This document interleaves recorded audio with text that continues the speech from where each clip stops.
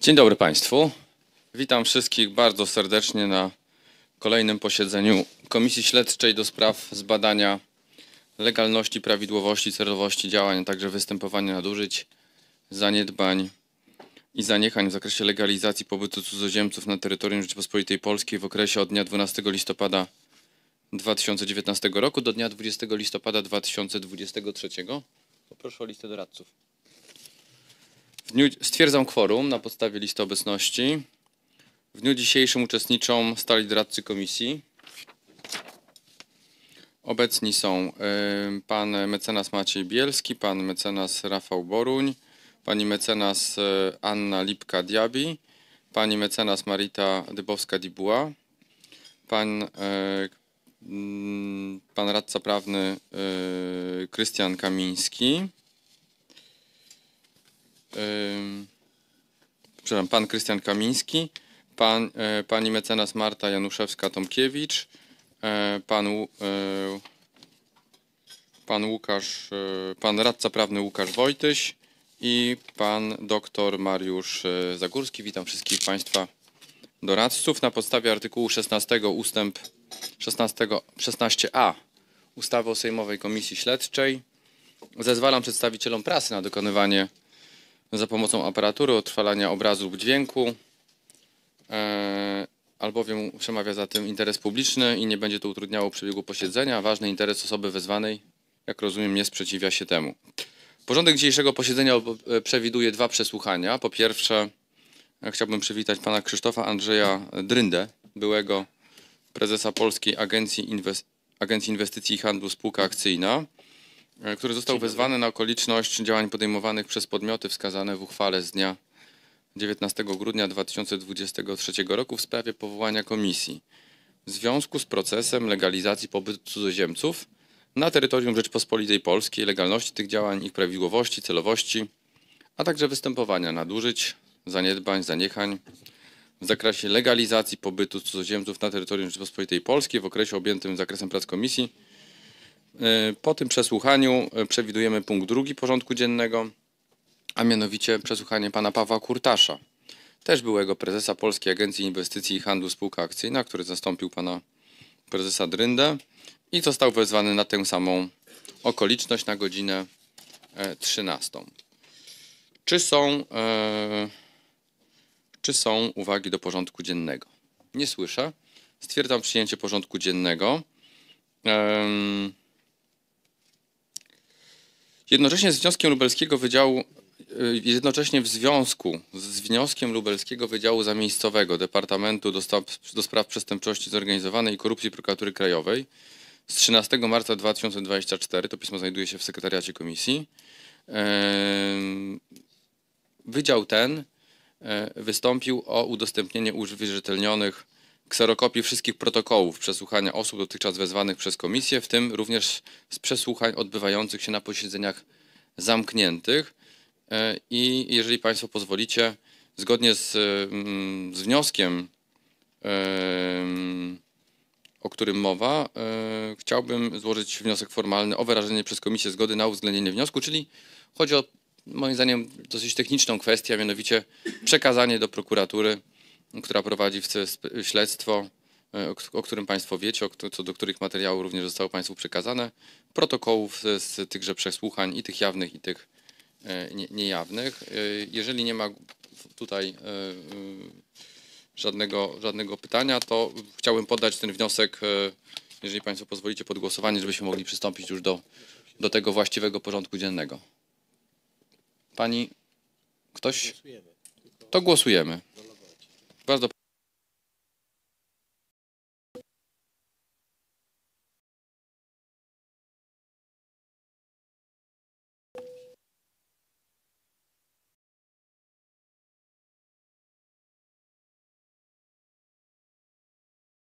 Panie Przewodniczący? Panie Przewodniczący? Taki kos. Kto z Państwa e, posłów jest za przyjęciem wniosku prokuratury o przekazanie uwierzytelnionych ko- kserokopii wszystkich protokołów z przesłuchania osób dotychczas wezwanych przez komisję w tym również z przesłuchań odbywających się na posiedzeniach zamkniętych. Kto z Państwa posłów jest za? Kto jest przeciw? Kto się wstrzymał? E, Dziękuję bardzo. Zamykam głosowanie. Bardzo dziękuję. Dziewięcioro posłów wzięło udział w głosowaniu i wszyscy byli za. Przystępujemy do realizacji punktu pierwszego porządku dziennego posiedzenia komisji. Na zaproszenie komisji wstawił się pan Krzysztof Andrzej Drynda. Wraz z pełnomocnikiem otrzymałem, pełnomocniczką, przepraszam, otrzymałem pełnomocnictwo e, pani e, adwokat Justyny Engelgard. Engelgard. Tak? Dobrze jest. powiedziałem? Dobrze. E, Komisja zweryfikuje pełnomocnictwo, bardzo proszę. Sekretariat komisji. E, I e, jak rozumiem, pani, e, pani mecenas też posiada przy sobie legitymację. Oczywiście. Świetnie, to bardzo proszę o, o uzupełnienie tych formalności już po, po. Chyba, że już nastąpiło to. Nastąpiło, dobrze. Szanowni Państwo, więc e, przypominam jeszcze raz, e, pan e, prezes Drynda został wezwany na okoliczność działań podejmowanych przez podmioty, no, w tym oczywiście naturalnie chodzi również o Polską Agencję Inwestycji i Handlu Spółka Akcyjna.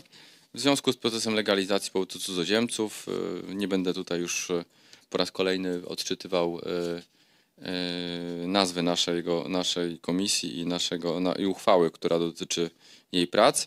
Chciałbym poinformować tylko i pana e, prezesa, i panią pełnomocniczkę, że mm, będzie dokonywany zapis dźwiękowy pana, e, państw, pana prezesa przesłuchania przed komisją i w tym momencie odbierzemy od, e, odbiorę od pana dane osobowe. E, Proszę podawanie danych po, ym, po ich przedstawieniu przeze mnie. Imię i nazwisko. Krzysztof Drynda, Dziękuję bardzo. Wiek? 40 lat. Dziękuję. Zajęcie? Y, Menadżer, doradca biznesowy. Dziękuję bardzo. Czy był pan karany za składanie fałszywych zeznań lub fałszywych oskarżeń? Nie, Po przesłuchaniu proszę o podanie adresom, pra- adresu pracownikom sekretariatu, adresu swojego aktualnego adresu pracownikom sekretariatu Komisji Śledczej w celu odnotowania tego adresu w załączniku do protokołu. Zgodnie z treścią i- artykułu 11d ustęp 1 ustawy o Sejmowej Komisji Śledczej w związku z artykułem 233 paragraf 1 kodeksu karnego tradycyjnie pouczam pana o odpowiedzialności karnej za zeznanie nieprawdy lub zatajenie prawdy z artykułu 233 paragraf 1 kodeksu karnego, za co grozi kara pozbawienia wolności od 6 miesięcy do lat 8. Warto to przypominać, bo mam wrażenie, że ostatnie zeznania świadka, e, że to pouczenie nie zostało do końca zrozumiane. Na podstawie artykułu 11d ustawy o Sejmowej Komisji Śledczej odbiorę od pana przyrzeczenie. Proszę wszystkich o powstanie, a państwa posłów o czujność, czy prawidłowo świadek e, e, to przyrzeczenie e, składa.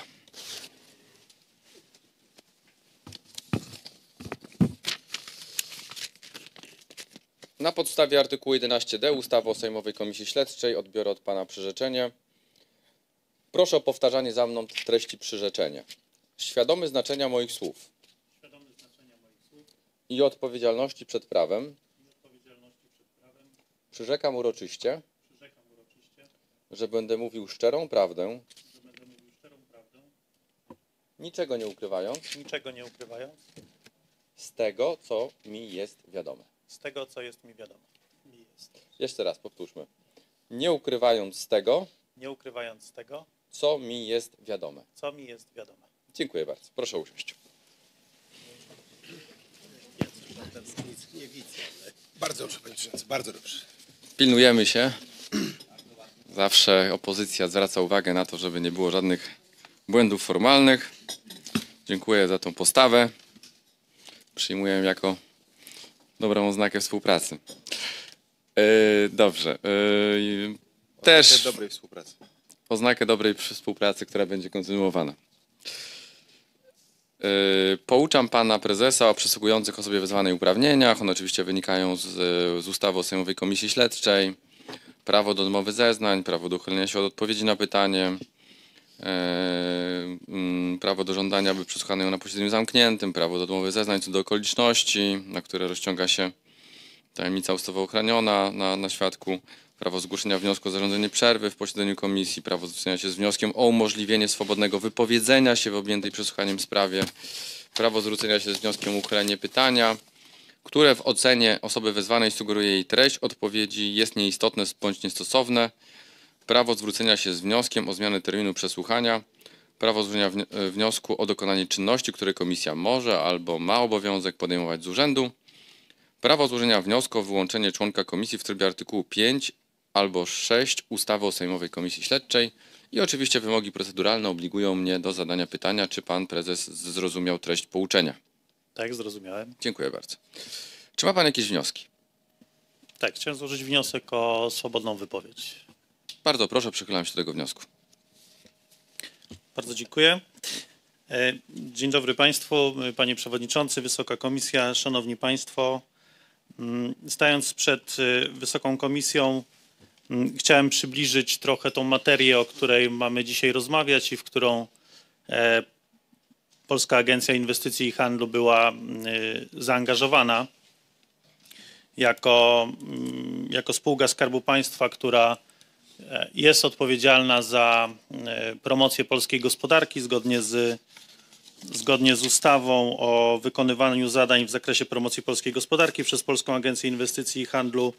Zgodnie z artykułem drugim do zadań agencji należy promocja polskiej gospodarki, w tym innymi wspieranie napływu bezpośrednich inwestycji zagranicznych i dostarczanie przedsiębiorcom informacji ekonomiczno-handlowych na tematy rynków zagranicznych oraz inwestorom zagranicznym informacji na temat warunków i regulowań prawnych prowadzenia działalności gospodarczej na terytorium Rzeczypospolitej Polskiej, w tym prowadzeniu portalu informacyjnego. Przytaczam tą podstawę prawną, bo ona jest e, istotna z punktu widzenia podejmowanych e, działań e, przez agencję, która obsługuje mm, te większe albo mniejsze, ale generalnie e, większość zagranicznych inwestycji, które zgłaszają się do Polski, do polskiego rządu i szukają tutaj swojego miejsca do ulokowania, m, e, czy też zakładów produkcyjnych, czy centrów usług.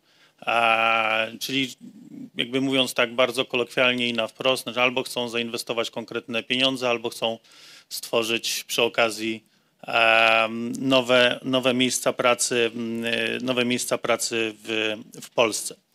E, W ramach, w ramach tej działalności istotnym elementem jest również wsparcie potencjalnych inwestorów zagranicznych, z którymi agencja prowadzi rozmowy w zakresie e, dostępu wykwalifikowanej kadry i możliwości zatrudnienia e, możliwości zatrudnienia pracowników w nowo powstających e, zakładach, zakładach pracy. E, I e, w, agencja działa trochę, powiedziałbym, na takim styku e, instytucji publicznych i, i prywatnego biznesu. Jest takim pomostem, platformą łączącym trochę te dwa, mm, e, te dwa światy. Więc z jednej strony działanie jest takie stricte biznesowe, z drugiej strony jakby w oparciu o mm, wszystkie przepisy i kontakt z instytucjami politycznymi, czy to na szczeblu e, centralnym, czy także lokalnym już w, w, zakresie, w zakresie wsparcia poszczególnych e, inwestorów. I to działanie polega między innymi na doradztwie takim biznesowym, legis, prawnym, e, pomoc w znalezieniu e, dogodnego miejsca do inwestycji, biura, partnerów biznesowych, kontaktu z instytucjami publicznymi, tak aby ten proces inwestycyjny przebiegał w miarę sprawnie i bez, bez, bezproblemowo. E, No jednym z takich elementów jest dostęp właśnie do wykwalifikowanej kadry niezbędnej do zasilenia nowych zakładów pracy powstających, powstających w Polsce.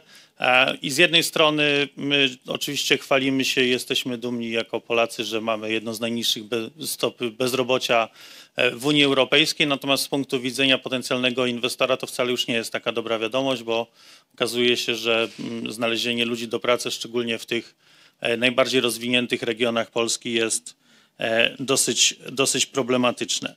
E, Jeden z takich odpowiedzi na, na ten problem miał być e, program Poland, e, Poland Business Harbor.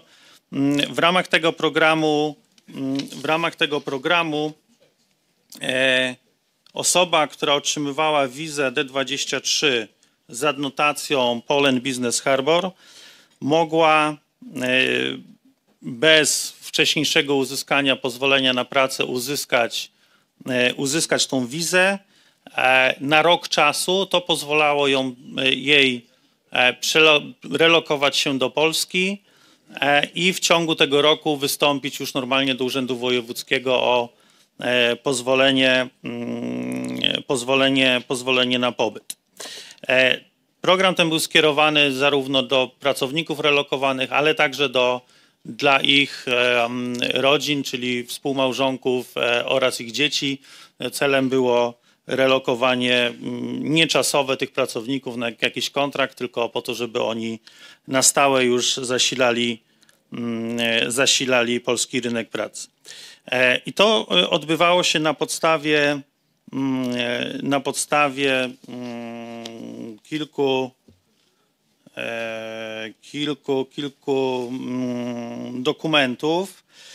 E, Przede wszystkim, e, przede wszystkim jeżeli chodzi o pozwolenie, czy generalnie tą wizę z adnotacją Poland Business Harbor, mamy rozporządzenie ministra rozwoju, pracy i technologii z dnia 20 listopada 2020 roku, e, które zmienia mm, rozporządzenie w sprawie przypadków, w których powierzenie wykonywania pracy cudzoziemcowej na terytorium Rzeczypospolitej Polskiej jest dopuszczalne bez konieczności uzyskania zezwolenia na pracę. I to rozporządzenie zostało wydane na podstawie artykułu 90 ustęp 4 ustawy z dnia 20 kwietnia 2004 roku o promocji zatrudnienia i instytucjach rynku pracy. Mm, I tutaj w paragrafie pierwszym w rozporządzeniu ministra pracy i polityki społecznej z dnia 21 kwietnia 2015 roku w sprawie przypadków, w których powierzenie wykonania pracy cudzoziemcowi na terenie Rzeczypospolitej Polskiej jest dopuszczalne bez konieczności zezwolenia na pracę. I tu jest cały szereg punktów. Y, W punkcie 22 znajduje się odniesienie właśnie do tej wizy, a więc w punkcie 22 wprowadza się zapis mówiący o, tych, o tym, że posiadających ważną wizę z adnotacją e, Poland Business Harbor. To była podstawa do mm, tego, żeby takie osoby Mógłby mogły... mógłby pan, y, pan przytoczyć, jak, z jaką datą to rozporządzenie było wydane? Tak, dy- 20 listopada 2020 roku. 22 roku. 20. 20, 20 listopada 20 2020. listopad 2020. Dziękuję bardzo. E, Następnie również taka wiza e, umożliwiała cudzoziemcowi prowadzenie działalności gospodarczej, dlatego że e, również ten program zakładał relokowanie całych firm e, do Polski. E, I to odbywało się na podstawie artykułu 4 ustęp 8 ustawy o zasadach uczestnictwa przedsiębiorców zagranicznych i innych osób zagranicznych w obrocie gospodarczym na terytorium Rzeczypospolitej Polskiej. To jest ustawa z dnia 6 marca 2018 roku. E, Ten ustęp 8, ustęp 8 mówi o tym, że Szef Kancelarii Prezesa Rady Ministrów zamieszcza w Biuletynie Informacji Publicznej na stronie podmiot, y, podmiotowej Kancelarii Prezesa Rady Ministrów wykaz programów, o których mowa w ustępie drugim punkt szósty. I punkt, ustęp drugi punkt szósty mówi, że y, mm, obywatele innych państw niż państwa członkowskie, którzy są uczestnikami organizowanych lub współorganizowanych przez podmioty, o których mowa w artykule 3 ustawy z dnia 11 sierpnia 2021 roku o otwartych danych i ponownym wykorzystaniu informacji sektora publicznego programu wsparcia dla cudzoziemców w zakresie podejmowanych i wykonywanych działalności gospodarczej na terytorium Rzeczypospolitej Polskiej mogą podejmować i wykonywać działalność gospodarczą na terytorium Rzeczypospolitej Polskiej na takich samych zasadach jak obywatele polscy. I na stronie KPRM-u y, taki wykaz się znajduje. Y, Wykaz programu wsparcia dla cudzoziemców w zakresie podejmowania i wykonywania działalności gospodarczej na terytorium Rzeczypospolitej Polskiej. E, No i tutaj mamy mm, wykazany ten program Poland, e, Poland Business, Business Harbor. To jeżeli chodzi o e, jakby genezę, znaczy nie genezę, tylko bardziej e, podstawy prawne, na której działała Polska mm, Agencja Inwestycji i Handlu. Myślę, że warto też powiedzieć dwa słowa na temat w ogóle genezy programu. To Państwo doskonale wiecie, jakby tą pierwszą ideę, mm, e, kiedy w sierpniu 2020 roku na Białorusi po wyborach rozpoczęły się społeczne protesty, zaczął się swego rodzaju eksodus e, firm z, m, z Białorusi i wiadomo było, że te firmy gdzieś się przeniosą. E, No i wtedy różne państwa zachodnie zaczęły myśleć, jak tu ściągnąć e, tych wykształconych informatyków. No, edukacja z zakresu informatyki i specjaliści IT na Białorusi są, mm, e, są na mm, bardzo, bardzo, bardzo dobrym poziomie. To jest ogólna e, ocena e, ze strony, ze strony przedsiębiorstw. E, No i tak powstał e, program Poland Business Harbor. On został ogłoszony przez panią minister, minister Jadwigę mm, Emilewicz e, 9 września 2020 roku i on był skierowany tylko dla, e, mm, dla Białorusi. Mm, Ja e, rozpocząłem swoją pracę w Polskiej Agencji Inwestycji i Handlu w lutym 2021 roku, a więc ten program zaczął funkcjonować już jeszcze przed, e, przed, moją, przed moją kadencję. Natomiast ten program na tyle został e, dobrze przyjęty przez biznes i wielokrotnie firmy zgłaszały takie postulaty czy pytania o to, czy ten program zostanie być może rozszerzony, bo y, w Polsce cały czas mieliśmy problem z tym, że brakuje informatyków, szczególnie w sektorze, w sektorze usług i tutaj i organizacje m, branżowe, takie jak ABSL czy Stowarzyszenie Pracodawców Sektora IT SODA, zgłaszały takie postulaty i, e, i generalnie jakby cały czas feedback był taki m, bardzo, bardzo pozytywny. Mm, Doszło to są takie informacje, które do agencji wpływały. Myśmy te, te informacje przekazywali zarówno do, mm, do KPRM-u, jak i do, mm, do MSZ-u. I 13 lipca 2021 roku zostało dokonane pierwsze rozszerzenie o mm, pięć krajów, czyli Armenię, Mołdawię, Ukrainę, Rosję i Gruzję. E, Tutaj, mm, co chciałem podkreślić, Polska Agencja Inwestycji i Handlu była wyłączona z tej decyzji. Znaczy myśmy się dowiedzieli, mm, znaczy dostaliśmy po prostu informację, że to zostaje rozszerzone. W tym procesie decyzyjnym mm, nie braliśmy, e, nie braliśmy udziału. I następnie 12 stycznia 2020 roku, 2022 roku doszedł jeszcze Azerbejdżan. E, Jak domniemywam trochę, to jest tak, że Mamy w ten sposób e, programem objęte wszystkie kraje Partnerstwa Wschodniego plus Rosję. E, I myślę, że to była taka geneza, mm, dlaczego akurat te kraje, e, te kraje, a nie inne. Mm, No i 5 września 2022 roku program został rozszerzony już na, tak- na cały świat. To była tak zwana rozszerzona rozszerzona ścieżka. E, Tutaj PAIH już był w to również zaangażowany mocno.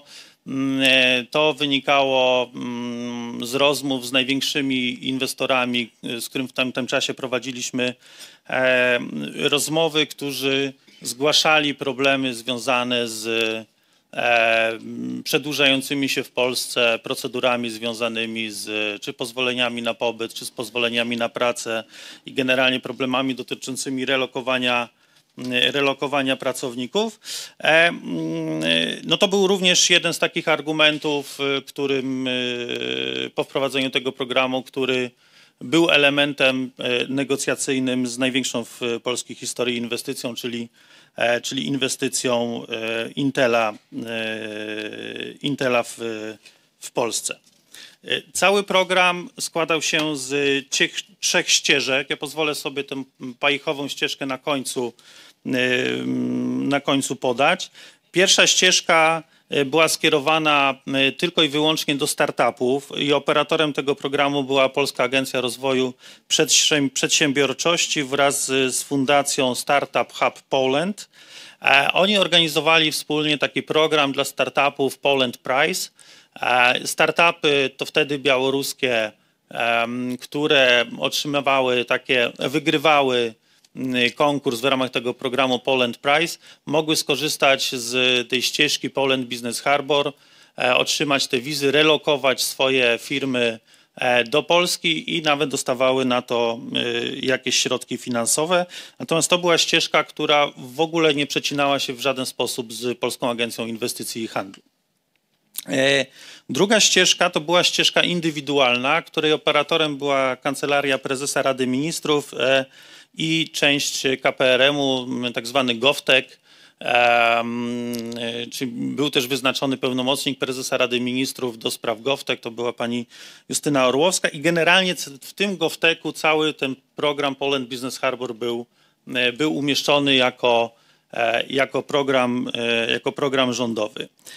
Ta ścieżka indywidualna polegała na tym, że obcokrajowcy mm, mogli aplikować o wizę y, z adnotacją Poland Business Harbor, czy w ramach programu Poland Business Harbor, pod warunkiem, że mieli kierunkowe wykształcenie y, informatyczne lub y, przynajmniej roczne doświadczenie pracy w, w, w sektorze informatycznym e, i musieli mieć deklarację chęci zatrudnienia przez e, polską firmę, która była partnerem e, programu Poland Business Harbor. E, y, Kto był partnerem, można znaleźć na stronach e, KPRM-u. Tam jest cały wykaz firm partnerskich tej ścieżki indywidualnej. E, Każdy przedsiębiorca mógł się zgłosić mm, do tej ścieżki i, mm, i zostać, zostać partnerem, wypełniając e, no, specjalną ankietę i by, będąc zaakceptowanym właśnie przez, e, przez GovTech. I to również była ścieżka, która w ogóle nie dotyczyła Polskiej Agencji Inwestycji i Handlu. My tylko w ramach, e, w ramach swojej działalności e, czasami wyłapywaliśmy różne firmy, które nie powinny się znaleźć na tej liście partnerskiej i wtedy taką informację do GovTechu zgłaszaliśmy, że chyba gdzieś tam mm, pojawił się e, jakiś błąd e, i jakby zwracaliśmy uwagę, że to nie jest firma z sektora IT, tak, i, e, i, mm, i to było tylko tyle, co, co agencja robiła. Natomiast trzecia ścieżka, ona była stricte związana już z Polską Agencją Inwestycji i Handlu, to była tak zwana ścieżka biznesowa, e, gdzie w ramach e, normalnej, jak każdej innej obsługi przedsiębiorstw zagranicznych, które zgłaszały się do Polski, w ramach naszej działalności e, pokazywaliśmy, w ramach naszej obsługi e, potencjalnego inwestora zagranicznego, e, ten program e, Poland Business Harbor był również wskazywany, jeżeli to dotyczyło firm objęty, z krajów objętych przepraszam, objętych programem, em, że mogą z tej szybkiej ścieżki relokacji pracowników do Polski, do Polski skorzystać. PAIH zbierał, jeżeli taka firma chciała skorzystać z tego programu, z tej możliwości, PAIH był tą instytucją, do której docierała lista pracowników przygotowana przez pracodawcę mm, e, do relokacji z, z, z danego kraju. Następnie Polska Agencja Inwestycji i Handlu tą listę przekazywała do dwóch instytucji. E, mm, Przekazywaliśmy ją do Ministerstwa Spraw Zagranicznych, do Departamentu Konsularnego, e, tutaj bezpośrednio do pani e, dyrektor Brzywczy, która przekazywała te listy już bezpośrednio do konsuli w poszczególnych konsulatach i na samym końcu te decyzje zapadały w, mm, o przyznaniu lub nieprzyznaniu poszczególnych wiz zapadały w, w konsulatach. I drugą ścieżką, którą myśmy jeszcze przekazywali, to było ustalone z, wspólnie z Agencją Bezpieczeństwa Wewnętrznego, znaczy PAIH za pośrednictwem Ministerstwa Rozwoju i Technologii również tą listę pracowników przekazywał do, do ABW. E, I mm, no, która jakby pilnowała jakby bezpieczeństwa e, i weryfikowała tych kandydatów, którzy, e, którzy na tej liście było. Zdarzały się takie sytuacje w późniejszym okresie, że dostawaliśmy jako agencja informacje z Ministerstwa Rozwoju i Technologii, aby konkretne firmy nie rekomendują dalszej obsługi. W związku z tym, e, no, mając na uwadze e, no, no jakby po pierwsze no, rekomendacje ministerstwa, po drugie, jak rozumiem, względy bezpieczeństwa, e, takie firmy mm, nie były dalej obsługiwane przez, e, przez agencję. Natomiast e, to, co myślę ważne i myślę, że to w Państwa pytaniach się pojawi i, i, i jest istotne, to to, że Polska Agencja Inwestycji i Handlu nie wydawała wiz. E, Myśmy wydawali pewnego rodzaju rekomendacje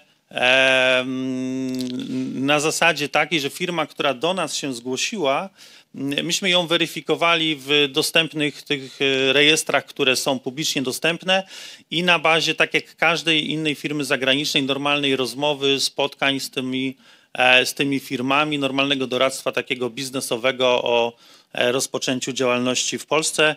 Natomiast jeżeli firma chciała skorzystać z programu Polen Business Harbor, to tak jak już mówiłem, te dwie ścieżki były, były, były uruchamiane. Mm, Tu niestety y, często jest mylona ta ścieżka y, biznesowa indywidualna. Czasami było tak, że mm, kandydaci te, te ścieżki indywidualnej również znajdowali się na tych listach wskazywanych przez e, e, przez pracodawców, co, co, co czasami powodowało różnego rodzaju jakieś tam perturbacje albo, no, chyba tak trzeba powiedzieć, no, nie- niepotrzebne podwójne, e, podwójne z, sprawdzenia e, tych, tych potencjalnych, potencjalnych kandydatów. E, Myślę, że e, warto powiedzieć, że ten program e, był bardzo dobrze oceniany i bardzo dobrze przyjęty przez, e, przez stronę biznesową. Zresztą e, Polska Agencja Inwestycji i Handlu otrzymała e, nagrodę mm, za ten program. Generalnie, czy generalnie ten program otrzymał nagrodę i wszystkie instytucje zaangażowane w e, w jego realizację przy, przez Organizację Pracodawców Usług IT, czyli e, wspominaną wcześniej przeze mnie, m, przeze mnie tą SODę. No tu warto przytoczyć kilka mm, takich punktów. W opinii przedstawicieli SODA pierwsze dwa lata działania programu Polen Business Harbor pokazały, że jest to bardzo dobra inicjatywa z punktu widzenia polskiego sektora IT. Duży deficyt specjalistów, który według analiz Stowarzyszenia i Polskiego Panie Instytutu prezesie, Ekonomii... y, bo tak, my te materiały różnego rodzaju też Mają. otrzymaliśmy, te wszystkie Okej. kserówki, które widzę pan ma w tej chwili w rękach, materiały prasowe, PAIH nam to już dostarczył, to mamy w, w, na swoich iPadach. Więc jakbym prosił, żeby pan e, w tej części weryfikacji, w tej części ogólnej skoncentrował się na jakichś, powiedziałbym, informacjach, które mogą być istotne z punktu widzenia komisji, a nie informacje prasowe czy artykuły promocyjne, Panie dobrze? Przewodniczący, ale to są bardzo istotne informacje, bo pan E, Nie ma pan głosu, chwali. panie, nie ma pan głosu, panie pośle. E, Ja prowadzę to posiedzenie i bardzo bym prosił, żeby, że, ponieważ pana kolega o 13 się tu pojawi, chcielibyśmy móc e, punktualnie rozpocząć, więc prosiłbym e, konkludować e, wolną wypowiedź. Tak, tak będzie, tylko y, jednak pan chciałby prosić o, umożliwienie mu swobodnej wypowiedzi, tak? Naprawdę swobodnej. To I pan myślę, e, panie przewodniczący, że, że, że będzie to treściwe i nawet jeżeli dla pana przewodniczącego w tym momencie może nie jest to chyba dla pozostałych osób, dla, Nie, nie, dla to, pozostałej to ja decyduję o tym. będzie. E, e, Szanowna pani, ja po, poinformowałem panią, e, że e, pan prezes, e, pan prezes, który zastąpił pana prezesa Dryndę, pan, pan prezes w Kurtarz przekazał wszystkie informacje, które się na temat tego programu e, pojawiały nam e, w załączeniu na odpowiedzi na pismo jeszcze. W związku z powyższym nie ma sensu przy, przywoływać materiałów informacyjno-prasowych, bo, bo mamy, e, e, mamy, e, mamy te materiały. Prosiłbym, żeby pan prezes był w stanie skończyć w ciągu pięciu minut, żebyśmy mogli procedować zgodnie. Zgodnie. e, pa- tak będzie, Ale nie ma pan pani głosu skończy. teraz. e, Ja Nie ma pani głosu w tej chwili. Nie ma pani głosu w tej chwili. Jak chce pani zabrać głos, to proszę poprosić o głos. Poproszę o głos, panie przewodniczący. Dobrze. I sygnalizuję tylko, że z uwagi na treść artykułu 171, paragraf 7 KPK, który na pewno panu przewodniczącemu Mhm. jest znany, będziemy jednak pilnować tego, aby pan miał prawo do swobodnej wypowiedzi, aby ona nie była przerywana. Ma prawo do swobodnej jest. wypowiedzi, ale ja mam prawo również odnieść się do tego, o czym być może pan prezes Drynda nie wie. Ale Że to może temat- po wypowiedzi pana dyrektora. Pan poseł Kaleta po raz kolejny proszę e, o przestrzeganie e, porządku. Po prostu informuję, że państwo posłowie dysponują materiałami, o którymi pan prezes informuje.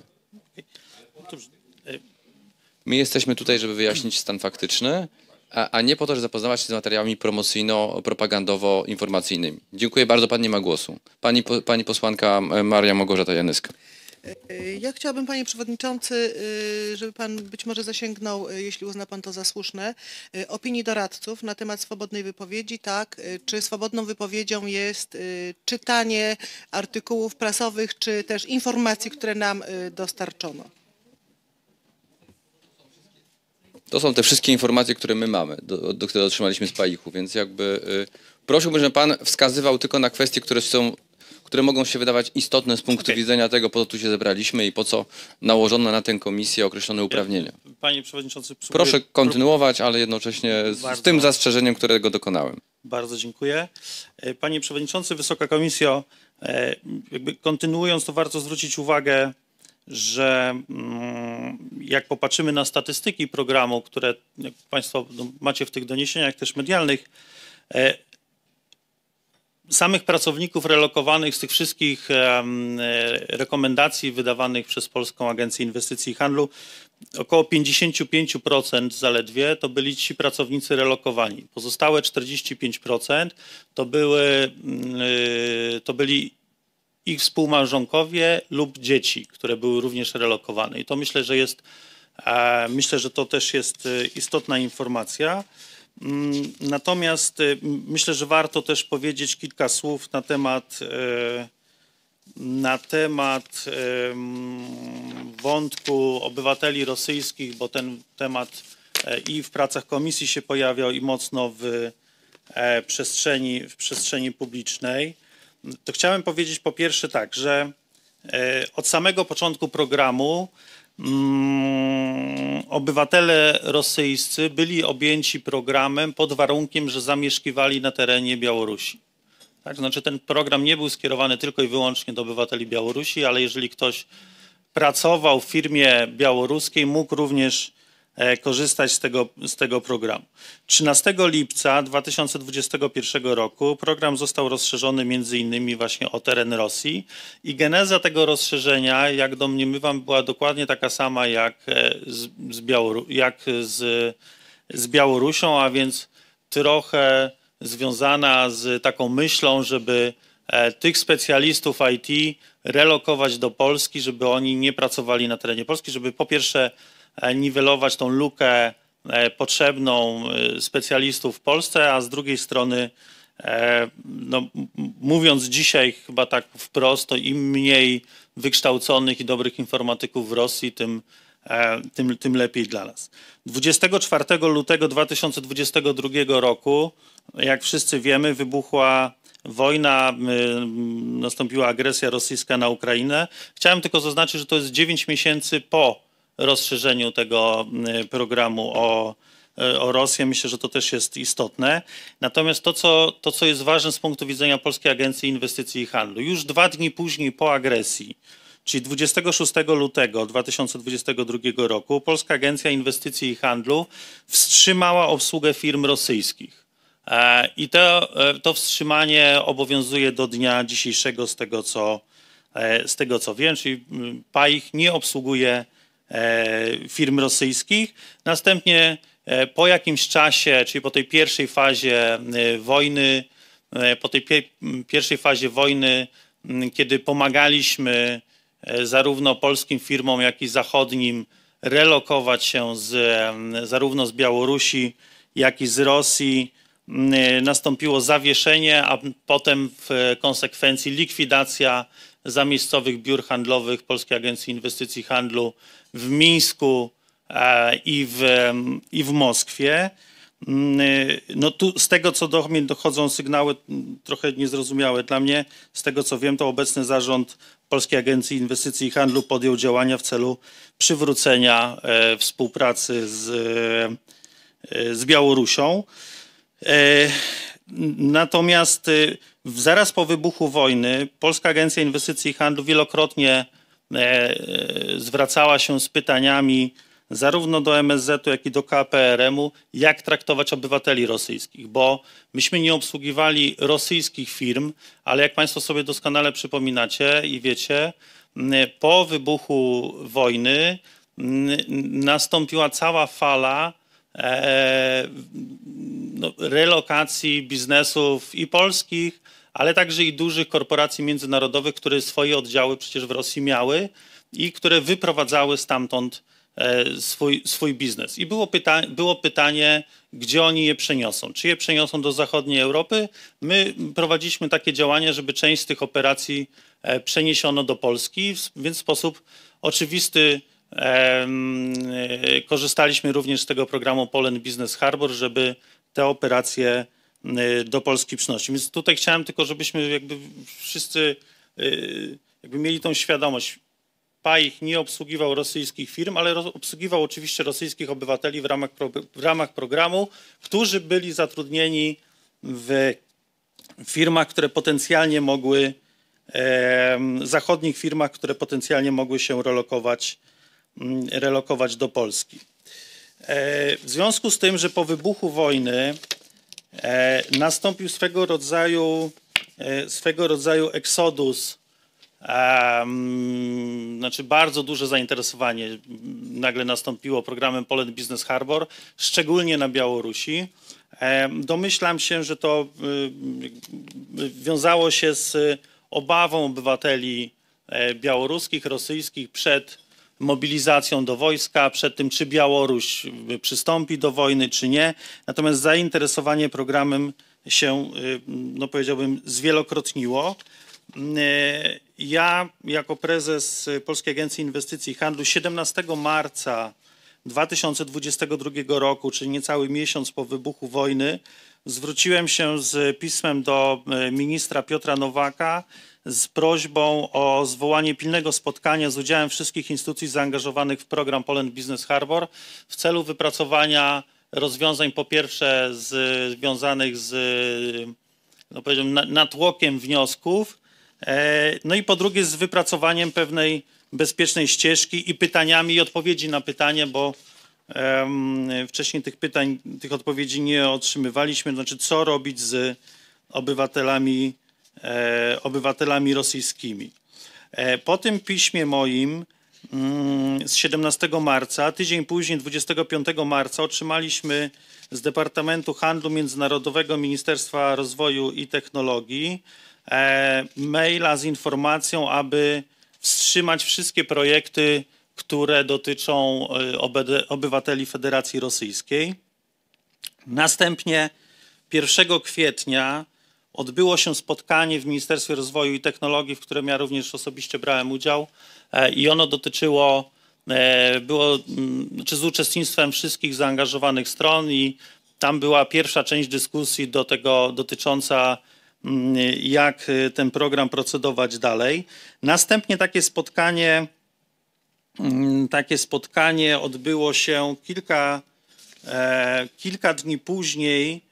Mm, Jeżeli dobrze kojarzę, to było to 8 kwietnia 2022 roku i z tego spotkania e, jest notatka służbowa e, datowana na 12 kwietnia 2022 roku. E, mm, To, to, to jeżeli chodzi o. No i później tak, później zapadła decyzja, później zapadła decyzja, którą otrzymaliśmy, mówiąca o tym, że mm, obywatele rosyjscy powinni być dalej objęci programem i powinniśmy kontynu- kontynuować e, obsługę w ramach tego programu. Natomiast byli oni, z tego co wiem, dużo bardziej szczegółowo i skrupulatnie sprawdzani, e, co mm, powiedziałbym, że strona biznesowa to potwierdzała wielokrotnie, e, trochę tak, no, powiedziałbym, narzekając na, e, na czas, e, ile trwa decyzja. Już nie chodzi o to, czy ona będzie pozytywna czy negatywna, ale generalnie czas na decyzję związaną z, mm, e, z, mm, z, z uzyskaniem e, tej wizy z adnotacją e, Poland, Poland Business Harbor. I e, szanowni państwo, myślę, że to myślę, że to tyle, jeżeli chodzi o tą część swobodną i ten wstęp trochę długi, za co przepraszam, ale myślę, że to dla mm, jakby wytłumaczenia i, i pokazania jakby genezy i zasad funkcjonowania programu jest, jest istotne i myślę, że w pytaniach będę mógł odpowiadać na te szczegółowe bardziej, a a, a nie dotyczące tych ogólnych kwestii. Dziękuję bardzo. Dziękuję panie prezesie. E, Przystępujemy do serii pytań. E, Chciałbym się dowiedzieć o pana e, wcześniejsze doświadczenia przed objęciem funkcji prezesa Polskiej Agencji Inwestycji i Handlu. Jakie one były i kto panu zaproponował e, tę funkcję prezesa, w jakim trybie pan został powołany? Najpierw pana doświadczenia zawodowe, tuż przed. Tuż przed to, yy, no generalnie moja ścieżka kariery, rozumiem. Tuż przed. Tuż przed. To jest Do- proste przed pytanie. byłem dyrektorem y, Departamentu Jednostek Nadzorowanych i Podległych w Ministerstwie Rozwoju e, i Technologii. A Kto panu zaproponował tę funkcję dyrektora? Dyrektora? Departamentu? E, dyrektorem zaproponował premier Jarosław Gowin. Premier Jarosław Gorwin. A czy był pan jakiś e, członek, jakiś, prze- e, członkiem jakichś rad nadzorczych? Byłem członkiem rad nadzorczych. W tamtym, nie, w tamtym czasie, przepraszam, w tamtym czasie nie byłem. A tuż przed objęciem funkcji dyrektora departamentu? Nie, nie byłem. I w Wałbrzyskiej Specjalnej Strefie Ekonomicznej był pan? Byłem później, tak.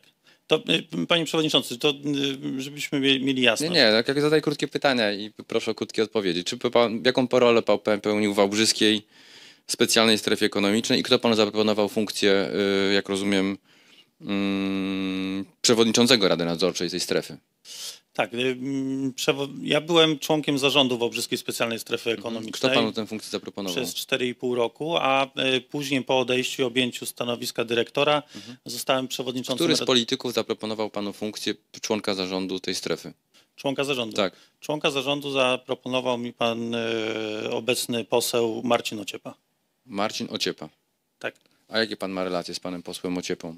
no, teraz żadnych. A jakieś miał pan inne relacje pozasłużbowymi? E, No, do, tak naprawdę do zakończenia mm, mojej pracy w Polskiej Agencji Inwestycji i Handli mógł, mógłbym je określić jako przyjacielskie. Przyjacielskie? Tak.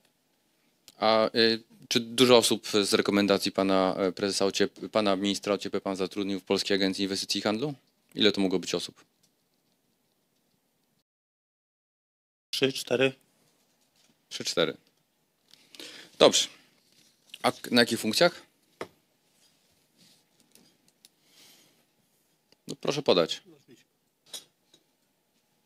No, y, no, różnych funkcjach, no, ale włącznie z dyrektorskimi. Tak, A, a może pan podać nazwiska? A to ma związek ze sprawą, pan przewodniczący? Tak, to ma związek ze sprawą. Można, panie przewodniczący? A Ja tylko zwracam uwagę, e, że uchwała Sejmu, która powołała tą komisję... Ale nie, my, my określamy, jakie jest Eee, doświadczenie świadka i jak jest Panie zlokalizowane. Proszę pozwolić mi udzielić e, oświadczenia w tym przedmiocie. E, I punkt drugi tej uchwały Mhm. wyklucza badanie ko- e, przez komisję kwestii związanych z tak daleko idącym zakresem. Nie, nie, pani, pani wybaczy, ale to, że ktoś zostaje prezesem e, e, e, spółki akcyjnej, która należy do, do, do Skarbu Państwa, albo to, że ktoś zostaje e, członkiem zarządu, a później przewodniczącym Rady Nadzorczej Wałbrzyskiej Strefy e, i e, rekomendacje są ściśle polityczne i partyjne, e, bo płyną od polityków tak zwanej Zjednoczonej e, Prawicy, to jest istotne z punktu widzenia sprawy. Jak, jak, jak ta osoba, konkretna osoba, świadek jest zlokalizowana również w obszarze politycznym. Prosiłbym, żeby pani pozwoliła świadkowi odpowiedzieć na to pytanie. Panie Przewodniczący, ja e, jednak zwrócę uwagę, że artykuł drugi, który przewiduje zakres przedmiotowy i podmiotowy kompetencji komisji, wyklucza badanie przez komisję kwestii związanych z PAIChem, dlatego że nie jest to podmiot, który jest ujęty w e, w w zakresie e, Pani się- kompetencji się komisji. znacząco E. Pan, e, pan, panie przewodniczący, e, pa, e, pan prezes odpowie na te pytania, bo nie ma nic do ukrycia, ale zwracamy uwagę, że przekraczamy w tym momencie zakres kompetencyjny. Myślę, że pani pełnomocniczka nie jest zorientowana w zakresie materiałów dowodowych, jakie komisja postanowiła w tej sprawie. Niech pani nie, nie ma pani teraz głosu. Proszę włączyć mikrofon. Komisja na posiedzeniu w dniu. Komisja na posiedzeniu e, grudniowym podjęła decyzję po pierwsze o tym, że będzie badała kwestię programu Poland Business Harbor. W tym zakresie przyjęła również e, wniosek do prokuratora e, krajowego, do prokuratora generalnego, do kończe- do konania również zabezpieczenia dokumentacji w Polskiej Agencji Inwestycji i Handlu SA w zakresie legalizacji pobytu cudzoziemców. Te dokumenty zostały zabezpieczone przez Centralne Biuro Antykorupcyjne na wniosek naszej komisji. I e, Polska Agencja Inwestycji i Handlu uczestniczyła w tym procesie legalizacji. Więc jeżeli my coś o coś pytamy i co dotyczy czy to Polskiej Agencji Inwestycji i Handlu, czy dotyczy samego prezesa, czy jego zlo- zlokalizowania i jego uwarunkowań politycznych, może mieć istotne znaczenie z punktu widzenia prac tej komisji. Nie ma pani głosu. Panie prezesie, chciałem zapytać, kto był autorem, ym, To po co jest pełnomocnik pana prezesa? kto był, kto jeżeli był, nie udziela pan głosu? No kto panie był, przewodniczący, to jest kto skandal. był, kto był autorem e, programu Poland Business Harbor? Panie Przewodniczący, to musiałby Pan pytać moich poprzedników, e, dlatego że Nie kiedy no. ja przyszedłem do agencji, ten program już funkcjonował. Ale On czy ma był- pan wiedzę, kto był inicjatorem e, w ramach rządu e, Mateusza Morawieckiego tego programu? No, i, no Proszę ja podać wiem, nazwisko. Wiem, że ten program był e, konstruowany we współpracy KPRM-u, Ministerstwa Rozwoju i e, Polskiej Agencji Inwestycji i Handlu.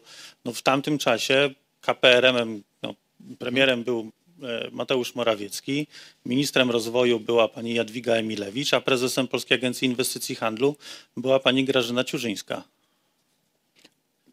Kto ten, pilot, ten temat pilotował dotyczący Poland Business Harbor w ramach Rady Ministrów?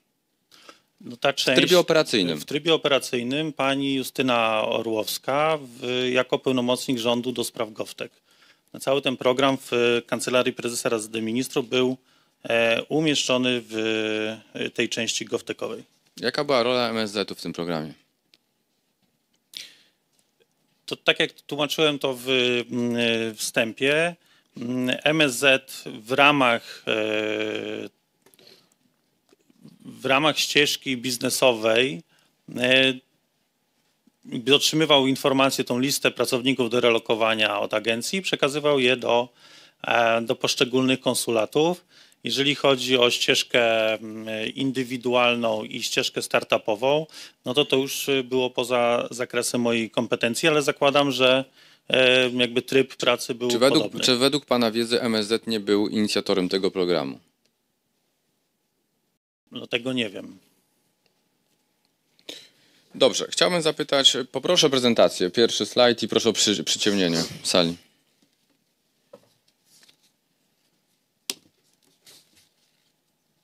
I proszę o pilota. To proszę prze, slajdy przesuwać według mojej dyspozycji.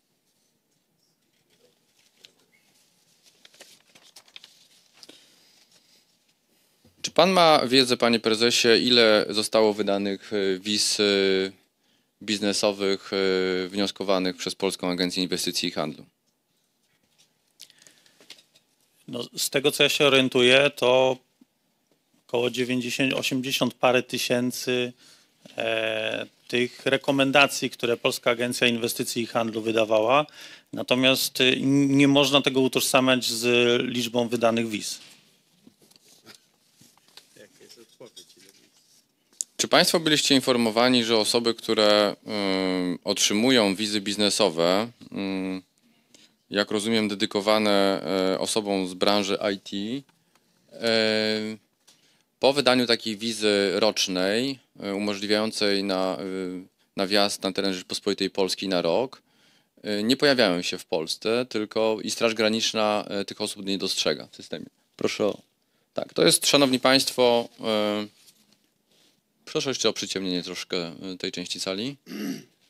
To jest, szanowni państwo, informacja, którą otrzymaliśmy od poprzedniego prezesa Polskiej Agencji Inwestycji i Handlu i to są dane to są dane na 18 października 2023 i e, takich wiz e, biznesowych zostało wydanych 84 315.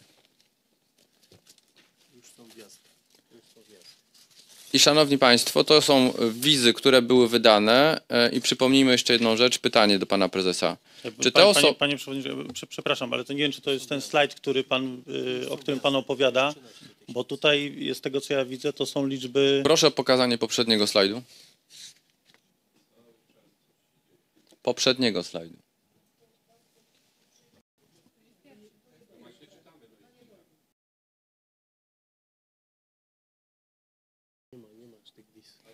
Dobrze. Proszę podać. Dobrze, czyli z danych, które my mamy, które otrzymaliśmy 14 lutego 2024 roku, to jest ta tabela, którą Państwo posłowie macie. Wiz, wiz zostało wydanych 84 315.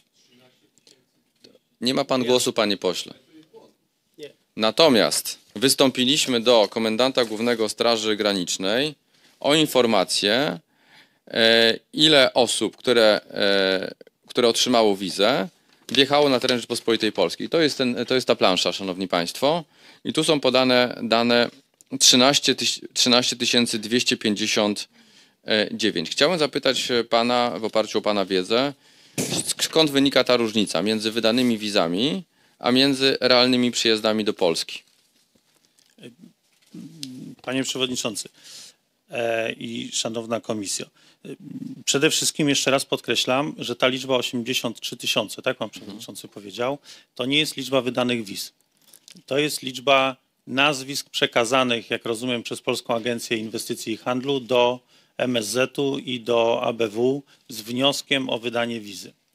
W związku z tym to nie są wszystkie, to nie jest automatycznie, że te osoby tą wizę e, otrzymały. To jest trochę tak jak z pozwoleniami mamy dużo pozwoleń na pracę wydanych, a potem wiz wydanych jest co do na podstawie tych pozwoleń na pracę dużo, dużo mniej. I tutaj mamy trochę podobną sytuację. Ta różnica, e, jak domniemywam, bierze się z kilku powodów. E, Po pierwsze, były takie przypadki, w których pracownik, który otrzymywał e, wizę Poland Business Harbor, jego relokacja się przedłużała i musiał występować potem drugi raz. E, I to nie były pojedyncze przypadki. Były też takie przypadki, w których firma zgłaszała do relokacji konkretną listę pracowników, a później e, okazywało się, że dany pracownik nie zdecydował się na relokację. E, tutaj takie, przypad- takie powody były dwa. Po pierwsze względy rodzinne, a po Jak. Państwo postępowaliście po w sytuacji takiej, kiedy firma zgłaszała, że ten pracownik już jest niepotrzebny? Panie Przewodniczący, czas się Panu ale, skończył. ale wniosek, e, e, wniosek, został, e, wniosek został złożony. Tylko, tylko jeżeli mogę z, z, dosłownie dwa zdania i już skończę odpowiadać na to Proszę. pytanie. E, więc z powodów rodzinnych czy też podatkowych nie decydowali się na przyjazd. Mhm. A po trzecie, najważniejszy e, dla mnie wniosek z tych informacji, z tych liczb jest taki, że to są dane e, państw, e, Straży Granicznej. Straż Graniczna e, rejestruje te wjazdy tylko na polskich granicach Schengen, czyli na wschodniej granicy i na, i na lotniskach. Natomiast jeżeli taki Białorusin, a to było nagminne, wjeżdżał do Polski przez Litwę, to Straż Graniczna takich danych już nie ma. Jeżeli obywatele innych krajów, jak Państwo doskonale znacie połączenia lotnicze, jak można dotrzeć do Polski, lecieli przez Monachium, Frankfurt czy Berlin, to również Straż Graniczna takich e, statystyk nie, Dobrze. nie odzwierciedla. Panie prezesie, nie mówię, tak powiem, mamy różne źródła w tej sprawie i również z innych źródeł, z danych na koniec, e, na koniec grudnia 2023 wiemy, że takich wiz bi- biznesowych wobec obywateli Białorusi wydano e, około 90 tysięcy. E, Poproszę kolejny slajd. Takie, do których pan, z których pan nie skorzystał. Z których pan nie skorzystał. Panie Przewodniczący, czas się Panu skończył. Uwzględnię ten czas ze względu na to, że pana koledzy dzisiaj e, w małej absencji, znaczy mają dosyć dużą absencję. Nie, pan nic nie będzie mógł prosić. Pan będzie miał swoje 10 minut. Szanowni Państwo, e, chciałem przedstawić. Czyli kilka... Pan będzie korzystał z... Przywołuję pana do rzeczy. Po raz pierwszy. Chyba, że pan się gdzieś spieszy, to ma pan możliwość skorzystania z tej możliwości. Dobrze, szanowni państwo, y, chciałbym przedstawić państwu y, jedno pismo. Ono jest niezbyt tutaj wyraźne, ale pozwólcie sobie państwo, że odczytam. E, ono to jest, y, to jest pismo, to jest mail jednego z polskich konsulów, pana Janusza Bilskiego, który, który mówi o konsekwencjach tego, że, mm, że firma e, e, na przykład przez, Poland, program Poland Business Harbor zgłasza daną osobę e, a następnie, a następnie ym, okazuje się, że jest nierzetelną migracyjną firmą. I jedyna możliwość, jaką może zrealizować tutaj Straż Graniczna, jest nałożenie mandatu 1000 złotych. I, y, I pan konsul y, pisze tak. Cena usługi, cena usługi pośredników za dostarczenie dokumentów, w tym zezwolenie na pracę, waga się między 1200 a 1800 euro. To jest to czysty zysk, nawet jeżeli za każdym razem firma będzie zmuszona do zapłacenia takiego mandatu. Czy według Pana e, obowiązywanie takich przepisów, że jedyną możliwością ukarania nierzetelnej firmy, na przykład uczestniczącej w programie Poland Business Harbor jest kara grzywny w wysokości 1000 zł, to jest właściwe rozwiązanie? Ale mm, panie przewodniczący, żebym dobrze zrozumiał, pan powiedział, że to jest jakaś nierzetelna migracyjna firma. To nie, nie bardzo rozumiem. Dobrze, ja to rozwinę później w drugiej części. Proszę kolejną, kolejny slajd.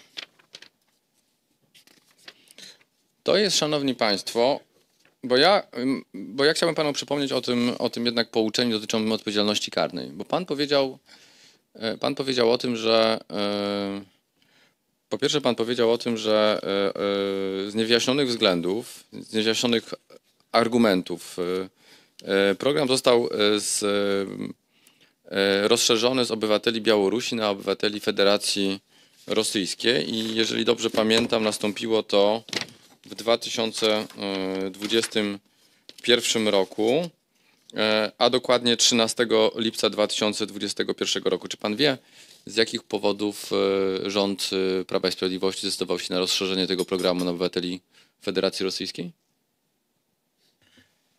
Panie przewodniczący, ja nie powiedziałem, że z niewyjaśnionych okolicznościach.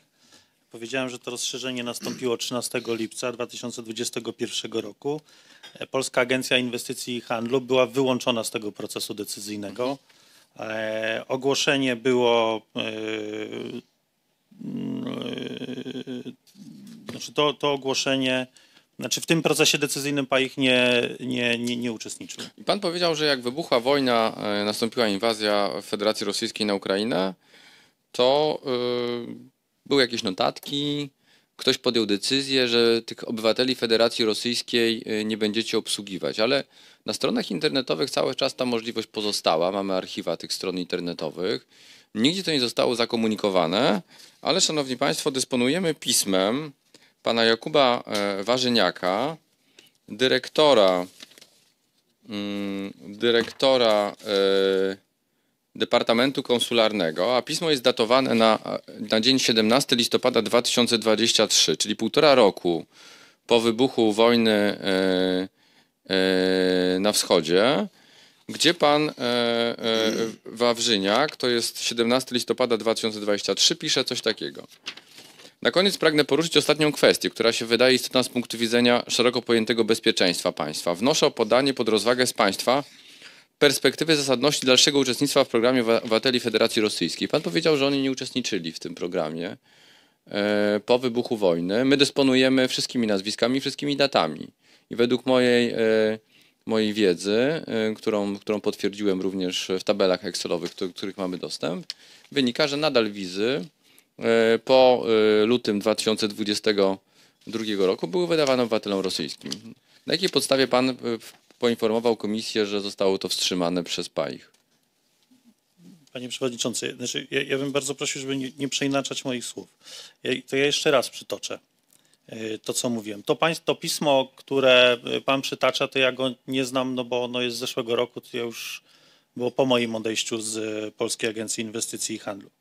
E, Ja powiedziałem, że e, po wybuchu wojny 26 lutego 2022 roku Polska Agencja Inwestycji i Handlu podjęła decyzję o tym, że nie będzie obsługiwać e, rosyjskich firm. I z tego co wiem, ta decyzja obowiązuje do dnia dzisiejszego.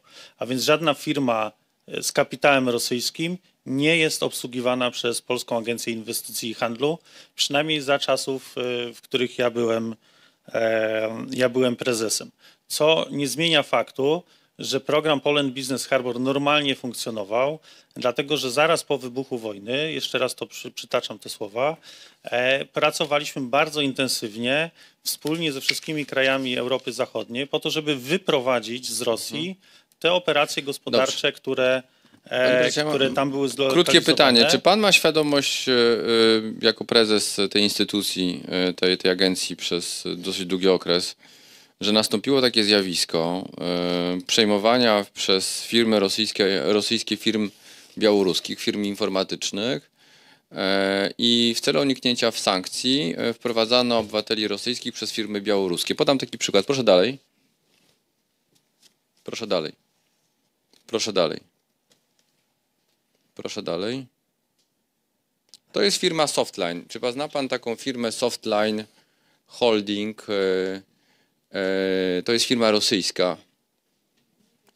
I pan, czy pan wie, ile, ile, e, ile, ile, ilu pracowników tej firmy rosyjskiej Softline zostało wpuszczonych w ramach programu Poland Business Harbor?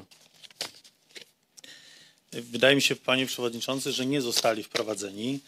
Y, Ja mam przed sobą, bo y, jeszcze raz, ta, jak wyglądała ta procedura. Dobrze, okej. Firma, firma Softline zgłaszała się i zgłosiła się do, do Polskiej Agencji Inwestycji i Handlu i była normalnie obsługiwana jak każda inna firma. Firma rosyjska. Białoruska. Firma rosyjska, Okej, ale no e, firma białoruska z do- kapitałem rosyjskim. Dążę, dążę do, do, do, do finiszu. Każdy z nas może sprawdzić firmę E. Softline w tej chwili w Google. Softline Holding. E, I to jest to firma rosyjska. Panie Ja mówię o pewnym zjawisku, panie Ale prezesie. nie, panie, panie przewodniczący, je- jeżeli mogę. Mhm. Z, mam tutaj przed sobą pismo z Ministerstwa Rozwoju i Technologii z dnia 17 listopada 2022 roku, e, czyli dwa tygodnie przed moim odwołaniem, e, w którym dotyczy programu Poland Business Harbor. Departament Handlu i Współpracy Międzynarodowej Ministerstwa Rozwoju i Technologii stanowczo rekomenduje natychmiastowe wstrzymanie wszelkich działań Kiedy- w ramach kiedy ta- programu kiedy ta data? Poland Business Kiedy data tego w pisma? odniesieniu do firmy Jaka jest data tego pisma? 17 listopad 2022 roku. 17 listopad. To ile jest e, miesięcy po wybuchu wojny? 10 miesięcy? Prawie 10 miesięcy, tak? Proszę kolejny slajd. To jest to firma Softline, która, e, która zaproponowała 200, 200 pracowników w ramach, w ramach firm, w ramach e, Poland Business Harbów. A zna pan taką firmę e, Belit Soft? Nie znam. To jest firma białoruska. Nie znam. Ja mówię o tym zjawisku. Po wybuchu wojny, czy, czy tuż przed wybuchem wojny, firmy białoruskie IT są przejmowane przez firmy rosyjskie. Czy pan zna firmę Belit, y, Belit Soft? Firma Belit Soft jest firmą białoruską, która została e, w styczniu 2022 roku przyjęta przez e, firmę e, Sofitel. Sofitel jest większościowym udziałowcem firmy Belit Soft. Czy pan wie, ile osób zostało rekomendowanych do udziału w programie Poland Business Harbor mm, przez firmę Belit Soft? Nie wiem. No, Ponad 180 osób. Proszę kolejny slajd. Proszę kolejny slajd. To jest potwierdzenie tego, że firma Softline, firma rosyjska, has finalized the acquisition of the majority stake in the uh, Soft. Proszę dalej sta- slajd. Czy pan wie, że firma Sofitel była objęta sankcjami e, po wybuchu wojny z Ukrainą? Panie Przewodniczący, jeszcze raz.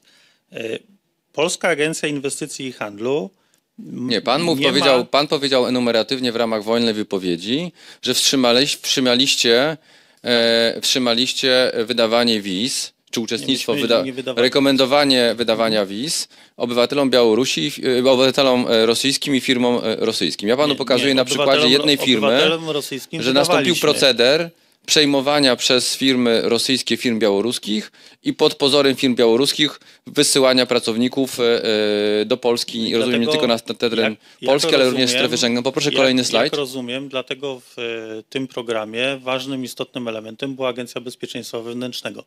Jeżeli ona sygnalizowała pewne niebezpieczeństwo, tak jak Kolejny panu, slajd poproszę. e, mówiłem o firmie To jest e, firma Softline. Sofitel i Państwo macie tutaj, zoba- zobaczcie kto jest właścicielem tej firmy. Panie przewodniczący, raz, że przedłuża pan czas, a Kolejny slajd. Kolejny slajd. Szanowny panie prezesie, konkludując, e, em, mimo tego deklaracji, którą pan powiedział, e, mimo wybuchu e, wojny e, w lutym 2022 roku wobec obywateli rosyjskich nadal były wydawane wizy. PAIH był instytucją, która rekomendowała polskim konsulom wydawanie tych wiz. Nastąpiło zjawisko, które, się, które pokazałem na przykładzie fir- dwóch firm. przejmowania firm białoruskich IT przez firmy rosyjskie i na tej podstawie wprowadzania ludzi na teren, e, na teren, e, na teren, e, na teren e, Polski, na teren Unii Europejskiej i na teren krajów członkowskich e, NATO. Chciałbym zapytać jeszcze o jedną rzecz. Dlaczego jedyną, jak rozumiem, bo pan wymienił tę nazwę, jedyną służbą specjalną, która uczestniczyła, rozumiem, w kwestiach bezpieczeństwa, była Agencja Bezpieczeństwa Wewnętrznego. Czy Państwo rozważaliście zaproszenie do współpracy na przykład Agencji Wywiadu, która ma, dysponuje odpowiednimi e, narzędziami do ochrony kontrwywiadowczej? Panie Przewodniczący, no, y, po pierwsze y, Polska Agencja Inwestycji i Handlu nie otrzymała żadnych narzędzi do tego, żeby weryfikować te firmy i konkretnych obywateli. My mogliśmy to robić tak, jak e, obsługujemy każdego innego inwestora zagranicznego, który przychodzi do Polski.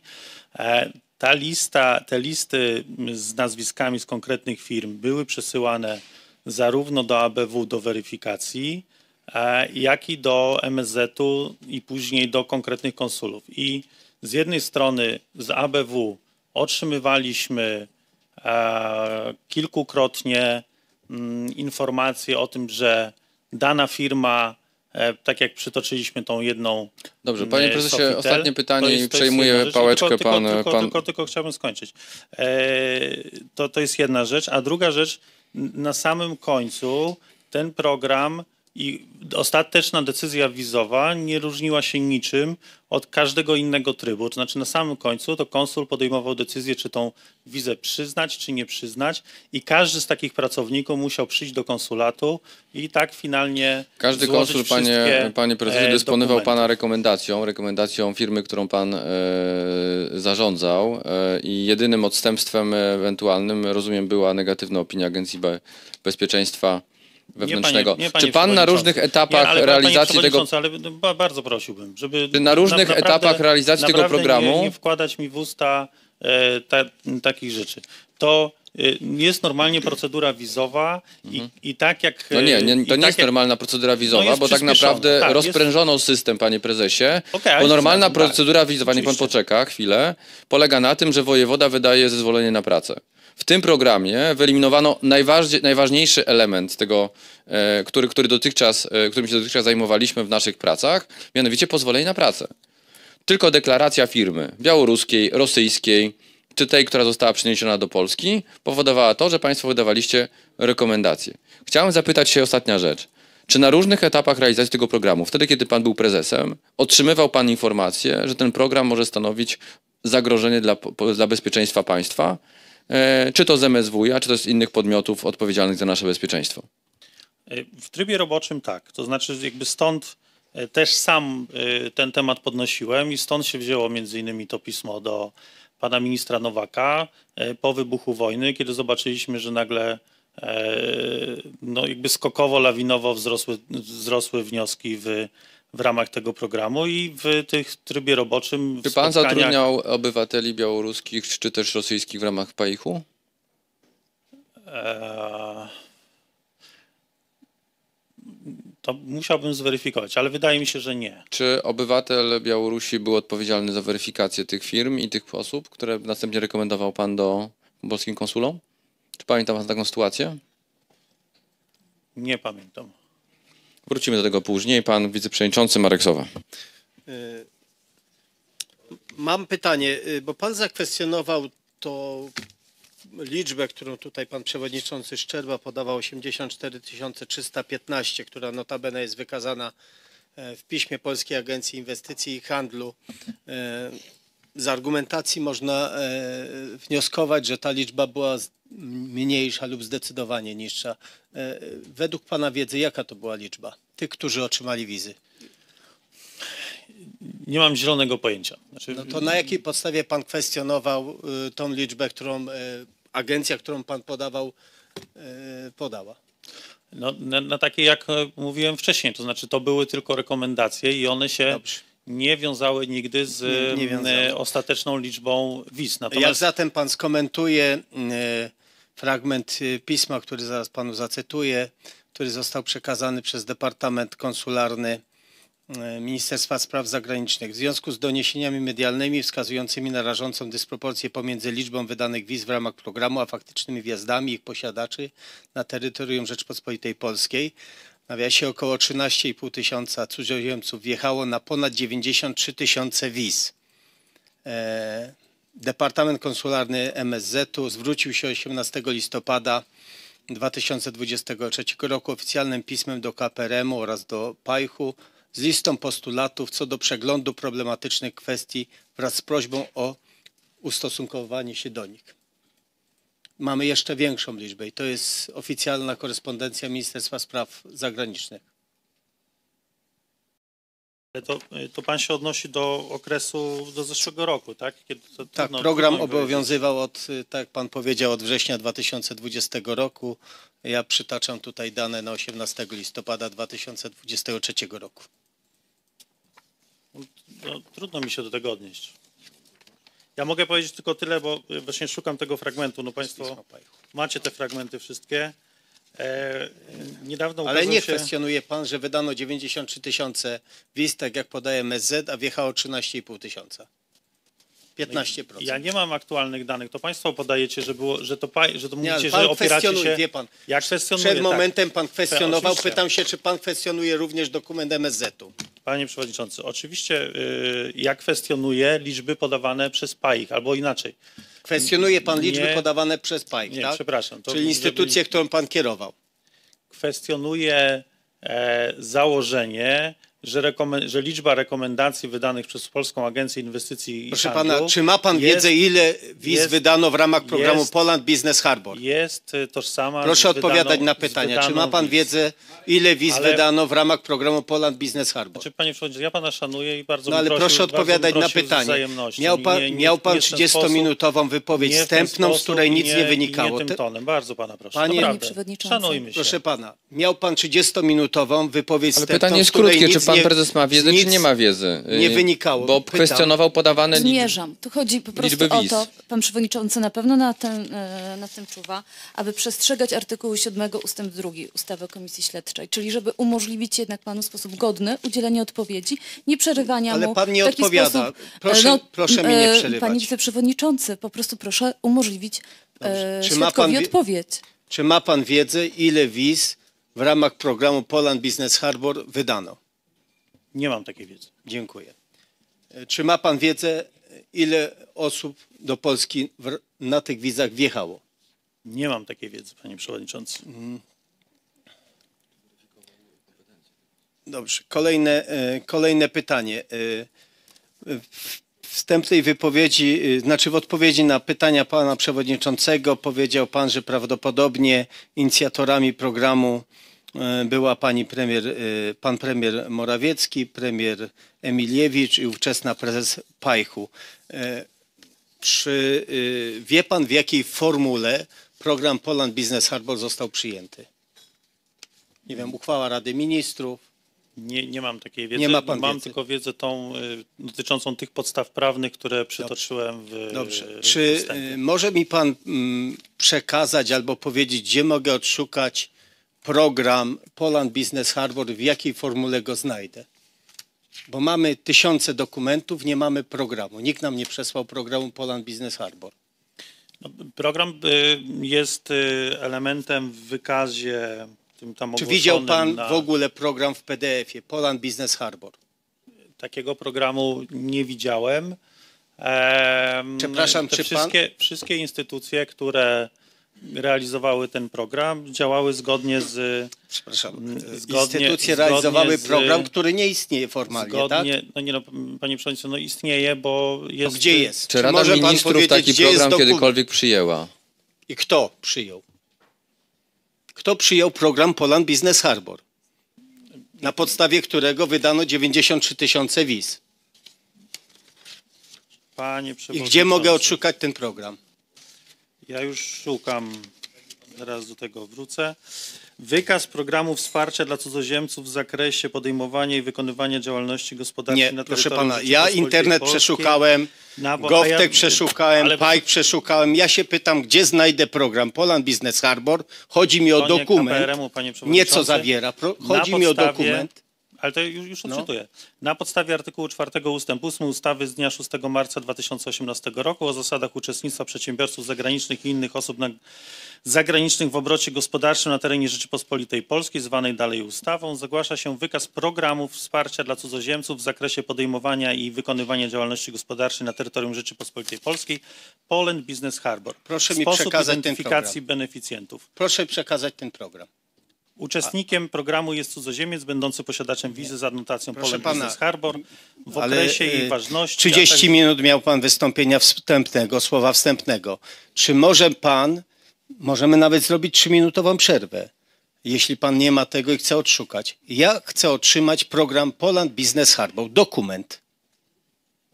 To, panie Przewodniczący, no ja takiego dokumentu nie posiadam. A widział pan kiedykolwiek na takiego- oczy nie, dokument nigdy, Poland nigdy Business takiego Harbor? dokumentu nie widziałem. Czyli jako prezes, który koordynował program Poland Business Harbor, w życiu pan nie widział tego programu na oczy. Koordynował, koordynowała to Kancelaria Prezesa Rady Ministrów i część go. Okej, dobrze, dobrze. Y, y. Zatem mm, przejdźmy do kolejnego wątku. To są wątki związane z rozszerzeniem tego programu, który formalnie nie istniał. E, e, To też przyznam szczerze, że e, korzystamy z dokumentów, które Państwo nam zaprezentowaliście w odpowiedzi na pismo Pana Przewodniczącego. E, Zamiast e, rzetelnej informacji przekazanie programu, Państwo przekazali, już Pana następca przekazał nam wyciąg, e, że tak powiem, dokumentów medialnych, jak prasa pisała o programie Poland Business Harbor. I mamy między innymi taką informację. Po ogromnym sukcesie programu Poland Business Harbor podjęto decyzję o rozszerzeniu jego oferty dla kolejnych krajów. Poza Białorusią będą to Gruzja, Rosja, Ukraina, Mołdawia oraz Armenia. Proszę pana, to nastąpiło rozszerzenie od 13 lipca 2021 roku. Czy PAIH jako koordynator albo współkoordynator przynajmniej e, znacznej części programu e, przygotował jakąś ewaluację tego e, programu za okres 9 miesięcy jego funkcjonowania, na podstawie których udzielaliście informacji, że program okazał się wielkim sukcesem. Panie Przewodniczący, tak jak mówiłem już chyba dwukrotnie, y, PAIH y, nie uczestniczył w tej decyzji dotyczącej rozszerzenia. Myśmy taką informację o rozszerzeniu dostali, Kto podjął tą decyzję? dostali post factum. Nie wiem, Panie Przewodniczący. Ale to znaczy, jak, ale dostaliście post factum. Kto tą decyzję wam przekazał? No myśmy dostali informację z KPRM-u i z MSZ-u. E, Personalnie? To nie jestem w stanie teraz powiedzieć. Nie, nie wie pan, tak? E, Dobrze. E, Kolejna e, rzecz. E, Rozumiem, że e, żadnej ewaluacji PAIH nie robił programu. Nie, takiej stricte ewaluacji nie było. Nie To było. były z naszej strony przekazywane sygnały płynące Sygnały, e, w jakiej formule e, te sygnały były? No, w ramach naszej normalnej działalności spotykam, agencja na co dzień spotyka się z przedsiębiorcami, z, z biznesem, z inwestorami e, i płynęły takie sygnały dotyczące tego, że ten program dla Białorusi jest bardzo dobry Ale skąd te sygnały płynęły? Od kogo? od inwestorów. Od inwestorów. Tak. E, Czy zna pan e, sukces firmy, która przeniosła swoją działalność do Polski w ramach tego programu? Znam. Zna Wiele. pan? Wiele przykładów. No to jakiś taki spektakularny sukces, który byśmy mogli szybko zweryfikować, Tak. może pan podać? Białoruska firma EPAM. Nie wiem, czy pan przewodniczący kojarzy. Jeszcze raz? EPAM. EPAM. Dobrze. To Y, jest jedna z największych na świecie firm IT. Relok- chciała przynajmniej relokować z Białorusi 5 tysięcy, e, około 5 alokowała? tysięcy pracowników. E, I mm, no to jest firma jakby globalna, tak? Ma główną siedzibę w Waszyngtonie albo w Nowym Jorku, już teraz nie pamiętam, ale generalnie Dobrze. z korzeniami, pana- z korzeniami białoruskimi. Kolejne pytanie, ponieważ nie wie pan, kto ten program e, formalnie stworzył, że on nie istnieje. Czy jest to e, czy zna pan w ogóle pana Antoniego Rytla? Antoni Rytel. Mówi panu coś to nazwisko? Nie, nie, nie, nie pamiętam. Antoni Rytel. Zastępca pani Orłowskiej, społeczny. To nie znam. Nie zna pan. E, Bo z dokumentacji, którą mamy, wynika, że to właśnie pan Antoni Rytel mm, mm, jest osobą, która ostateczną wersję dokumentów do publikacji e, dokładnie e, 8 września przekazał do MSZ-u, w ogóle mm, do, do innych instytucji. Nie zna pan, tak? Nie, panie przewodniczący. To ten wątek na razie e, zostawimy. E, Jeszcze chwilę. Mam pytanie, czy ma pan wiedzę, e, czy PAIH i GOWTEK uruchamiając program przygotowało analizę ryzyka lub czy uzyskało takie materiały od służb? Nie mam takiej wiedzy. Czy w ogóle kwestii bezpieczeństwa tutaj nie badano, tak? Nie, nie słyszałem, żeby takie kwestie były badane przynajmniej po stronie, po stronie Polskiej Agencji Inwestycji i Handlu. No to z założenia programu Agencja Bezpieczeństwa Wewnętrznego była ta, tą instytucją odpowiedzialną za, e, za te kwestie związane z bezpieczeństwem. E, A czy w rozmowach z panią na przykład Emilewicz e, pojawiał, e, e, czy, czy z innymi politykami pojawiały się jakieś sygnały, że to jest program priorytetowy traktowany przez pana premiera Morawieckiego?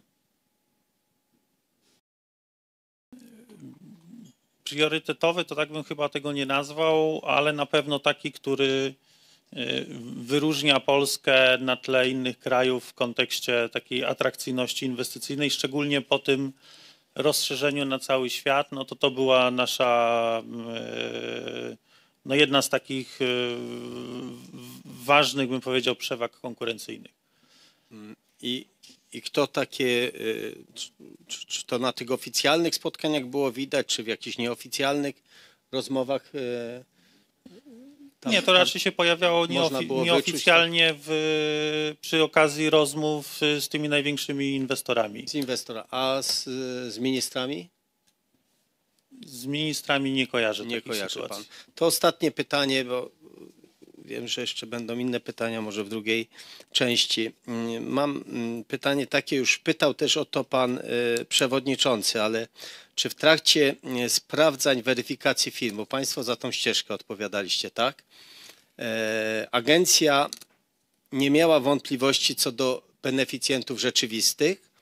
E, Chodzi mi tutaj oczywiście o Rosjan, którzy często byli właśnie beneficjentami e, rzeczywistymi. Pan przewodniczący już to wykazał. E, No, była dosyć nagminna praktyka, że albo były udziały przejmowane, albo spółki były rejestrowane na Cyprze. Mieliście, badaliście w ogóle taką historię tych podmiotów? Nie, nie badaliśmy takiej historii. E, To tak jak, tak jak mówiłem, no na, na tyle, ile mogliśmy, czyli prosiliśmy firmy o dokumenty rejestrowe o, i mieliśmy takie normalne spotkania. To nie było na zasadzie takiej, że dostawaliśmy maila, którego przekazywaliśmy dalej, tylko odbywały się normalne spotkania z, z inwestorami, rozmowy pomagające im wprowadzać i w ramach tej, tej obsługi, w momencie kiedy oni wchodzili na tą ścieżkę Poland Business Harbor, informacja, że taka firma chce zatrudnić, relokować e, i wysyłaliśmy tą listę pracowników do MSZ-u i do e, Ministerstwa Rozwoju i w konsekwencji do ABW. Zdarzały się takie sytuacje, że dostawaliśmy informację zwrotną z ABW, żeby takich firm dalej nie obsługiwać i wtedy takiej, taką obsługę e, przerywaliśmy.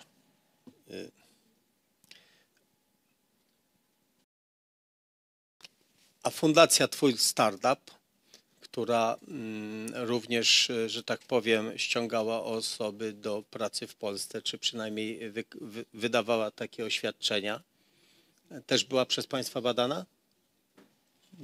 Nie kojarzę. A 7 tysięcy osób,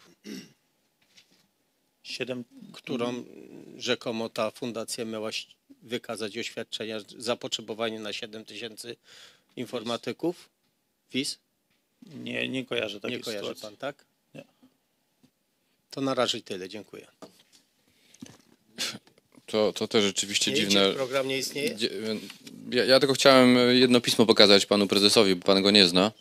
To jest pismo z 14 lutego 2024 pana e, następcy, który napisał Program nie posiada sformalizowanej formy i realizowany jest na podstawie ustaleń roboczych dokonanych pomiędzy Centrum GovTech, KPRM, Ministerstwem Rozwoju oraz Ministrem Spraw zagranicznych nie posiada sformalizowanej formy i realizowany jest na podstawie ustaleń roboczych. Mówimy o programie, w oparciu o których wjechało do Polski blisko 100 tysięcy obcokrajowców. Dziękuję bardzo.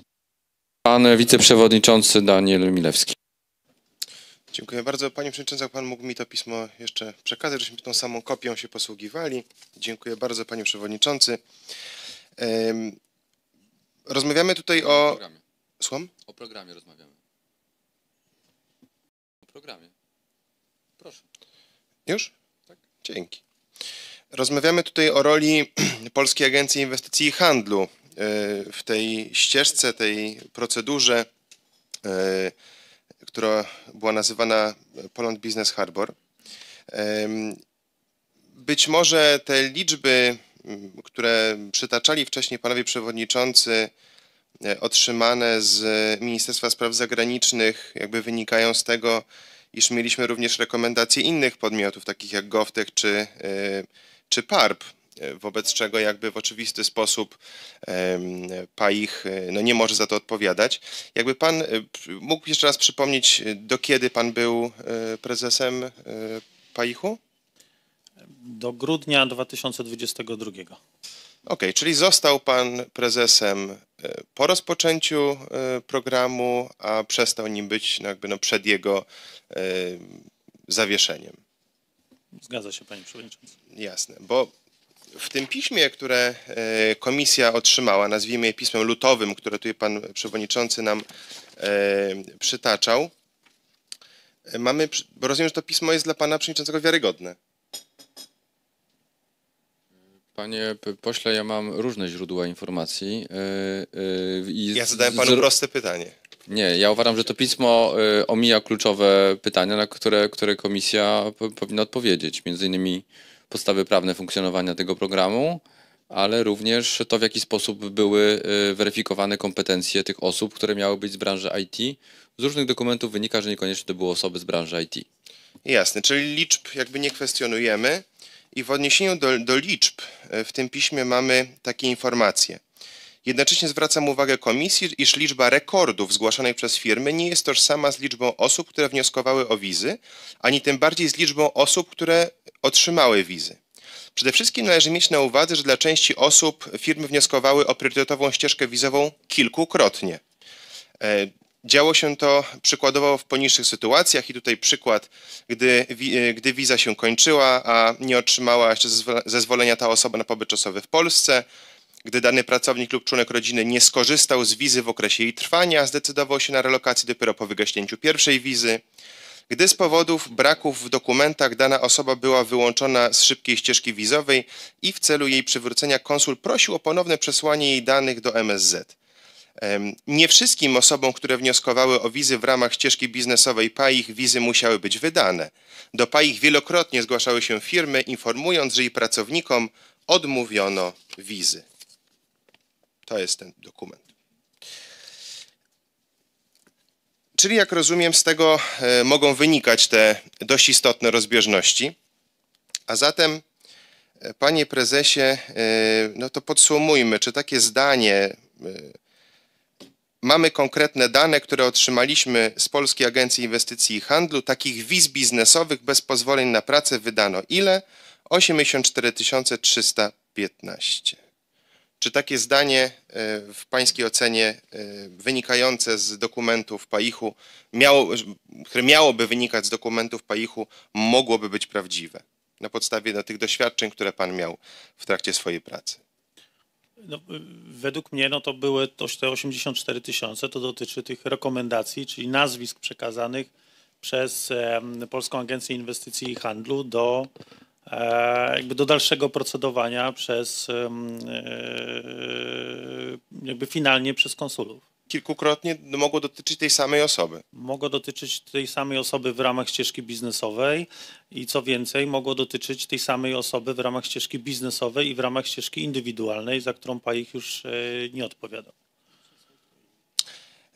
No dobra, no to podsum, podsumujmy, jakby skonkretyzujmy to, no bo em, ustaliliśmy już, i to też wynika z tych em, dokumentów przesłanych przez PAIH, iż y, Poland Business Harbor em, było pewnym, e, pewną składanką, pewną nazwą dla e, procedury, dla ścieżki. Jakie były podstawy prawne jakie elementy składały się na to, jakie podmioty roboczo e, brały udział e, w tych różnych procedurach składających się na ścieżkę, która nazywała się Poland Business Harbor.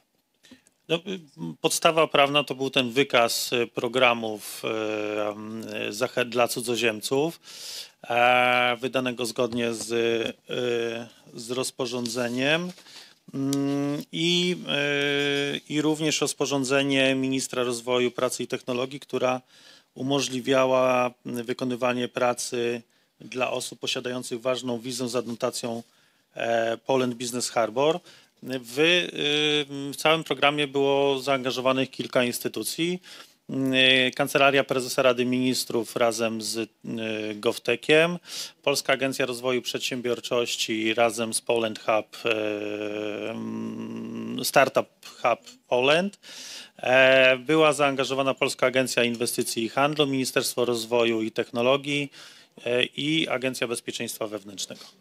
W jaki sposób informowano o tym programie? Jak duże było zainteresowanie e, ze strony firm, jeżeli chodzi o udział? Czy to było zainteresowanie jakby no, takie organiczne, czy wy zachęcaliście firmy do udziału w tym programie?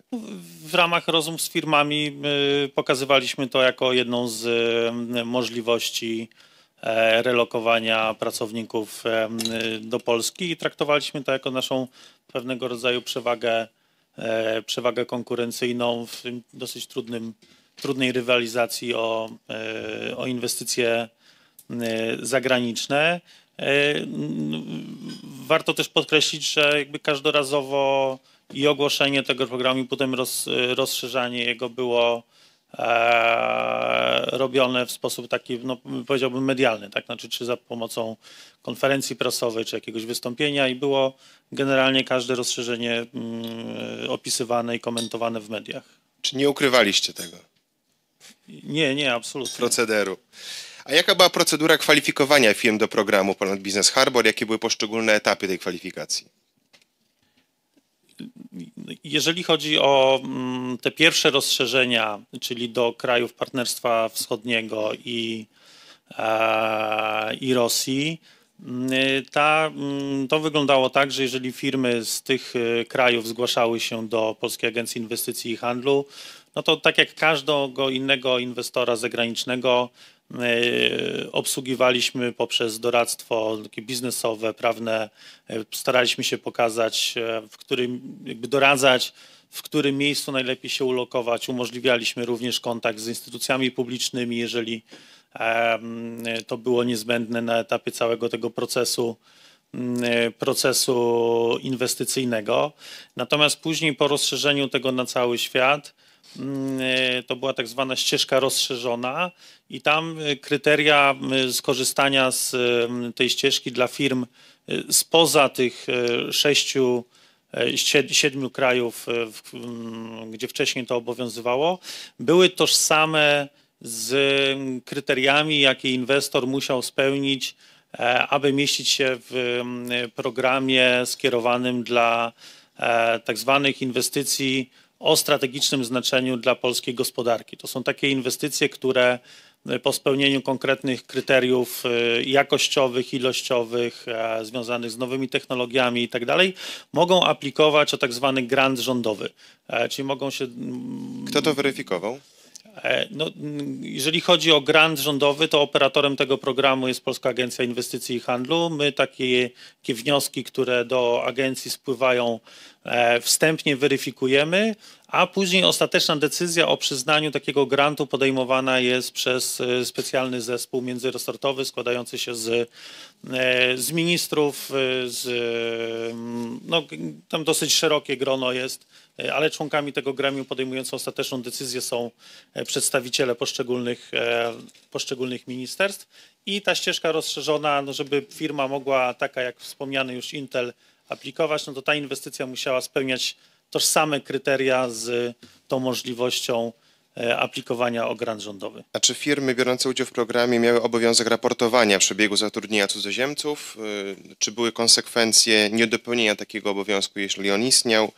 I czy zdarzały się przypadki wykluczenia firm z programu z powodu niedopełnienia takich okoliczności? Nie było takich obowiązków, e, też nie mamy takiej możliwości jako agencja. Agencja generalnie nie ma takiej możliwości, aby weryfikować, e, czy dani, dany obcokrajowiec został, e, został zatrudniony. Firmy były wykluczane w całości z obsługi tylko na tej bazie informacji otrzymywanych z Agencji Bezpieczeństwa Wewnętrznego.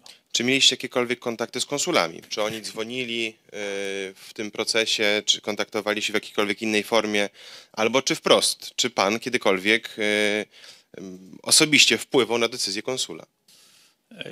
Jeżeli chodzi o kontakt z konsulami, to on był na poziomie roboczym, ale raczej w, taki, w taką stronę, że to konsulowie kontaktowali się z, z agencją w celu no, jakichś tam operacyjnych kwestii związanych z, z, tymi, z tymi listami, które finalnie do nich trafia, trafiali. Ja osobiście w sprawie programu Poland Business Harbor nigdy nie rozmawiałem z żadnym konsulem. Dziękuję bardzo. Bardzo dziękuję panie przewodniczący. Pani posłanka Maria Małgorzata Janyska ma głos. E, Dziękuję bardzo. E, Mam pytanie do świadka. e, Nadal jeszcze o wątek, który był tutaj już przedstawiony, czyli o program, o status programu Poland Business Harbor. Czy pełniąc funkcję prezesa Polskiej Agencji Inwestycji i Handlu, uznawał Pan ten program za program rządowy? Tak, Proszę powiedzieć w oparciu o co. Ale proszę nie przytaczać już tych podstaw, które Pan przytaczał, ponieważ to były y, tak zwane etapy następcze, bo wykaz nie jest jednak mimo wszystko y, żadną podstawą prawną, tylko jest elementem następczym, który y, pokazywał, że podobno jest taki program, natomiast sam program rządowy powinien być umocowany prawnie. W jaki sposób Pan doszedł do tego, że jest to program rządowy? Czy pan przyjął to tylko na wiarę, yy, czy pan przekonał się faktycznie, że jest to program rządowy, żeby móc y, z całą y, dbałością ten program realizować i żeby w ogóle wiedzieć, co realizować? No, no przede wszystkim na podstawie rozporządzenia ministra rozwoju, które umożliwia pracę osobom posiadającym ważną wizę z adnotacją Poland Business Co Harbor. w tym rozporządzeniu, przepraszam, proszę w takim razie powiedzieć dokładnie, jakie były rozstrzygnięcia w tym rozporządzeniu. Czy w tym rozporządzeniu y, były y, opisane szczegółowo czynności, które na przykład y, wszystkie podmioty uczestniczące w tym programie mają realizować, na jakim etapie, w jaki sposób ten program jest zbudowany, że musi być diagnoza, musi, muszą być postawione cele, środki realizacji celów, weryfikacja, ewentualne wnioski. Czy to się znalazło w tym rozporządzeniu? Nie, w sposób oczywisty nie. Y, No, myśmy realizowali nasze działania na podstawie Czyli w sposób oczywisty i- nie był to program. Nie, no, tym ja się, rozporządzeniu nie ja się programu. z taką opinią nie, nie, nie zgadzam, ale tak jak odpowiadałem już wcześniej na pytania pana y, przewodniczącego, fizycznie programu takiego jako dokumentu osobnego y, nie widziałem nigdy. Y, Czy pan uważa siebie za państwowca? Tak, zdecydowanie. To w takim razie jak można, e, nie widząc fizycznie programu, nie mając go i nie znając e, zapisów tego programu, realizować program rządowy? Czy pan e, nie czuł takiego dysonansu? Nie uważał pan, że to jest niebezpieczne? Może to zagrażać bezpieczeństwu i może zależeć w każdej chwili od e, widzimisię pojedynczego decydenta, a nie być skoordynowane całościowo i bezpieczne dla kraju? No, i- i ja powiem tak, że bliżej serca jestem po tej biznesowej stronie, więc e, nadmierna produkowanie dokumentów też nie sprzyja e, sprawnemu funkcjonowaniu państwa. E, Program był w dużej mierze rzeczywiście oparty na roboczych ustaleniach pomiędzy stronami zaangażowanymi i w związku z tym, że każda z tych instytucji realizowała swoje cele ustawowe i zadania ustawowe, y, no i ja uznałem osobiście, że nie ma potrzeby tworzenia odrębnego y, dokumentu w tym zakresie. Czyli uważa pan, że nadmierne dokumentowanie w sprawowaniu funkcji państwowych to jest wada? Zależy w jakim zakresie. No tak to pan przed chwilą powiedział. No, zależy A w czy nie jakim uważa obszarze, pan, tak. że to w zasadzie y, y, nie ma tutaj funkcjonowania państwa? Państwo musi być oparte na dokumentach. Każde działanie każdego podmiotu, zwłaszcza tak ważnego jak pośrednictwo e, w sprawach wizowych, bo można uznać, że państwo pośredniczyliście, byliście elementem pośrednictwa w sprawach wizowych y, i udzielaliście w związku z tym także w części wsparcia osobom z zagranicy, które miały być tutaj relokowane i, i podmiotom z zagranicy. Czy to jest bezpieczne? No, za kwestię bezpieczeństwa, tak jak mówiłem wcześniej, odpowiadała Agencja Bezpieczeństwa A, Wewnętrznego. czyli państwo nic. Państwo to tylko zbieraliście, tak, y, dane przekazywaliście y, Ale i- dokładnie i mieliście święty spokój, dokładnie Nie, tak. nie, święty spokój to nie, ale dokładnie no, tak. takie Zbieraliśmy dane wrażenie, i że tak- przekazywaliśmy że je tak, do że tak pan widzi, instytucji. Że tak pan widzi funkcjonowanie y, państwa, co jest przerażające. W takim razie proszę Nie, mi to nie jest powiedzieć... przerażające, pani proszę, proszę mi powiedzieć w takim razie, ponieważ wspomniał pan w swobodnej części wypowiedzi, że mm, to zadanie realizowaliście na podstawie mm, zadań, y, y, zadania agencji ustawowego y, wspierania napływu bezpośrednich inwestycji zagranicznych. Tak. Tak. Jak w takim razie wcześniej i w ogóle generalnie dokumentujecie bezpośrednie inwestycje zagraniczne? Czy składacie raporty? Jakie raporty komu? W jaki sposób śledzicie los takiej bezpośredniej inwestycji zagranicznej? E, No to można w, wyczytać w każdym sprawozdaniu kwartalnym e, zarządu spółki, e, a także w sprawozdaniach z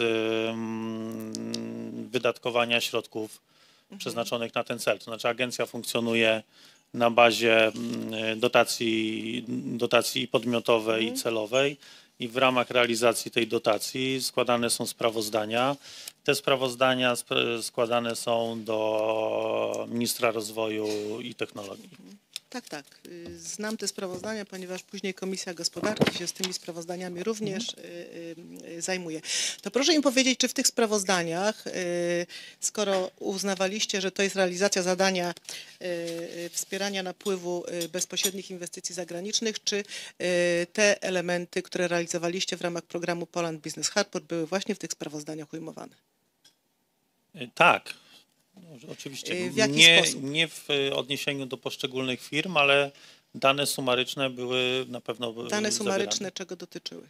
No, dotyczyły ile firm obsłużyliśmy w ramach programu Poland Business Harbor i liczba, liczba rekomendacji e, przekazywanych do kolejnych instytucji w tym zakresie. Mhm. I, i pamięta pan te liczby rekomendacji? No to, to już y, padało wielokrotnie, tak jakby sumarycznie Mhm. to było 83 tysiące. A proszę mi powiedzieć jeszcze, ponieważ y, 700 tutaj, firm, jak y, dobrze pan pamiętam, to się na to, z jakiegoś y, ostatniego artykułu. Pan powołał się też na tą informację, y, że y, te rekordy nie były mm, y, jednoznaczne z y, otrzymaniem y, wizy, tak? Y, Czy y, jaki procent tego? Bo rozumiem, że jak sprawozdawaliście to Państwo, to potem y, również weryfikowaliście, żeby sprawdzić, czy faktycznie te inwestycje bezpośrednie zagraniczne y, w takiej formie się znalazły. W jakim procencie te rekordy nie były zgodne? To Wysoka Komisja jakby finalnie, finalnych liczb ja oczywiście nie mam, natomiast mam pewne dane, które są publiczne, bo one były chyba w artykule Rzeczpospolitej e, publikowane. Ale, ale jak rozumiem, y, pan jako szef y, nie musiał sięgać do artykułów Rzeczypospolitej, tak? No, To chyba odwrotnie raczej było, że raczej prasa mogła się jeżeli, jeżeli posługiwać. mogę, ja już Mhm. oczywiście odpowiem na to pytanie. Y, Agencja otrzymała, y, no bo to jest tak, że agencja niestety nie ma narzędzi do tego, żeby weryfikować, to już też odpowiadałem na to pytanie, y, ile finalnie takich pracowników z wizą Poland Business Harbor realnie zostało zatrudnionych w firmach funkcjonujących w Polsce. E, W ramach takiej weryfikacji prowadzonej przez e, Polską Agencję Inwestycji i Handlu, agencja zwróciła się do 50 firm, takich największych, z czego 30 odpowiedziało i to jest jakby w ramach tego, mogę tu przytoczyć. Wynika z nich, że w- od z 30 firm to są dane. Wynika z nich, że wizę PBH, czyli Poland Business Harbor, w ścieżce biznesowej uzyskało 13,6 tysiące pracowników ankietowanych firm, z czego 9,5 tysiąca relokowało się do Polski, czyli zaledwie 2 trzecie się relokowało, a 8,4 tysiąca zawnioskowało o pozwolenie na pobyt tymczasowy. Czyli jeszcze nie dość, że się relokowali, to jeszcze ponad tysiąc osób w ogóle nie zawnioskowało. To znaczy, że w ciągu roku y, opuszczą Polskę albo, albo y, no, no tak, to, tak to mniej więcej I konfrontacja wygląda. tych I to danych są, nie to budziła są dane. I to są dane tylko dotyczące pracowników tych firm, Konfrontacja tych danych nie budziła zastrzeżeń pana. moich zastrzeżeń. Tak. Ja czytam pani artykuł, który Ale pan, jest ja chyba z tego pana, roku. ale nie, nie pytam o artykuł, tylko pytam pana. Ale ja nie, nie miałem dostępu do żadnych danych mówiących o tym, ile wiz zostało wydanych, ilu pracowników zostało Mhm. zatrudnionych. Czyli można uznać w takim razie, że y, niekoniecznie było to e, wspieranie napływu bezpośrednich inwestycji zagranicznych. To zakwalifikowaliście Państwo do tego zadania, ale niekoniecznie y, tak było, skoro nie można w sposób jednoznaczny y, podać danych No, no. dotyczących y, tego zadania. No ale to te dane, Przewodniczący, ja uprzejmie proszę, żeby pani poseł nie zadawała pytań sugerujących. Nie, pani poseł wy, To nie jest wyraża pytanie, różnego rodzaju wątpliwości, to nie jest które my pytanie mamy su- wszyscy. Sugerujące, mam to, to, wątpliwości to tym i samym pytam. e, i tym bardziej e, chyba jest to moment na zadawanie Pytam. pytań, a nie na uwagi takie Pytam, wolne. Ja e, zrozumiałam, że tu, tutaj było pozwoli, pytanie. Pani pozwoli, że zapytam, w takim razie ponownie zapytam. Czy e, w podsumowaniu bezpośrednich inwestycji zagranicznych, do których zakwalifikował Pan e, to zadanie pośredniczenie w tym procesie wizowym, czy Pan uznaje za wiarygodne, skoro nie były e, e, w pełni przez Pana zweryfikowane? przyznam, że nie do końca rozumiem to pytanie. No trudno, bo y, w związku z tym, że nie do końca y, y, pan zdaje się rozumie, na czym polega y, program rządowy, no to w No takim nie, no to razie ja tam, w takim Ale, razie nie, nie do końca się tutaj zgodzimy co do pewnych rzeczy. Proszę mi powiedzieć jeszcze mm, a propos artykułu czwartego z ustawy, która precyzuje zadania Polskiej Agencji Handlu i Inwestycji Zagranicznych. Czy nie uważał pan, że ten proces, który został nazwany programem i pan uznał za rządowy, powinien mieścić się w tym artykule, gdzie wyraźnie jest napisane, że minister właściwy do spraw gospodarki lub inny podmiot sektora finansów publicznych mogą powierzyć agencji wykonywanie zadań z zakresu administracji rządowej, wynikających w szczególności z dokumentów i programów przyjętych przez Radę Ministrów lub właściwego ministra. Przyjętych przez Radę Ministrów lub właściwego ministra. Czy nie budziło y, pana zdziwienia, że tego programu nie realizujecie właśnie w taki sposób? Nie, nie budziło. Nie budziło. Mhm, Dobrze. To ostatnie pytanie mam jeszcze mm, do Pana, y, ponieważ Pan tutaj dzisiaj y, podkreślił kilkakrotnie, że Polska Agencja Inwestycji i Handlu y, była wyłączona y, z procesu decyzyjnego y, mm, y, dotyczącego rozszerzenia krajów y, do tego programu, tak? Tego pierwszego i drugiego rozszerzenia tak, jeżeli chodzi o rozszerzenie na cały świat, to już w tym uczestniczyliśmy. Tak, czyli, czyli pierwsze rozszerzenie dotyczące Rosji. Nie Y, uczestniczyliśmy. Nie uczestniczyliście, tak? A ja mam tu, proszę pana, mm, y, pismo y, z Kancelarii Prezesa Rady Ministrów do pani Justyny Orłowskiej, mm, do pana ministra Piotra Wawrzyka, w którym czytamy, że dostrzegając sukces tego programu w tak zwanym Polskim Ładzie znalazła się zapowiedź rozszerzenia programu PBH początkowo na pięć kolejnych krajów Armenia, Gruzja, Mołdawia, Rosja, Ukraina. Y, I w toku tych dyskusji, niezależnie od docelowego kształtu, jasno stała się potrzeba dokonania jego punktowego rozszerzenia. Przedstawiciele PAIH wskazują na konieczność szybkiego wprowadzenia w wymienionych przeze mnie państwach możliwości ubiegania się o wizy z oznaczeniem PBH osób będących pracownikami firm, które współpracują z PAIH-em przy relokacji do naszego kraju. Czy y, wnioski i przedstawianie e, takiego stanowiska, e, nie uważa Pan, że to jest też współdecydowanie, że to prowadzi do e, podjęcia decyzji? No pewnie w jakimś Decyzja stopniu na tak, jakiejś no to- podstawie to- jest to jakby- podejmowana, prawda? Ale to jakby niczym się nie różni od tego, co mówiłem wcześniej. To znaczy myśmy sygnalizowali i w MSZ i w Mhm. KPRM-ie na tych roboczych spotkaniach, że program jest bardzo dobrze przyjęty przez stronę biznesową i zwracają uwagę na, y, na to, jak duże efekty było, dałoby rozszerzenie tego programu. Natomiast o samym rozszerzeniu y, i w tym procesie już jakby ostatecznym decyzji, decyzji, jakieś ustalenia ścieżki, jak to będzie funkcjonować, już nie uczestniczy. Ale w procesie decyzyjnym tak. No to jest element procesu decyzyjnego. No, jeżeli pani tak uważa, tak, no ja nie uważam, że to jest proces decyzyjny. Dobrze, dziękuję. To w oparciu o co rozszerzono e, ten program na obywateli Federacji Rosyjskiej? W oparciu o jaki dokument? Nie wiem, panie przewodniczący, no tak jak mówiłem, no, A, my, no. my w tym nie uczestniczyliśmy. No ale to pan, pan przyznawał, rekomendował y, wizy dla obywateli rosyjskich. Tak, no To dostaliśmy na jakiej taką, podstawie roz, na dano tego podstawie rozszerzenia? informacji z MSZ-u i z KPRM-u, że program ten Informacji? zo- został rozszerzony. Ale tak. chodzi o artykuł prasowy? O co chodzi? No, nie w pamiętam jakiej- teraz, nie, nie, nie, nie, nie pamiętam w jakiej formie to było Pan, przekazane, pan, ale pan rekomendował y, wydanie ponad 3, 3 tysięcy wiz y, obywatelom Federacji Rosyjskiej. Pan nie wie, na jakiej podstawie pan to robił? no, panie przewodniczący, tak jak powiedziałem wcześniej.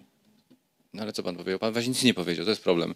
Kontynuuje pani posłanka Aleksandra Leo. Dziękuję panie przewodniczący. Y, Ja chciałam jeszcze dopytać, bo trochę mnie zaniepokoiło to odpowiedź, która padła przy pytaniu pani posłanki. Y, To znaczy, czy podczas swojej kadencji y, nie zlecił pan sporządzenia jakiegokolwiek, jakiegokolwiek raportu w sprawie realizacji programu?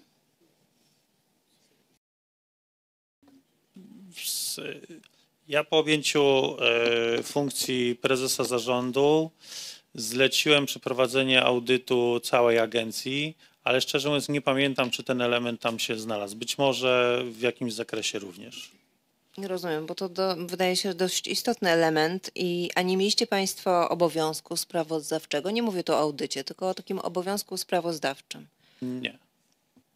I nie robiliście Państwo żadnych statystyk? Robiliśmy statystyki i one, tak jak e, mówiłem wcześniej, były przedstawiane w sprawozdaniu z działalności zarządu i w sprawozdaniach z realizacji dotacji, które agencja otrzymywała. No, wcześniej wspomniał Pan, że te statystyki to raczej y, Gazeta Rzeczpospolita sporządzała, a nie Państwo. Ja mówię o tych, y, o ankiecie y, jakby otrzymanych finalnie wizach.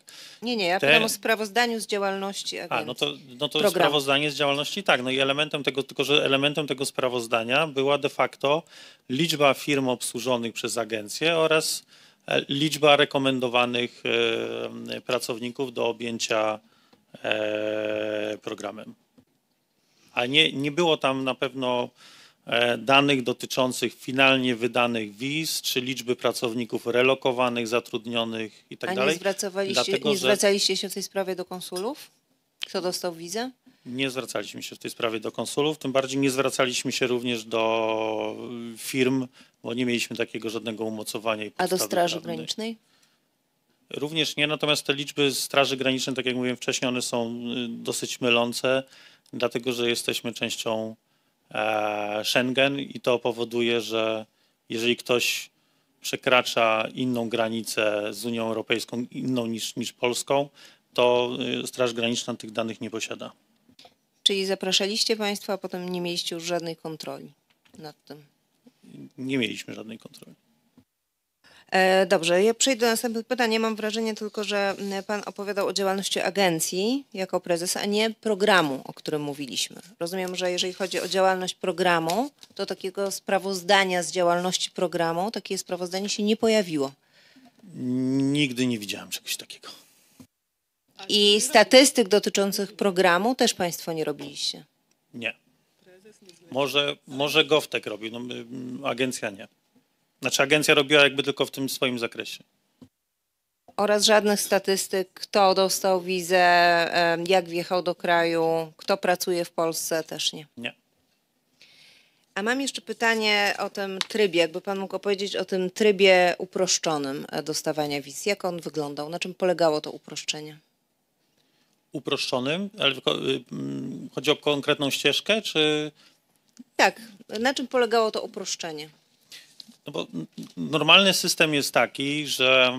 y, Nie, to wiemy jak normalne jest, ale na czym polegało uproszczenie? No to uproszczenie polegało na tym, że mm, y, został wyłączony ten pierwszy element, czyli konieczność uzyskania pozwolenia, e, pozwolenia na pracę. Jeżeli ktoś dostawał wiz, mógł aplikować o wizę w ramach programu Poland Business Harbor i taką wizę otrzymywał z taką adnotacją, to do otrzymania tej wizy nie musiał przedstawiać e, mm, pozwolenia na pracę i taką wizę otrzymywał na rok co dawało mu możliwość szybkiej relokacji do Polski i tutaj już miał rok czasu na zalegalizowanie swojego pobytu, czyli wystąpienie do Urzędu Wojewódzkiego o ten pobyt czasowy i to się odbywało na tych trzech ścieżkach. Tak? Pierwsza to była ta biznesowa mm, prowadzona przez Polską Agencję Inwestycji i Handlu, no to tu już dużo o tym mówiliśmy, tak, że to były te listy pr- przez e, pracodawców przedstawiane. Druga ścieżka była indywidualna, znaczy, że każdy mógł się bezpośrednio zgłosić do, konsula, do konsulatu, jeżeli miał list od polskiego pracodawcy, czy generalnie jakąś taką rejkojmię zatrudnienia od firmy, która była partnerem e, programu, to mógł bezpośrednio w konsulacie również aplikować o taką wizę. I to była ta część prowadzona bezpośrednio przez GovTech. Dziękuję. A ja mam jeszcze pytanie, czy ja dobrze rozumiem, że te osoby e, miały takie samo prawa do podjęcia legalnej pracy albo działalności gospodarczej, jak na przykład z Federacji Rosyjskiej na terenie Polski, jak e, obywatele polscy? Jeżeli każdy obcokrajowiec z tą wizą z adnotacją Poland Business Harbor mógł pracować i prowadzić działalność gospodarczą tak jak e, każdy obywatel polski. A kto weryfikował te osoby, że są to ludzie z e, IT? Jeżeli chodzi o ścieżkę indywidualną, tam były dwa warunki. Pierwszy warunek to był taki, że musi, to, musi mieć wykształcenie IT lub roczny staż pracy i zakładam, że to było weryfikowane przez, e, przez konsuli przy, przy wydawaniu wiz. Ale pan zakłada, czyli wy tego nie wiecie? Jaką... No Ja tego osobiście nie wiem, bo to nie była ścieżka prowadzona przez, y, przez agencję. Natomiast jeżeli chodzi o tą ścieżkę biznesową, ona zakładała relokację firm z sektora IT. Natomiast pracownicy w tych firmach nie musieli być już stricte mm, e, specjalistami w tym zakresie. Czyli państwo tego nie sprawdzaliście w żaden Nie, sposób? nie, w tej ścieżce biznesowej nie. Zakładaliśmy, że e, relokujemy jeden do jednego całe przedsiębiorstwo do Polski. Rozumiem. Ja chciałam jeszcze zadać e, jedno pytanie, e, tak naprawdę uzupełniające do tego, m, o co pytał już pan przewodniczący. Kto według pana wiedzy rozszerzył program o na przykład o przedstawicieli Federacji Rosyjskiej? No, i- i- Ja tylko mogę z tych doniesień medialnych, no, Nie, nie, ale donie- doniesienia medialne no to znamy wszyscy, natomiast e, e, kto według pana wiedzy, nie z doniesień medialnych, według pana wiedzy, no to ta decyzja musiała zapaść na, tak powiem, na linii KPRM MSZ. ale nie wie pan, kto podjął taką Nie. decyzję? Dobrze, dziękuję bardzo. Dziękuję pani posłanko. Pan poseł y, Mirosław Adam Orliński ma głos. Szanowny Panie Przewodniczący, Szanowni Państwo, e, Panie Prezesie, z tego co tutaj się dowiadujemy, to wiele było tych roboczych spotkań, ustaleń. Podobnie ten program w sposób roboczy był konsultowany, natomiast brak jest takich jakby konkretnych dokumentów, o których Pan mówi. Rozumiem, że te robocze ustalenia to odbywały się zawsze pomiędzy Panem, czy też e, Pana e, agencją, Ministerstwem Spraw Zagranicznych i KPRM-em, który odpowiadał jakby za ten program. No, w tych spotkaniach to y, uczestniczyli jeszcze przedstawiciele i MSZ-u i Ministerstwa Rozwoju i Technologii. Także te wszystkie instytucje zaangażowane w proces brały udział w tych roboczych spotkaniach. Czy Państwo wysnuwaliście... Czy Państwo wysnuwaliście jakieś wnioski, bo tak jak tutaj rozmawiamy i Pan udziela odpowiedzi na te pytania, to rzeczywiście te niejasności, nieprawidłowości się pojawiały. Czy Państwo te spotkania robiliście cyklicznie, rozmawialiście o tych problemach i szukaliście rozwiązania, czy to było tak zrzucone, że jakby KPRM za to odpowiada? Jak Państwo w tych rozmowach e, tutaj mogliście wysnuć wspólne jakby propozycje zmian, bo wiedzieliśmy z czasem, sam Pan wspominał o tej notatce, że to nie funkcjonowało prawidłowo. No, na tym roboczym poziomie mm, jakby staraliśmy się identyfikować różne aspekty, chociażby kwestie podwójnego zgłaszania się, tak i w ścieżce indywidualnej te same nazwiska pojawiały się w, w ścieżce biznesowej, no co dawało i, i ABW, i konsulom tak naprawdę podwójną pracę, znaczy obrabianie tego samego wniosku czasami. Więc no to, co były takie, powiedziałbym, działania operacyjne, które miały usprawnić program i one były na, na poziomie roboczym. Natomiast no, po wybuchu wojny, no to są te dokumenty, o których Państwu już też mówiłem, to znaczy moje pismo z prośbą o pilne spotkanie wszystkich instytucji, e, pierwsze spotkanie w Ministerstwie Rozwoju i później drugie spotkanie w KPRM-ie i z tego spotkania w KPRM-ie jest, e, no, ja jestem w posiadaniu notatki służbowej. Bo tutaj nasuwa się też takie pytanie. Skoro, skoro tak jak tutaj z Pana e, tych e, odpowiedzi na pytania, Panie Prezesie, wynika, że tak naprawdę cudzoziemcy otrzymywali tą wizę w ramach tego programu i to uprawniało, jakby otwierało im tak naprawdę taką złotą furtkę, że mogli tutaj przyjechać i e, podjąć e, pracę. Tak naprawdę wpisywali tylko pewien cel, że są wykwalifikowani i nikt tak naprawdę tego e, w ramach tego programu, tak jak słyszymy, nie weryfikował. To jaki był mechanizm w ogóle weryfikacji bezpieczeństwa dla Polski, tych osób, które tutaj przyjeżdżają? Czy to było tylko zrzucone i wyłącznie na to, że jak konsulowi się uda, to coś wyłapie, a jak nie, to nie? A my tutaj stworzyliśmy e, ogromny program, o którym słyszymy, że kilkadziesiąt tysięcy wiz w ten sposób zostało wydanych. Czyli rozumiem, że nie było żadnego mechanizmu prawnego gwarantującego jakby weryfikację tych osób, zagwarantowanie bezpieczeństwa państwa polskiego i państwo jako agencja i Agencja Bezpieczeństwa i Ministerstwo Spraw Zagranicznych i KPRM patrzyliście tylko na, se, na siebie w ramach spotkań roboczych i zastanawialiście się, y, kto rozstrzygnie ten problem? Panie pośle, trochę tak jak przy normalnej ścieżce, e, taki potencjalny na osoba, Ale to było która- uproszczone jakby ścieżka. Nie, no tak, tak, ale to jakby mechanizm jest bardzo podobny, tak? To znaczy osoba, która chce przyjechać do pracy w Polsce musi znaleźć najpierw tutaj pracodawcę i wtedy występuje o pozwolenie na pracę i z tym pozwoleniem na pracę może wystąpić o wizę. I ten mechanizm jest taki sam i w ścieżce indywidualnej i w ścieżce biznesowej, to znaczy musi być ten pracodawca, który chce zatrudnić tego danego człowieka.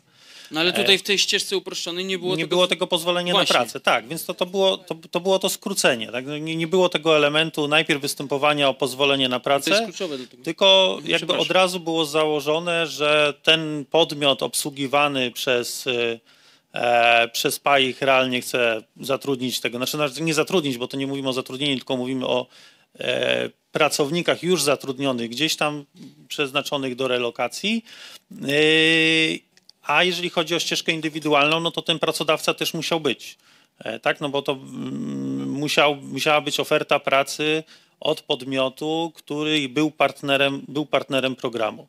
E, I kwestie bezpieczeństwa były po stronie mm, ABW, a ostateczna decyzja była po stronie konsula, bo ten każdy z tych, z tych y, ludzi musiał finalnie pojawić się w konsulacie, złożyć tą całą aplikację wizową. Tu była przyspieszona ścieżka rzeczywiście, to znaczy w tym ścieżce biznesowej, bo wiemy, że ten system nasz wizowy, y, pobytowy i tak dalej jest y, absolutnie niewydolny.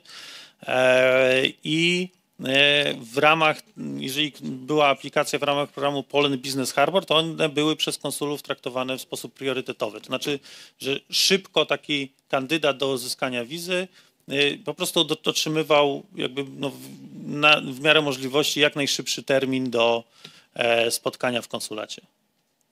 A czy te firmy, które zgłaszały się, no bo rozumiem, że nie kontrowali, nie jakby dokonywaliśmy jakby takiej analizy, można powiedzieć, weryfikacji, a czy te firmy, które państwo jako Polska e, Agencja Inwestycji i Handlu, e, to te firmy były weryfikowane ze względu na swoją jakąś rzetelność gospodarczą, doświadczenie, działalność, czy też to było na zasadzie takiego zgłoszenia się do państwa?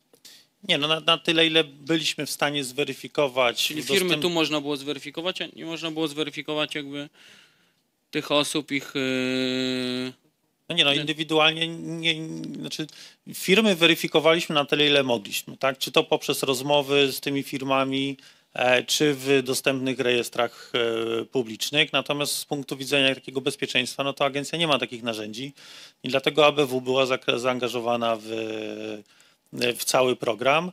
Natomiast no, y, agencja e, jakby no, no, nie weryfikowała tych indywidualnych osób zgłaszanych przez, e, przez pracodawców.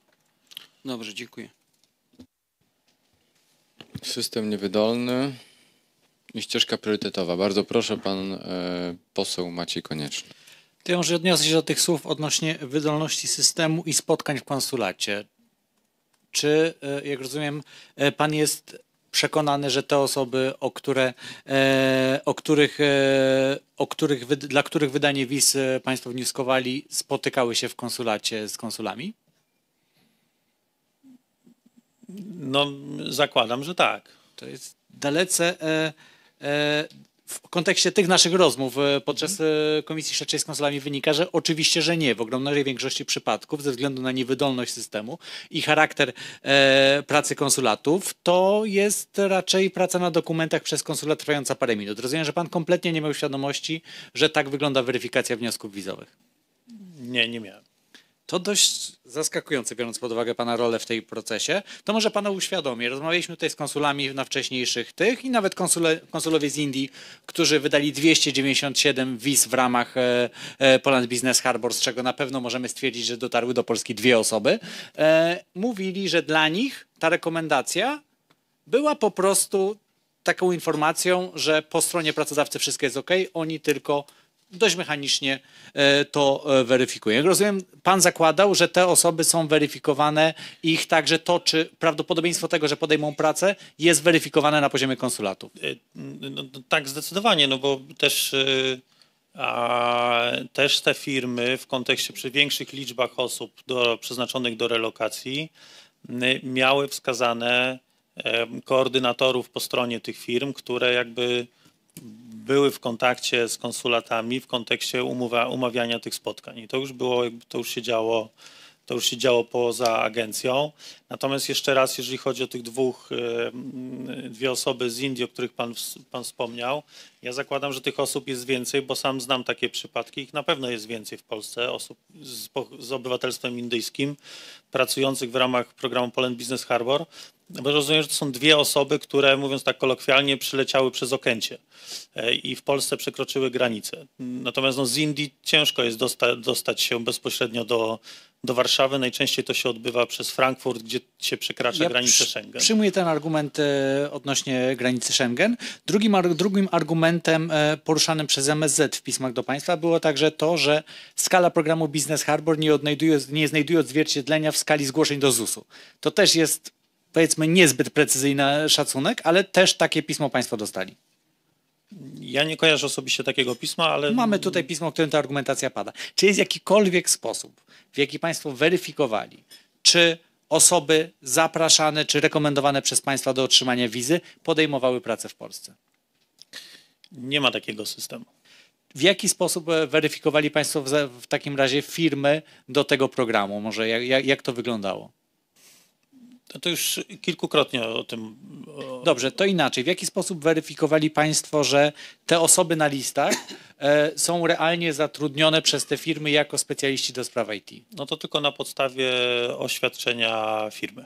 Czy pan zdaje sobie sprawę, że możliwość wjazdu do strefy Schengen e, jest pożądaną rzeczą dla mieszkańców tych państw? Tak, oczywiście. Nie uważa pan, że było w takim razie zaniedbaniem ze strony agencji, że przyjmowaliście na wiarę, że listy osób, które dostajecie, e, są, e, że za tym stoi jedynie słuszna intencja i że to są naprawdę pracownicy, którzy będą pracować w tej firmie?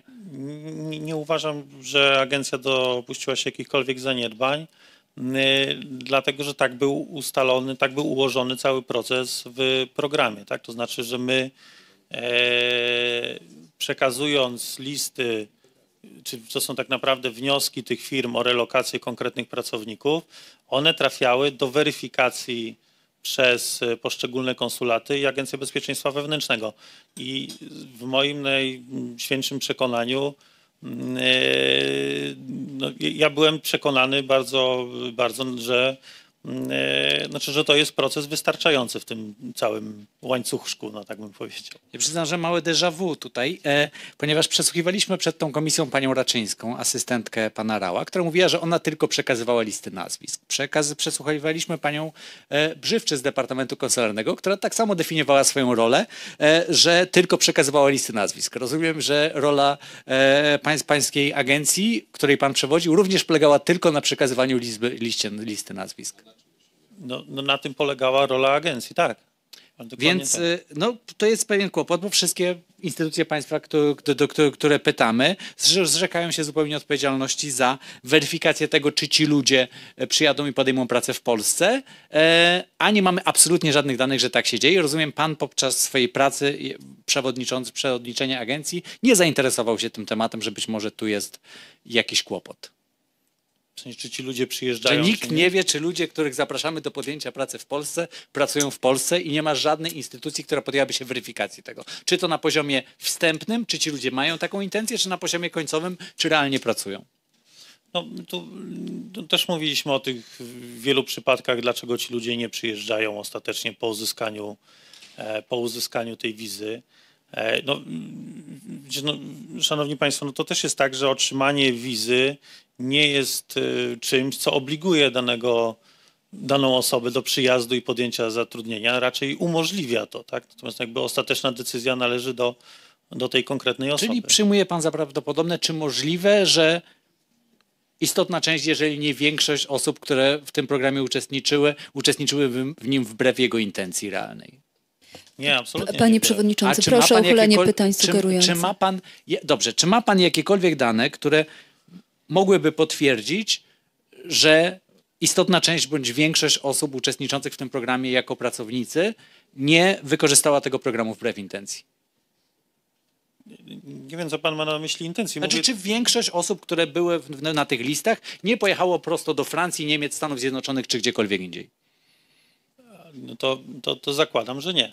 A czy ma pan jakiekolwiek dane? Nie, czy nie dysponuje posiadam. pan jakimikolwiek danymi? Czy wie pan, żeby ktokolwiek dysponował jakimikolwiek danymi, te, które mogłyby potwierdzić, że te programy nie są w ten sposób Nie sądzę. E, dobrze.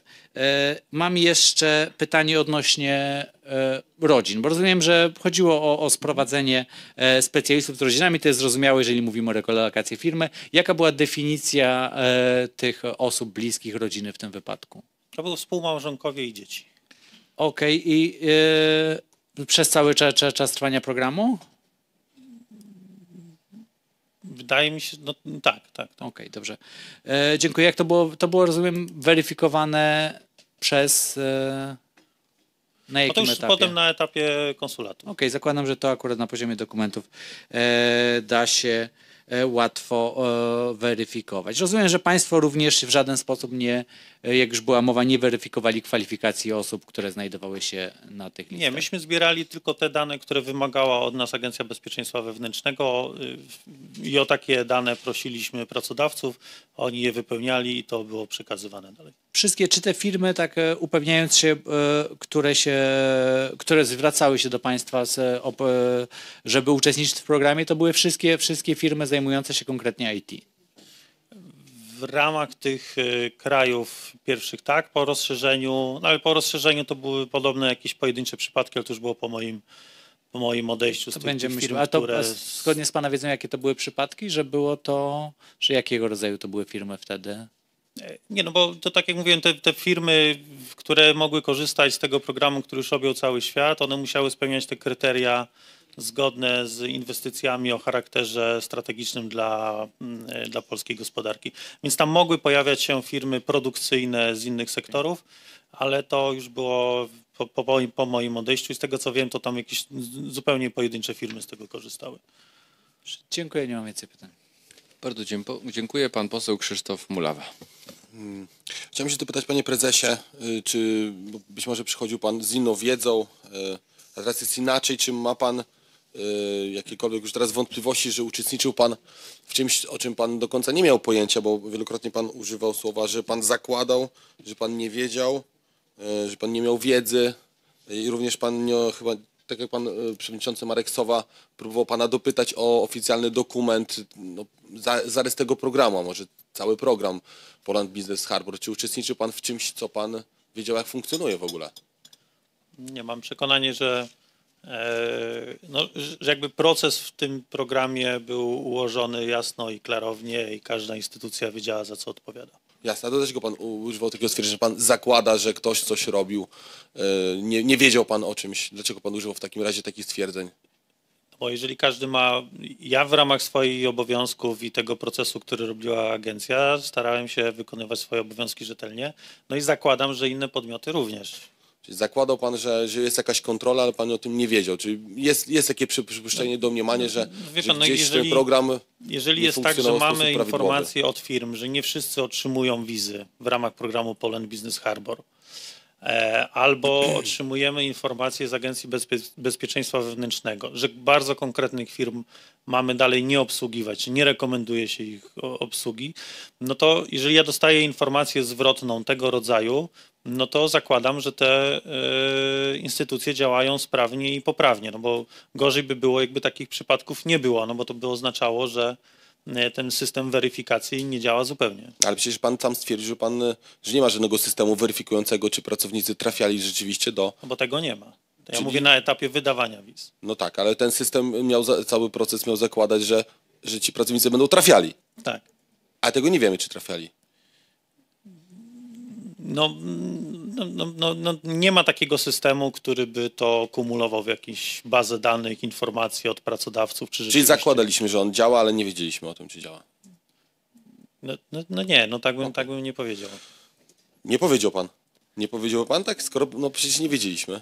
Proszę o nie zadawanie pytań sugerujących.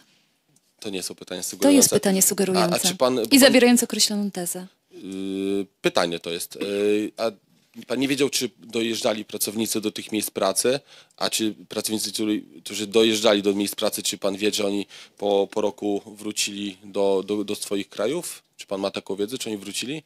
Czy też pan nie ma takiej świadomości, że, że tak było, że, że ktoś No, weryfikował za- te powroty? Wydaje mi się, że nikt tego nie weryfikował, natomiast zakładam, że część wróciła. No to była Też pan wiza, zakłada. wiza wydana na, to była wiza wydana na rok, więc przez rok taki, taka osoba mogła pracować w tej firmie i w ciągu tego roku mogła podjąć każdą decyzję, e, czy powrotu mm, do, powrotu do swojego kraju, czy też zmiany, zmiany pracodawcy. Ten rok był po to, żeby w ciągu tego roku wystąpić o e, pozwolenie na tymczasowy pobyt w Polsce. Dziękuję za dłuższą odpowiedź, ale pan zakłada, że oni wrócili. No, no część wróciła, tak, na pewno. Okej, a dlaczego na pewno? No bo, no bo słyszałem o takich przypadkach, A, ale, słyszał pan o ale takich jeżeli przypadkach. chodzi o, jeżeli pan mnie pyta, jaka to była skala, dane i tak dalej, to takich informacji e, nie posiadam i obawiam się, że nikt takich e, informacji nie posiada. Rozumiem, a czy ma pan świadomość o, o tym, y, z jaką łatwością y, firmy rosyjskie przyjmowały firmy białoruskie? Czy jakaś, to był rzeczywiście bardzo łatwy, bardzo łatwy pro, proces, że właściwie mówili, możemy mówić o firmach rosyjskich działa, działających na Białorusi? Tak, stąd w całym procesie kilkukrotna reakcja Agencji Bezpieczeństwa Wewnętrznego w, w ramach realizacji programu. Yy, dziękuję. Teraz zweryfikujmy te 80 tysięcy wydanych wiz i informacja z, yy, od komendanta Głównej Straży Granicznej, że, że wjechało 13 załóżmy tysięcy. To znowu możemy zakładać, że, że wyjechało w ogóle 80 tysięcy ludzi, prawda? Że wyjechali ci ludzie i osiedlili się, czy pojechali w jakiś sposób do, do innych krajów, nie do Polski, czy ten system nie zadziałał. Możemy przyjąć takie założenie, Nie bo pan możemy. lubi słowo za, za, za, zało- z- nie możemy. No nie możemy, bo to A są... na jakie, na, na jakie podstawy pan mówi, że nie możemy tego tak założyć? No, no dlatego, że te 80 tysięcy to nie jest liczba wydanych wiz. Dobrze, to chodzi o to, że jakakolwiek by ta liczba wiz nie była wydana, to czy mamy jakiekolwiek e, twarde dowody na to, że ci ludzie nie pojechali od razu e, do innych krajów? Nie mamy. Założenie. Okej, no, okej, dziękuję bardzo. E, Zaintrygowała mnie jeszcze ta, ta kwestia, bo przyznam się, że, że o tym nie wiedziałem, że pan powiedział w chyba swojej swobodnej wypowiedzi o środkach finansowych, które my też przekazywaliśmy firmom. Dobrze rozumiem? Może pan o tym się Była jedna taka ścieżka yy, relokowania białoruskich startupów. To było tylko w tej pierwszej części przed rozszerzeniem programu. I wtedy Polska Agencja Rozwoju Przedsiębiorczości razem z Startup Hub Poland, fundacją taką, e, organizowała, to się nazywało program Poland Prize. E, I w ramach tego programu można było aplikować o grant e, związany z relokacją. Jeżeli taki startup dostawał się do tego programu, e, to wtedy też otrzymywał wizę na całą relokację, też z całą, e, z całą firmą do Polski. Ale finanse, mi chodzi o I finanse. tam były, tak, tam były jakieś granty przyznawane przez, przez PARP. Polski rząd jeszcze, jeszcze dofinansowywał e, firmy białoruskie, być może rosyjskie, tak? Relokację ich do Polski, tak. I- No i granty. Rozumiem, że nie będzie tylko dofinansowanie relokacji, chociaż to jest dla mnie już y, skandaliczne, ale jeszcze y, dofinansowanie w formie grantów. Polski rząd, y, obce firmy, tak? Jak, y, jak część inwestorów, również dużych. No jest cały program rządowy i każda firma może korzystać z pomocy publicznej, czy to w postaci grantu rządowego, czy też e, aplikując do, za pośrednictwem jednej ze specjalnych stref ekonomicznych o zwolnienie z podatku e, CIT.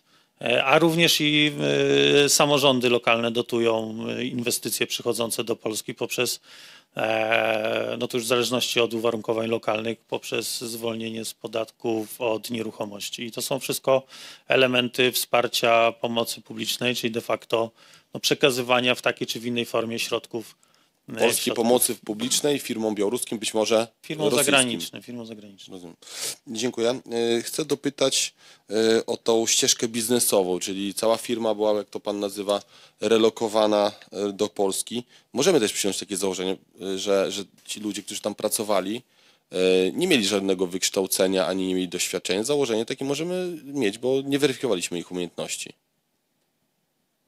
No, ja nie wiem, czy to jest e, tożsame. Proszę o przeformułowanie pytania, tak by nie było sugerujące. Czy weryfikowano kompetencje? Zrozumiał o to, pyta pan poseł, tak? Nie no, dokąd to nie jest. Ja po prostu odczytuję to z zeznań pana świadka i chcę potwierdzić, że, że w sposób prawidłowy interpretuję słowa Panie pana świadka.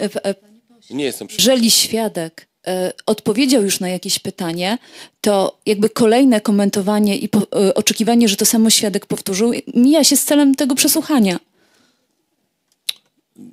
Nie słyszałem wypowiedzi pana świadka na ten temat. Przed chwilką pan stwierdził, że tak świadek powiedział.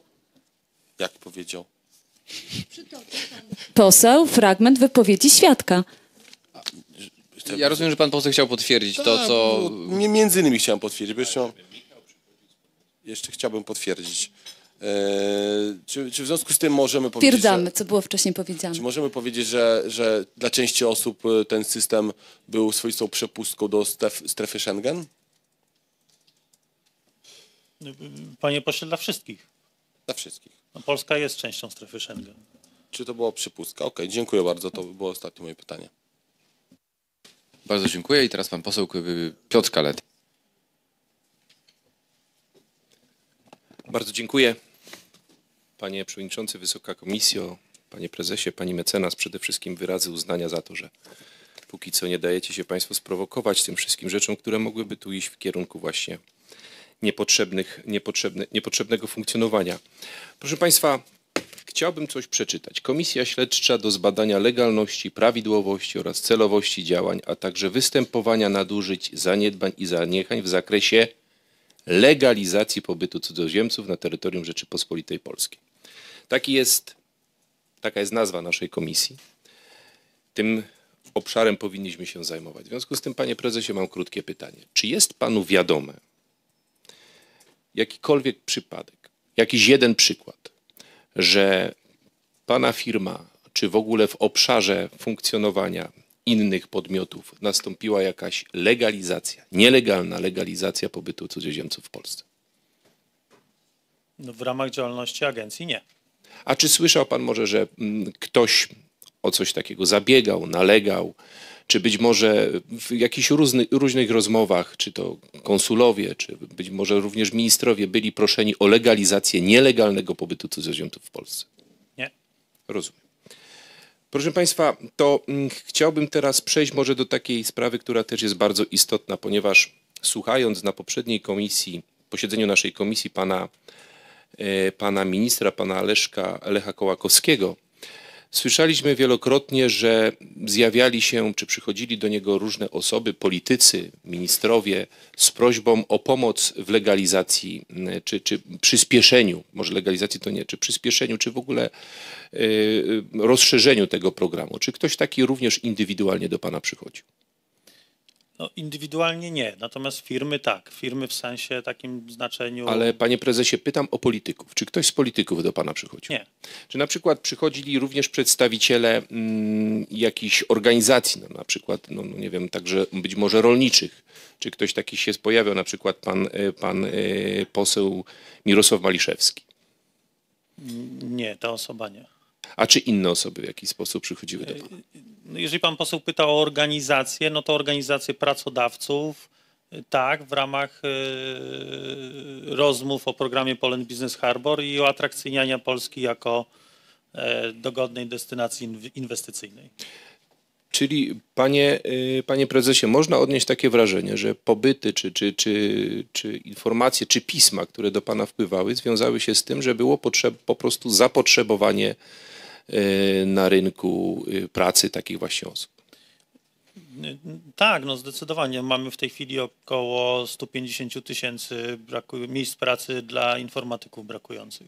Panie prezesie, wspomniał pan, że bodajże dwa dni po wybuchu y, wojny na Ukrainie, kiedy Sowieci napadli na ten kraj, y, pan wstrzymał, mm, o ile dobrze to zrozumiałem, proszę mnie wyprowadzić z błędu, jeżeli to co- co- coś mi umknęło, że pan wstrzymał współpracę, tak na skróty mówiąc, y, z Białorusią. Czy to, czy to prawda? Y, Dwa dni po wybuchu wojny wstrzymaliśmy obsługę firm Rozumiem. rosyjskich. E, Natomiast y, zagraniczne biura handlowe funkcjonowały jeszcze przez jakiś czas, później zostały zawieszone, a w konsekwencji zlikwidowane. To dopytam jeszcze, czy ja dobrze zrozumiałem kolejną pana wypowiedź, która była zaraz chyba po tym, że dał pan do zrozumienia, że obecny zarząd przywrócił funkcjonowanie współpracy z Białorusią. Wiem, że toczą się takie prace. Toczą się takie prace, żeby Tak. obecny zarząd pana firmy przywrócił współpracę z Białorusią, która pośrednio jest uwikłana w konflikt na Ukrainie. Tak, Rozumiem. takie, takie mam informacje. Proszę pana, i pan przewodniczący e, Michał Szczerba mm, zadawał tutaj takie pytanie, dlaczego pan nie powi- powiadomił o ewentualnych, mm, o ewentualnych mm, sprawach związanych z budzą, budzące zastrzeżenia Agencji Bezpieczeństwa Wewnętrznego, Agencji Wywiadu, przepraszam. Proszę mi powiedzieć, kogo pan ma obowiązek powiadomić, jeżeli pojawiają się jakieś pana, zas- kogo miał pan, bo przepraszam, rozmawiamy w czasie przeszłym, jak, kogo miał, powinien pan powiadomić i kogo powinien powiadomić urzędujący prezes, jeżeli są zastrzeżenia co do, co do procedur, czy, czy, czy, czy pewnych konkretnych osób, czy konkretnych firm, które się pojawiały. Co do zasady, e, Polska Agencja Inwestycji i Handlu e, w tym zakresie, w zakresie programu Poland Business Harbor miała kontakt i miała obowiązek informowania, czy generalnie współpracy z Agencją Bezpieczeństwa Wewnętrznego. E, Mieliśmy też swoje kontakty z e, Służbą Kontrwywiadu Wojskowego, e, dlatego że mówimy o działaniach e, na terytorium Rzeczypospolitej Polskiej, a więc co do zasady kontrwywiadowczych, a nie wywiadowczych. Panie prezesie, czy powiadamiał, po- po- czy był pan w stałym kontakcie z tymi instytucjami, jeżeli pojawiały się pewne wątpliwości? Tak. To w związku z tym zadam takie pytanie inne. Czy ma pan jakąś wiedzę w tym obszarze, którą być może powinien pan nam przedstawić na posiedzeniu komisji w sposób niejawny? Nie. Nie, rozumiem. Y, Proszę państw, p- panie prezesie, czy w pana firmie odbywały się jakieś kontrole, audyty w czasie pana urzędowania, w czasie, kiedy pan był prezesem? Tak, zarówno Najwyższej Izby Kontroli, m, Centralnego Biura Antykorupcyjnego, kontrole wewnętrzne ministerstwa, e, instytucji, jeżeli dobrze pamiętam, z pa- m, Państwowej Inspekcji Pracy, no to tego, tego rodzaju kontrole się odbywały. Mniej więcej. Proszę nam powiedzieć, jaki był efekt tych kontroli. Wynikowe, bezwynikowe. Generalnie co do zasady pozytywny mm, z jakimiś uwagami, no, mm, natomiast y, no, ra, ra- raczej w większości pozytywny. Panie prezesie, teraz z perspektywy czasu, już jakiego, jako byłego prezesa, jak pan ocenia, czy powołanie takiego programu, czy powołanie takiej właśnie formy pozyskiwania e, pracowników jest czymś korzystnym dla naszej gospodarki, dla naszych firm, czy to jest program, który przyniósł określone pozytywne efekty? Y, Tak, zdecydowanie. No to jest taka rywalizacja pomiędzy inwestycjami. Wiecie Państwo, my kilka lat temu rywalizowaliśmy o inwestycje z Czechami, Słowacją, Węgrami. Y, Na Węgrzech ten system jest też dosyć prosty, jeżeli chodzi o legalizację pobytu, pozwolenia na pracę. Y, Inne kraje e, po tym, jak my wprowadziliśmy Poland Business Harbor, zaczęły trochę go kopiować i dostosowywać do swoich potrzeb. E, No stąd później ta decyzja o rozszerzeniu też na cały świat, żeby można było wykorzystać go w rozmowie z takimi mm, inwestorami, jak chociażby właśnie wspominany już dzisiaj Intel. W zasadzie trochę już odpowiedział mi Pan na mm, pytanie, ale jednak je zadam. Czy ma Pan wiedzę ewentualnie, no, jak to wygląda w innych krajach? Czy inne kraje, przede wszystkim te ze strefy Schengen, one e, również posiadają podobne programy? Y, Nie wszędzie. y, no, W ramach takiej trochę powiedziałbym benchmarkowania konkurencji naszej, w, w takim znaczeniu, że każdy kraj posiada tego rodzaju agencje jak, jak, y, jak PAIH.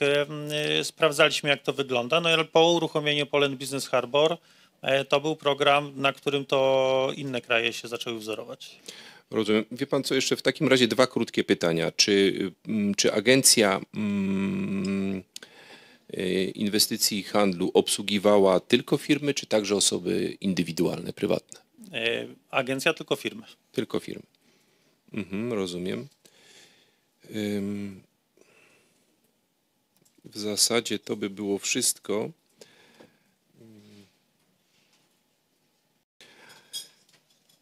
Dziękuję Jeszcze panie. jedna rzecz, A, już proszę. jest, ostatnie pytanie. Chciałbym, żeby ono być może, ono już wielokrotnie tutaj padło, nie tylko na przesłuchaniu pana prezesa, ale także przesłuchaniu innych osób, a wydaje mi się, że ono też musi utwierdzić nas i przede wszystkim naszych rodaków co do jednej kwestii. Panie prezesie, kto, finalnie kto odpowiada za przyznanie wizy y, y, przyjazdu do Polski? Konsul. Tylko i wyłącznie konsul. Tylko i wyłącznie. Tak. Czyli rozumiem, że Pana agencja, jakiekolwiek inne agencje czy, czy inne instytucje działające w obszarze mm, funkcjonowania naszego państwa mogą pewne rzeczy sugerować, ale finalnie podejmuje to tylko konsul. No, to był proces ułożony tak, żeby ta decyzja zapadała możliwie szybko, ale finalnie decyzję podejmował zawsze konsul. Bardzo dziękuję. Panie e, prezesie, mam takie pytanie. E, 13 lipca odbyła się e, konferencja prasowa pana wiceministra MSZ e, Marcina Przydacza, na której on poinformował o tym 13 lipca 2021 i to pan minister Przydacz e, poinformował o tym, że rozszerzany jest program e, Poland Business Harbor na Rosję.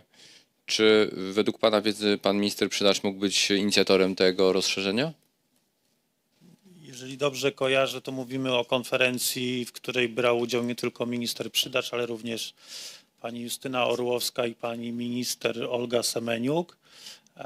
I to było ogłoszenie rozszerzenia o Rosję, Armenię, Gruzję, Ukrainę e, i chyba jeszcze jakiś jeden kraj, o którym nie wymieniłem. Mołdawię jeszcze. Czyli według Pana wiedzy mógł być pan minister, wiceminister Przydacz jednym z inicjatorów rozszerzenia o Federację Rosyjską, czy też nie? Nie mam zielonego pojęcia, panie przewodniczący. Ja pytam o tę kwestię, wie pan, dlatego również, bo jeżeli patrzymy na statystyki, to tak naprawdę to drugie rozszerzenie pokazało, że drugą co do liczebności grupą e, narodowościową, grupą krajową y, są, są obywatele Federacji Rosyjskiej. Jakby, jakby ci wszyscy pozostali, czy to Gruzini, czy, czy, y, czy Ormianie, jakby to, to, są, to są jakby śladowej, śladowej mm, liczby. Natomiast w przypadku Federacji Rosyjskiej jest oczywiście dosyć duża, dosyć duża grupa. Pan mówił o tym, że y, zasadniczo były to opinie dobre, tak, jakby, ale, może, może zobaczymy dokumenty, jakby pani była uprzejma pokazać nam kilka dokumentów, bo, bo one chyba nam troszkę y, rozjaśnią, jak to rzeczywiście było. Proszę troszeczkę przyciemnić światło, przy, przyciemnić. Mianowicie mamy taką not- notatkę e, przygotowaną przez Departament Konsularny Wydział Ruchu Osobowego 6 kwietnia 2022. Pan wtedy był jeszcze e, prezesem, prawda? Tak. Tak? Materiał na spotkanie pana ministra Przydacza w sprawie programu Poland Business Harbor e, i jest taki problem zgłoszony, e, na żółto podkreślony i on brzmi tak. Niektóre firmy na liście pełnią funkcję agencji zatrudnienia pośredniczących w znalezieniu pracy, niekoniecznie w sektorze IT i pośredniczą raczej przy umożliwieniu wjazdu na terytorium Rzeczpospolitej Polskiej. Konsulowie zgłaszają wadliwe dokumenty, niemożność zweryfikowania firmy, informacje pozyskane przy rozmowach z wnioskującymi, którzy nie znają firmy, w której będą pracować lub co będą robić i gdzie listy intencyjne mówią często o rozważaniu możliwości nawiązania współpracy, nie zawierają zaś deklaracji dotyczących zatrudnienia. Czy pan wiedział o takich przypadkach, które się pojawiają w ramach Poland Business Harbor, e, które zgłaszał Departament Konsularny do pana ministra Przydacza? To w ramach normalnej procedury i weryfikacji tych e, pracowników. No nie, ale tutaj pan, poziomie- e, czy, czy, pan, czy pan miał świadomość, że oprócz firm informatycznych, który pan podał nawet jedną nazwę, e, które, która ściągała e, informatyków, by- były też agencje zatrudnienia, które tutaj się poja- pojawiały, a nie, a nie firmy, które realnie stwarzały, e, stwarzały e, miejsca pracy. W ramach ścieżki biznesowej obsługiwanej przez, obsługiwanej przez agencję nie miałem takiej świadomości. Nie miał pan nie, świadomości. nie, nie mogły być obsługiwane. Tak. A jest taka, to jest taka fundacja, e, która się tutaj pojawia, którą chyba pan nawet raz wymienił. Fundacja, przepraszam, y, y, Fundacja Rozwoju Przedsiębiorczości Twój Startup. To jest fundacja, która według dokumentów, które mamy z MSZ-u, które przekazał nam MSZ, ona wnioskowała o 7 tysięcy osób, 7 tysięcy wiz. Czy pan wie, ile ta, ta fundacja zatrudnia osób według oficjalnych informacji na stronie internetowej NGO-sów? Nie mam pojęcia. Wnioskowała o 7 tysięcy, zatrudnia dwie osoby. Czy państwo weryfikowaliście takie podmioty i to, czy rzeczywiście te 7 tysięcy pracowników z wizą roczną, umożliwiającą wjazd na teren Unii Europejskiej, a nawet dalej, jest rzeczywiście potrzebne, czy też nie? Nie, to tak jak mówiłem wcześniej, no, nie weryfikowaliśmy. Czy, czy pan weryfikował, czy ta fundacja y, ma be- beneficjenta rzeczywistego? I czy pan wiedział, że beneficjentem rzeczywistym nie jest obywatel Polski tej fundacji? N- Nie wiem, jak było w tym przypadku. E, To pewnie jest do zweryfikowania w agencji. O ile, o ile ta agencja korzystała ze ścieżki biznesowej, no bo no to mi się nie zgadza przede wszystkim, bo być może to jest tak, że y, oni aplikowali przez tą ścieżkę indywidualną. To zweryfikujemy. Natomiast liczba 7 tysięcy wniosków wizowych, wniosków o ob- obcokrajowców y, jest, y, jest w, dokumentacji, którą, którą posiadamy. Poproszę kolejny dokument. Proszę przesunąć. Dziękuję bardzo. Nie, wcześniejszy dokument, przepraszam. Mm.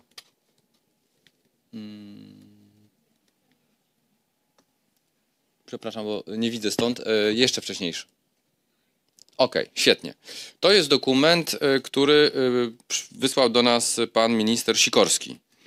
23 stycznia 2024 i został wysłany do pana następcy, pana Pawła Kurtasza, który będzie dosłownie za 13 minut e, naszym e, gościem.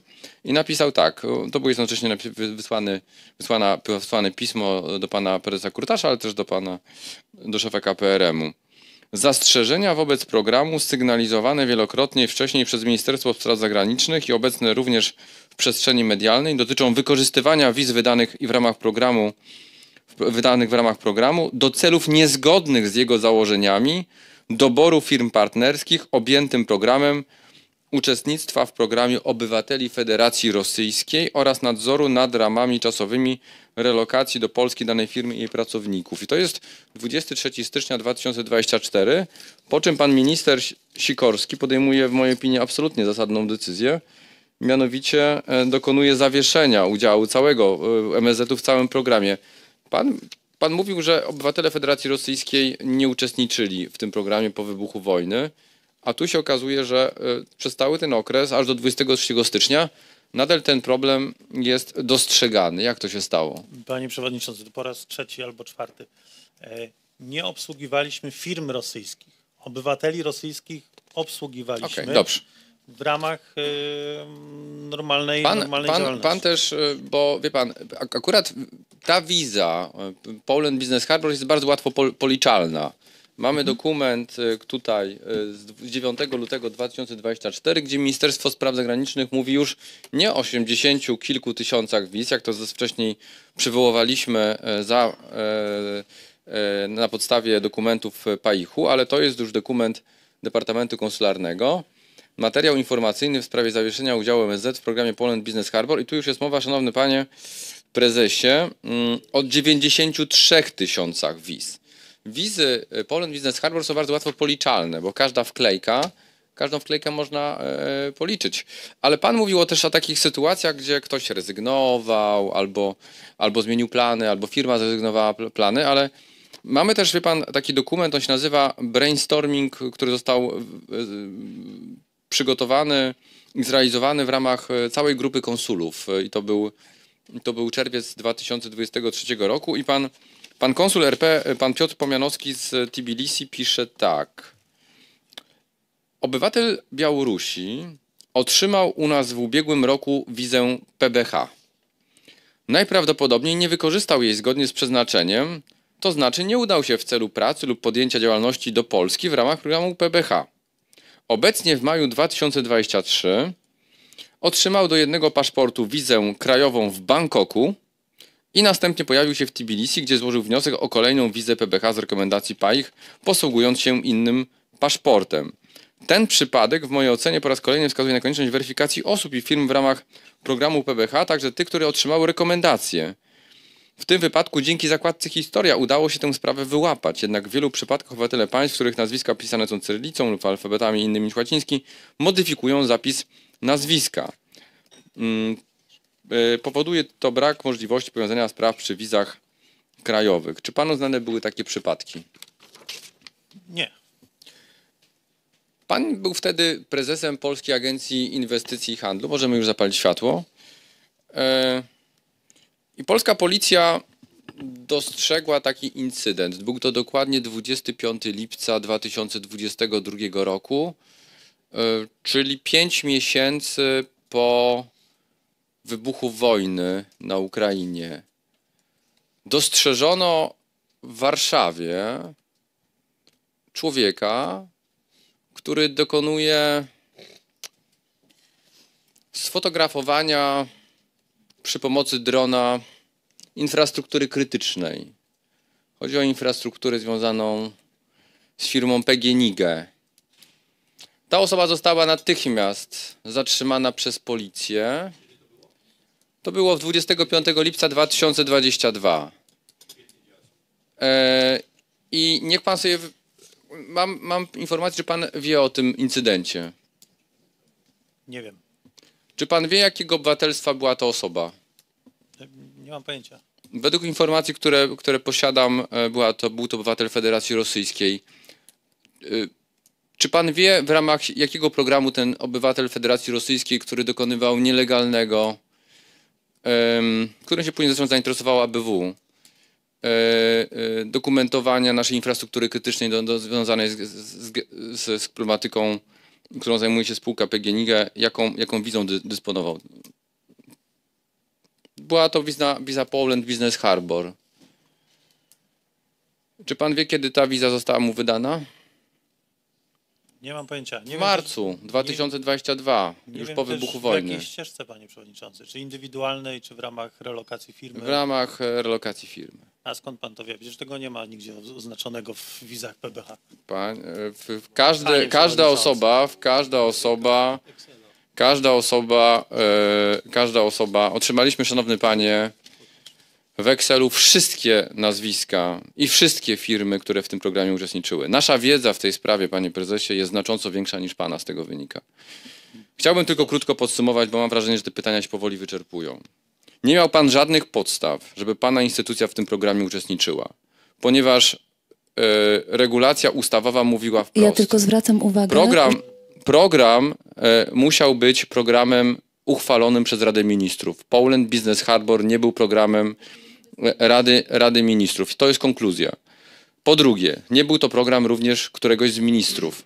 Czyli nie było tak naprawdę podstawy prawnej, żeby ten program był realizowany. Nie weryfikowaliście Państwo w odpowiedni sposób firm. Nie weryfikowaliście osób, czy są z branży IT, czy też nie. Nie weryfikowaliście, czy te osoby podejmują pracę, czy też nie. I przez cały okres, aż do stycznia 2024, do, do słusznej decyzji pana ministra Sikorskiego, pozwalaliście na to, że obywatele rosyjscy w ramach tego programu wjeżdżają na teren Rzeczypospolitej Polskiej. Szanowny panie, ja się tylko jedno, jednego cieszę, że pan już, już po prostu nie jest prezesem tej, tej instytucji.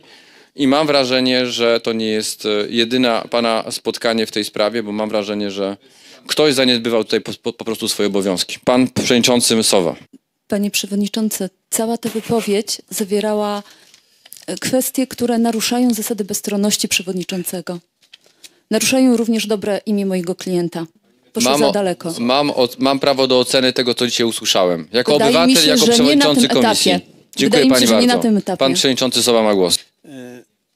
Proszę pana, mm, wrócę mm, do pytania, które w pierwszej części panu zadałem. E, To pytanie brzmiało, czy zna pan przypadek sukcesu firmy, która przeniosła się do Polski w ramach programu Poland Business Harbor?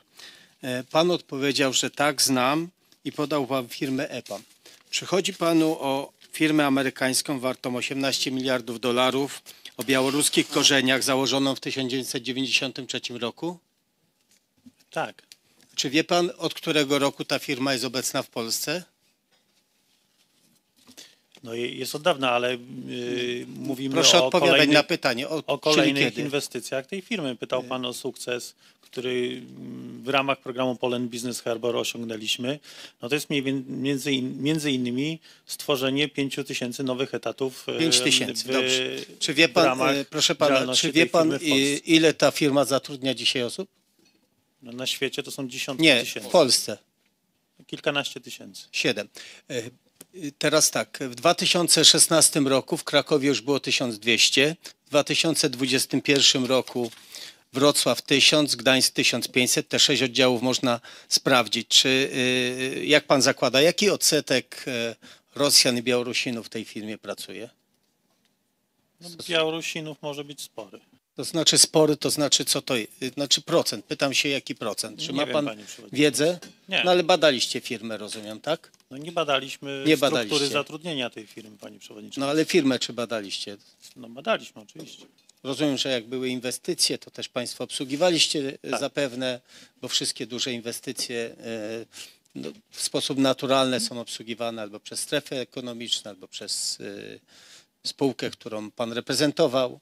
Więc ta wiadomość o strukturze powinna być pełna, zarówno jeśli chodzi o kwestię zatrudnieniową, e, inwestycyjną, pakietów szkoleniowych, inwestycji. No to, to jest zupełnie naturalne, tak? bo się wiąże choćby e, z pozyskaniem pomocy publicznej. Można założyć, że firma, która w Polsce pojawiła się w 2011 roku, też z takich narzędzi wsparcia korzystała, z programu wsparcia, bo one są mm, dostępne na równych zasadach dla wszystkich.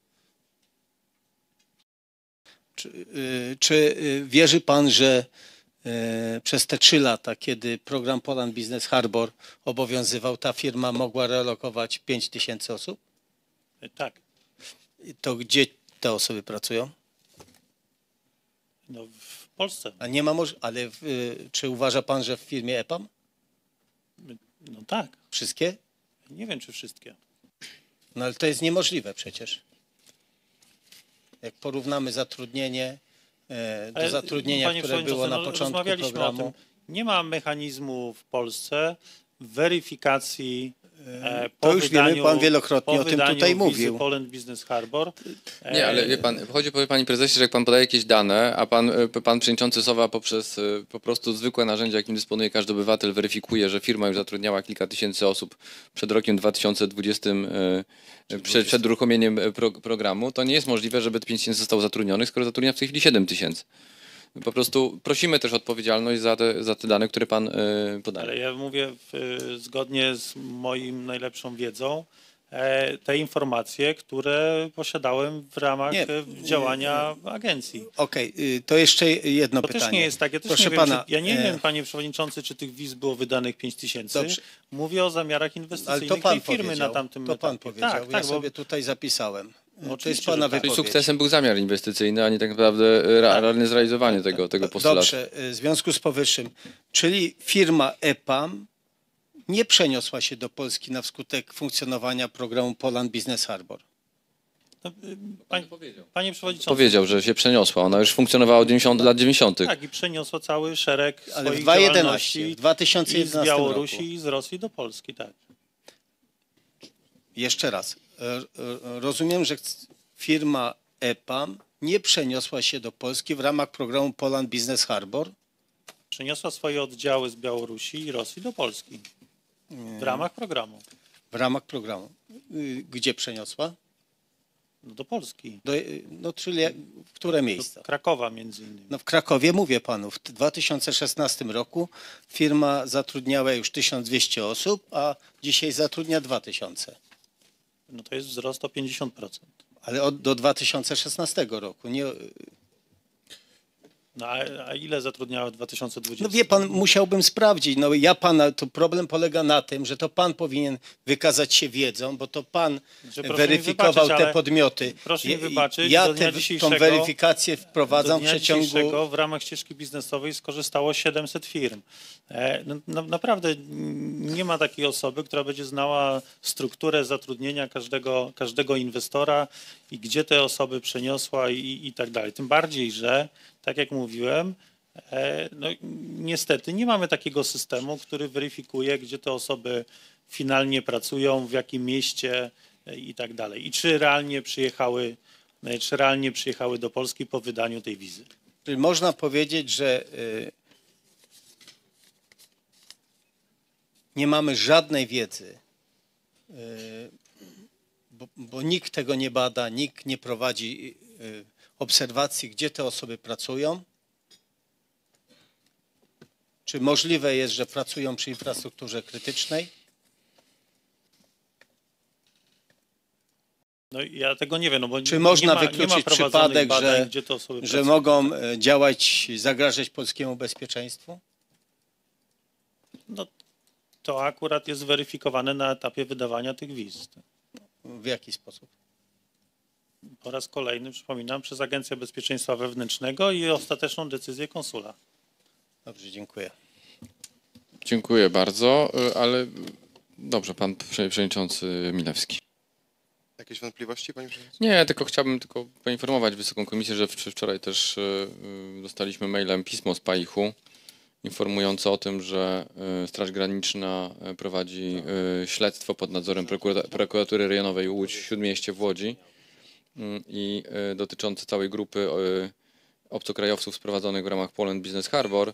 I tutaj jest bardzo ciekawa rzecz. Pan miał taką świadomość, że tak jak twierdzi to y, Straż Graniczna, jako instytucję przyjmującą we wnioskach wizowych tych, tychże cudzoziemców wskazywano Polską Agencję Inwestycji Handlu. Czy pan znał taką praktykę, że PAIH był wskazywany jako instytucja przyjmująca, a nie konkretna firma, Nie która mogło tak być, panie nie mogła tak być? No to proszę to chętnie pokażę ten dokument po, po komisji.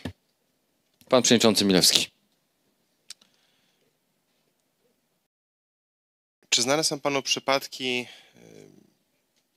kontaktów pomiędzy y, tymi instytucjami przyjmującymi, tymi firmami, a konsulami? Czy konsulowie zgłaszali kiedykolwiek jakieś y, no, takie sygnały, iż te firmy kontaktowały się z nimi bezpośrednio, a oni uznawali to za niewłaściwe? Nie, takie sygnały nie docierały, ale wiem, że fi z firm były wyznaczane osoby koordynujące, które koordynowały umawianie pracowników na spotkanie z, w konsulatach. Czy konsulowie w ogóle zgłaszali jakieś y, wątpliwości systemowe? Czy, czy macie taką wiedzę na, na, ten temat? Nie, do agencji Domyślam, że nie bezpośrednio, informacje- ale no, w jakikolwiek sposób. Nie, nie.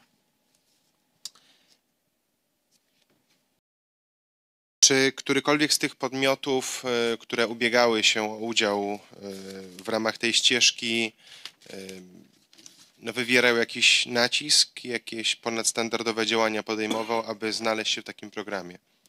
Nie. Jak wiele podmiotów było przez Państwa odrzucanych? Jakie były kryteria odrzucania? No, jeżeli taka firma e, jakby w naszej ocenie takiej powiedziałbym merytorycznej nie rokowała co do możliwości inwestycji w Polsce, no wtedy była odrzucana.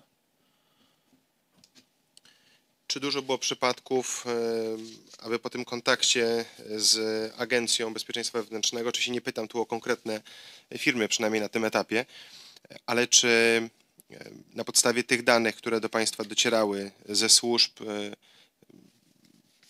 czy one skutkowały również odmowami?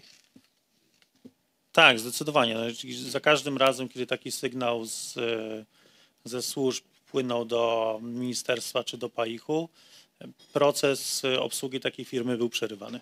To dotyczyło firm jako całości, czy osób, które znajdują się na przedstawionych przez nich listach? W firmie jako całości.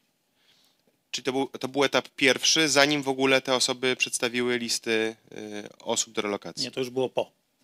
Bo to Bym było tak, to było tak, że firma się zgłaszała, przedstawiała nam listę pracowników i mm, y, ta lista trafiała za naszym pośrednictwem do, mm, y, tak jak już mówiłem wcześniej, i do MSZ-u, i do ABW. y, I potem była na, tej, na tym etapie ABW dowiadywało się, że taka, obsług, że taka firma jest w obsłudze PAIH-u i czasami wracała do nas z informacjami, żeby taki, yy, tak, obsługę takiej firmy zaprzestać. I te listy pracowników z przerwanych, yy, przerwanych tych procesów również mieszczą się w tych yy, mm, rekordach, które są w statystykach agencji. Tak, tak zakładam. Że, może, że, że te liczby mogą też zakładać takie przypadki. Czy pan dokonywał ocen działalności tego programu w trakcie bycia prezesem? No, w takim roboczym yy, aspekcie tak. I jakie były wyniki tych analiz? No, no to były takie kwestie, tak jak już podawałem wcześniej, operacyjne, żeby się nie, nie, nie dublowały nie dublowały wnioski, czy jak weryfikować e, w rejestrach publicznych em, te firmy, czy to robić z centrali, czy to powinny robić bardziej osoby, które są na miejscu w zagranicznych biurach handlowych. No to, to były takie kwestie już czysto operacyjne. Czy w ramach takich analiz kontaktowaliście się z innymi podmiotami? Ministerstwem, KPRM-em, y, Strażą Graniczną, Tak, no to... Ministerstwem oczywiście Spraw Zagranicznych. Bo to, z no bądź swoim takim Tak, tak. No, no to w, na, na bieżąco z Ministerstwem Rozwoju i Technologii, w razie potrzeby również z, z MSZ-em, e, KPRM-em i ABW. Czy znany jest panu przypadek dotyczący działań no, pańskich lub y, pracowników agencji, aby w przypadku zastrzeżeń ze strony Agencji Bezpieczeństwa Wewnętrznego, innych służb, tudzież y, odmów ze strony konsula, y, była prowadzona korespondencja, inna forma y, kontaktu, y, czy to z Ministerstwem Spraw Zagranicznych, panem ministrem Piotrem Wawrzykiem, jakimkolwiek innym ministrem, tudzież bezpośrednio z konsulami, aby jednak taka wiza została wydana. Nie znam takich przypadków. Dziękuję bardzo. Bardzo dziękuję panie przewodniczący. Pani posłanka Maria Małgorzata Janyska. Proszę świadka, y, udzielając odpowiedzi y, panom posłom, członkom komisji, powiedział pan między innymi, że proces w programie był ułożony jasno i klarownie i każdy wiedział, co ma robić. Proszę wskazać dokument z opisem tego procesu i kto go firmował. Tak jak już e, mówiłem wcześniej, nie ma takiego dokumentu. Te zadania były realizowane na, poprzez robocze uzgodnienia i każda z instytucji realizowała swoje zadania ustawowe. Czyli chce pan nam powiedzieć tak, że proces był jasny, absolutnie i klarowny, ale tak naprawdę nie był spisany, nie był opisany. Pani poseł, znowu pytanie Nie, sugerujące. ja pytam, ja pytam, czy, czy według pana Proszę inaczej był jasny sformułować i pytanie. klarowny, ale z tego, co pan powiedział, nie był opisany. To w jaki sposób, z czego wynikała ta jasność i klarowność Z tego ustaleń procesu? roboczych pomiędzy wszystkimi instytucjami. Czy te ustalenia były w jakiś sposób y, opisane w notatkach służbowych, y, w procedurach, y, Częściowo tak. w protokołach? Myślę, że częściowo tak. Pan myśli, tak? Nie jest pan Tak. przekonany, nie pamięta pan? Nie, Nie potrafi pan wskazać. no, proces był ułożony i... Był ka- ułożony. Tak, był ułożony. Ale proces ułożony, który obowiązuje, powinien być w jakiś sposób sformalizowany. Czyli rozumiem, że nie był sformalizowany. No, Była podjęta decyzja, jak, jak, e, no, jak realizować e, cały, cały proces. Dobrze, a proszę mi jeszcze powiedzieć, czy y, zgłaszały się jakieś osoby, które, y, politycy, którzy rekomendowali y, do programu y, firmy? Nie. Na, pan Ociepa? Nie. Nie? Pani Emilewicz? Nie, Pan Jabłoński? nie. Nie. Mhm. Dziękuję. Czy ktoś z państwa jeszcze chciałby zadać pytanie?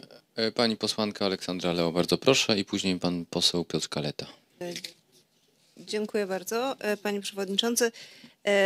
Ja podczas poprzedniej rundy zadałam pytanie o to, e, kto według pana wiedzy rozszerzył e, program o inne kraje, w tym Federację Rosyjską i pan powiedział, że nie wie. Tymczasem 5 września 2022 roku brał pan udział w konferencji razem z posłem e, Jabłońskim, na którym te informacje padły.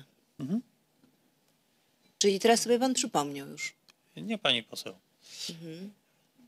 I pan poseł ja, Jabłoński informował pani poseł, o jakby tym. pani sobie przypomniała, co mówiłem. Były trzy rozszerzenia programu.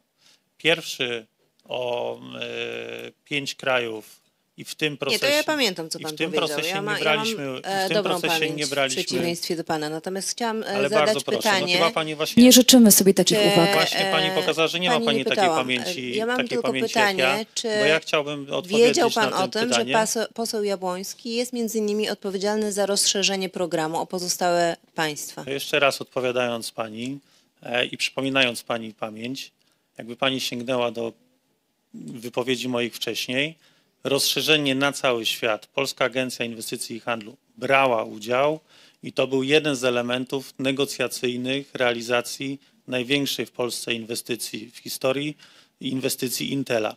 I to był No jeden, dobrze, z, ale jeden dlaczego z pan elementów. nie odpowiedział na moje pytanie w poprzedniej rundzie?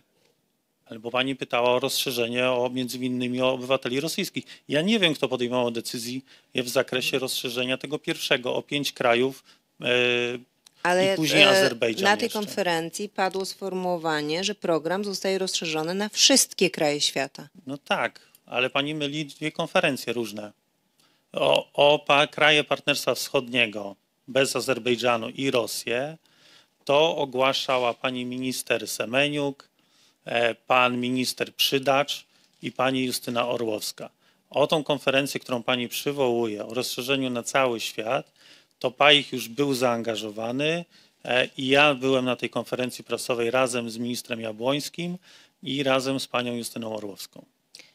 E, To nie ja mylę, tylko pan ewidentnie w takim razie nie zrozumiał mojego poprzedniego pytania. Ale dziękuję bardzo. Proszę bardzo. Bardzo dziękuję. Rozumiem, że jeszcze tylko pan poseł, tak? No, nie wiem. No, tak, już kończymy, panie pośle. Bardzo proszę też. y, Jasne. Bardzo dziękuję panie przewodniczący, wysoka komisjo, pani mecenas, panie prezesie. Wielokrotnie tutaj zostały takie zadawane pytania czy wątpliwości, że dotyczące podnoszenia kwestii, że trzeba było kogoś zweryfikować, trzeba było sprawdzić, czy po przyznaniu później wizy trzeba było mm, kontrolować, gdzie ta osoba się znalazła, czy dojechała we wskazane miejsce. Czy pan w ogóle w zakresie swoich obowiązków, czy agencja miała możliwość kontrolowania właśnie takiego przebiegu? Nie miała takiej możliwości. Czyli tak na dobrą sprawę na kwestii dotyczącej pewnych spraw organizacyjnych, mówiąc oczywiście bardzo daleko na skrócie, pana, państwa misja jak gdyby się w kwestiach wizowych czy pozyskiwania pracowników kończyła.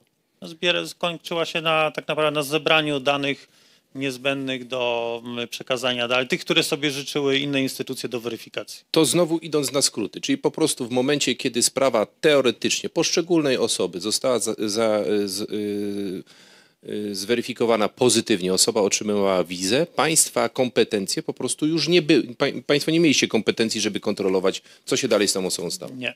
No i wszystko. Proszę pana, czy otrzymywał pan kiedykolwiek jakie, jakiekolwiek propozycje od pana Edgara Koboza? Nie, nie znam go, nigdy z nim nie rozmawiałem. Rozumiem. A czy tak, takie e, propozycje odnośnie, mm, odnośnie właśnie pozyskiwania wiz otrzymywał pan od pana ministra Wawrzyka, od pana Kołakowskiego? Nie. Też nie.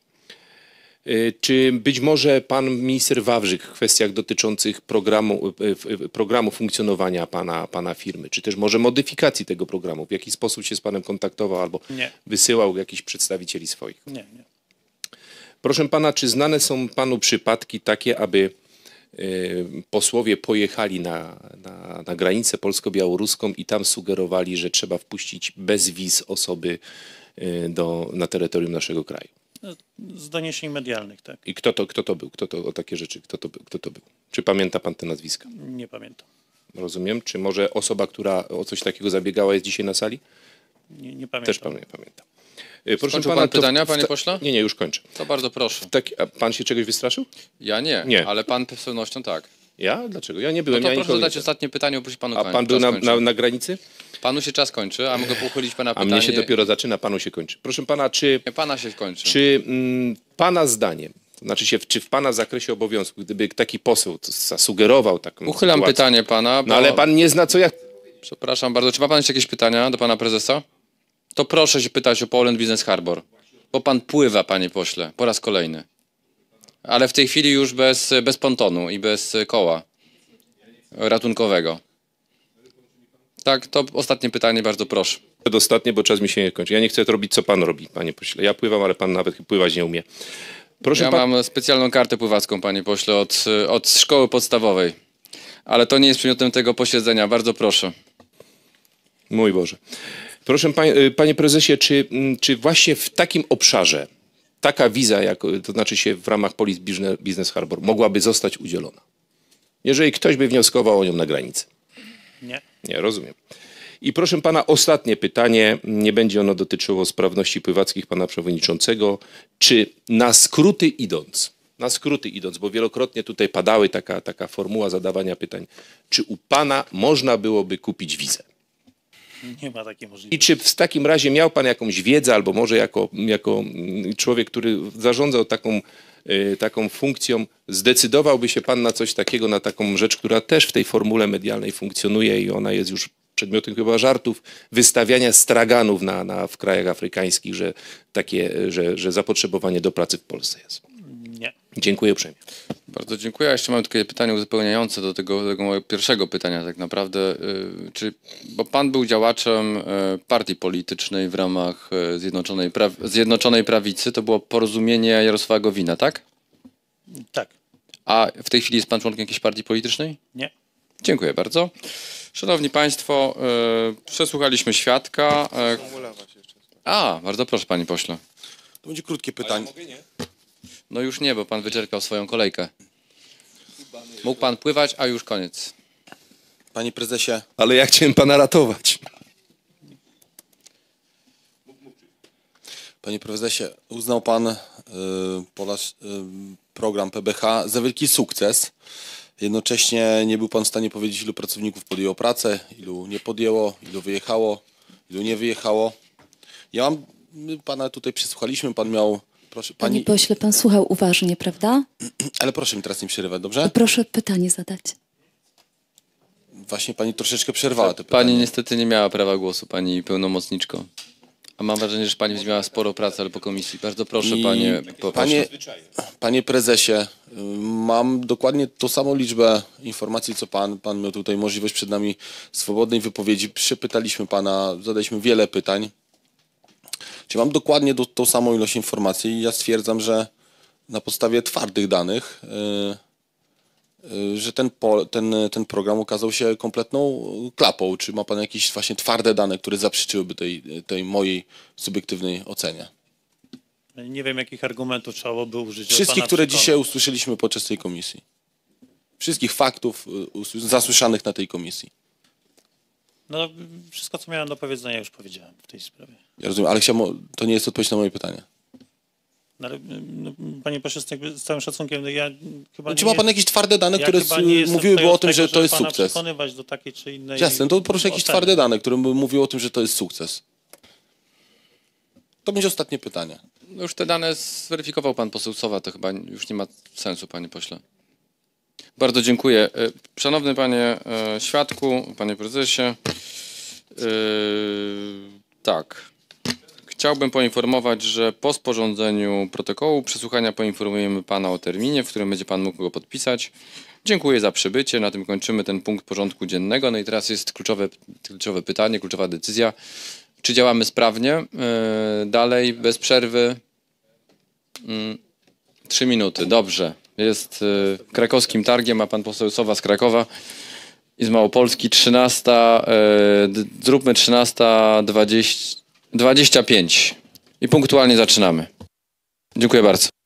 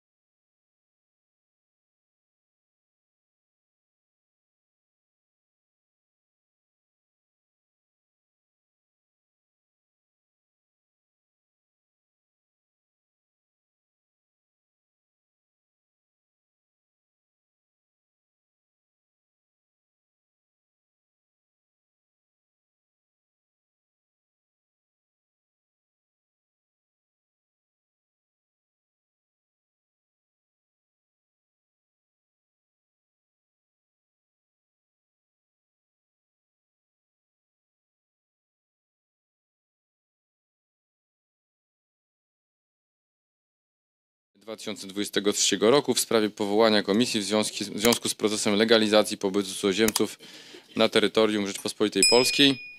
Legalność tych działań, ich prawidłowość oraz celowość, a także występowanie nadużyć, zaniedbań, zaniechań w zakresie legalizacji pobytu cudzoziemców na terytorium Rzeczpospolitej Polskiej w, zakre, w okresie objętym zakresem prac komisji. W pierwszej kolejności odbierzemy od Pana dane osobowe. Proszę o podawanie ich. Imię i nazwisko. Paweł Kurtasz, Wiek. 41 lat. Zajęcie. Obecnie nauczyciel akademicki em, i pracownik naukowy. Czy był Pan karany za składanie fałszywych zeznań lub fałszywych oskarżeń? Nie.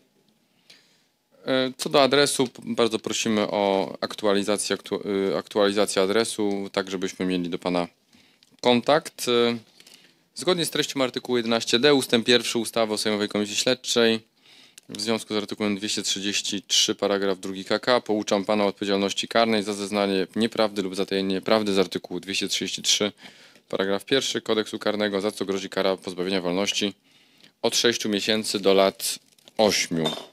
Oj, przepraszam bardzo. Chyba się nic nie stało. Yy, zaraz to ogarniemy. Dziękuję panu przewodniczącemu. Yy, na podstawie artykułu 11d ustawy o Sejmowej Komisji Śledczej odbiorę od pana przyrzeczenie. Proszę więc wszystkich o powstanie.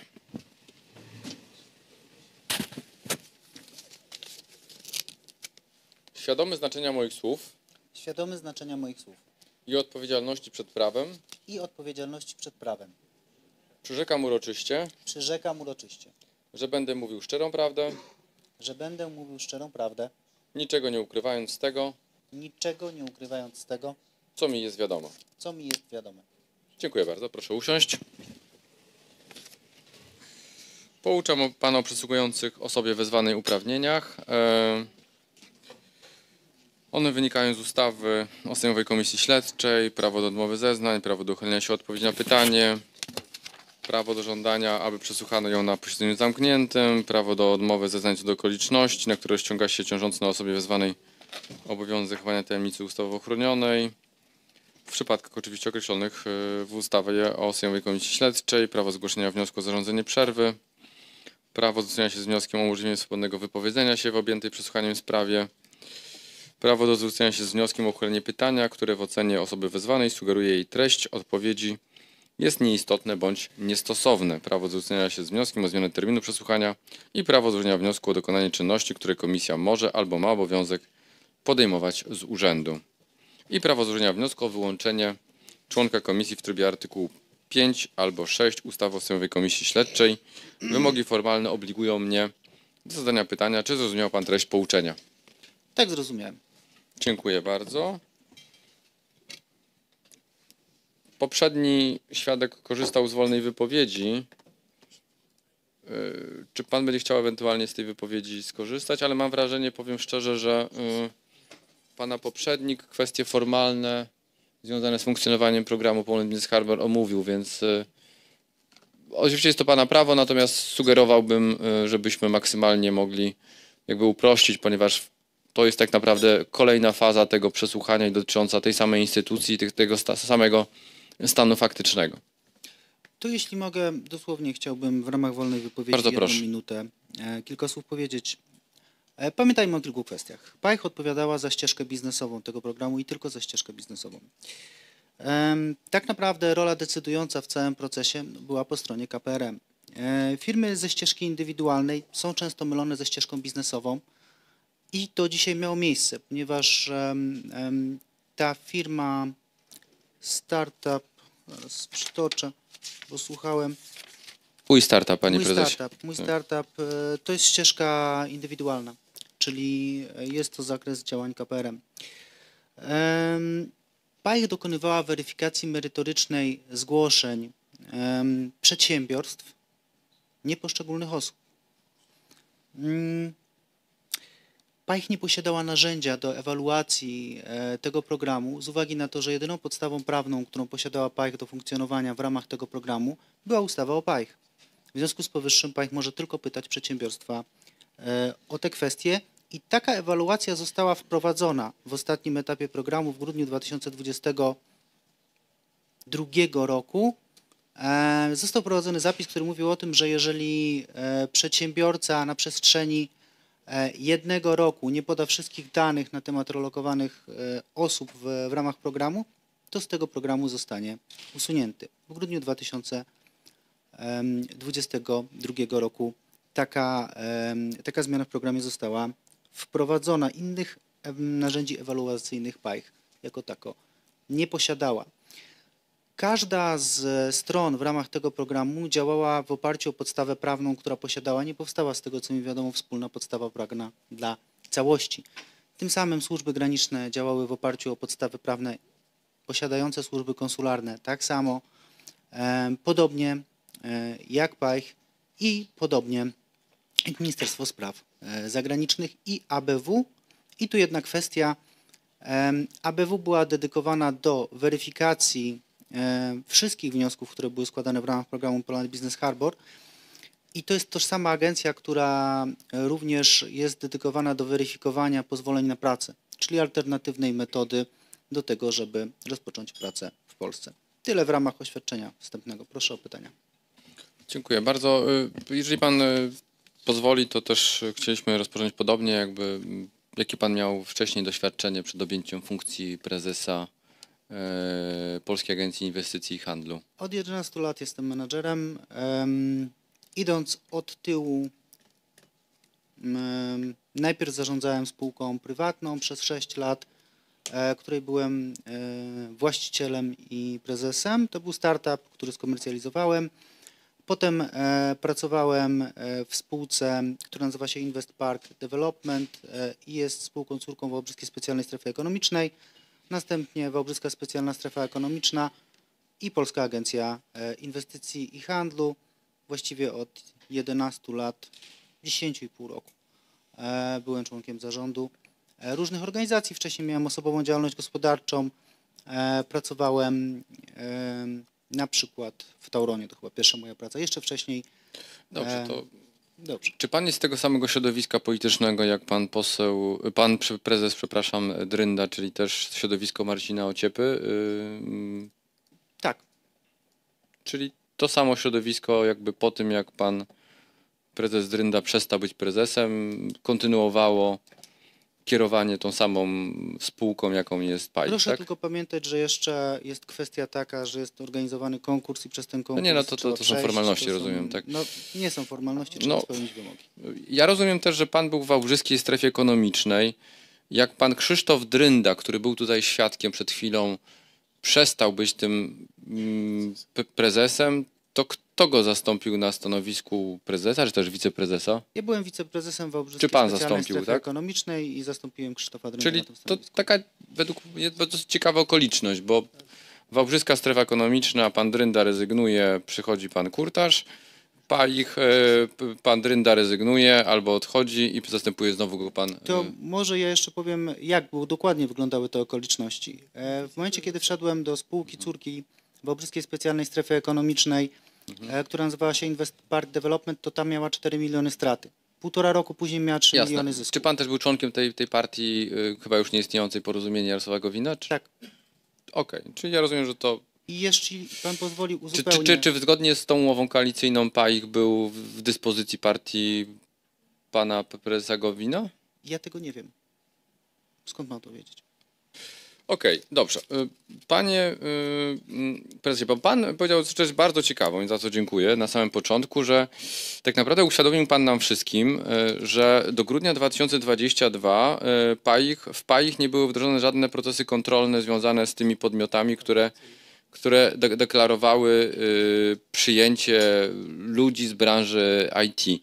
Jak pan wprowadził te regulacje i w jaki nie sposób ja je pan je wpro- wprowadziłem. E, Te regulacje zostały wprowadzone w czasie mm, pomiędzy momentem, kiedy Krzysztof Drynda przestał być prezesem spółki, a ja zacząłem, ponieważ ja zacząłem w lutym albo w styczniu, nie, w styczniu 2023 roku, więc nie ja wprowadziłem te regulacje, Okej, dla ja mnie był to, był to stan zastany. tuż Natomiast przed pana e, przyjściem. mówimy o ewaluacji jako takiej, e, czyli m, e, ewaluacji, czyli sposoby sprawdzenia tego, jak Dobrze, to a jeżeli firmy nie chciały podawać tych danych, o które Państwo pytaliście e, po grudniu 2022, to ile wypadło z tej listy firm?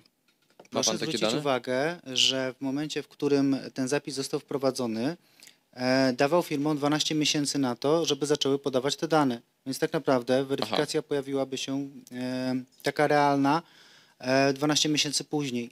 Natomiast Czyli też trzeba- instrument był w dużej mierze przez rok e, martwy, albo... No prawo nie działa wstecz.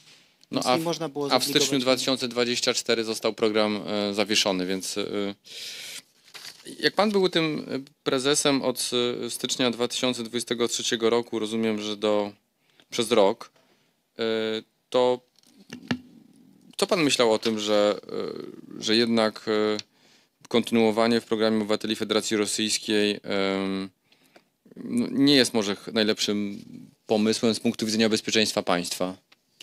Za bezpieczeństwo państwa ustalmy pewne fakty. PAIH była biurem podawczym de facto tego programu. W ramach... em, Biurem podawczym?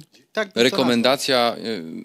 To nie była żadna spółki rekomendacja. państwowej jest, e, tak pan określił, jako biuro podawcze?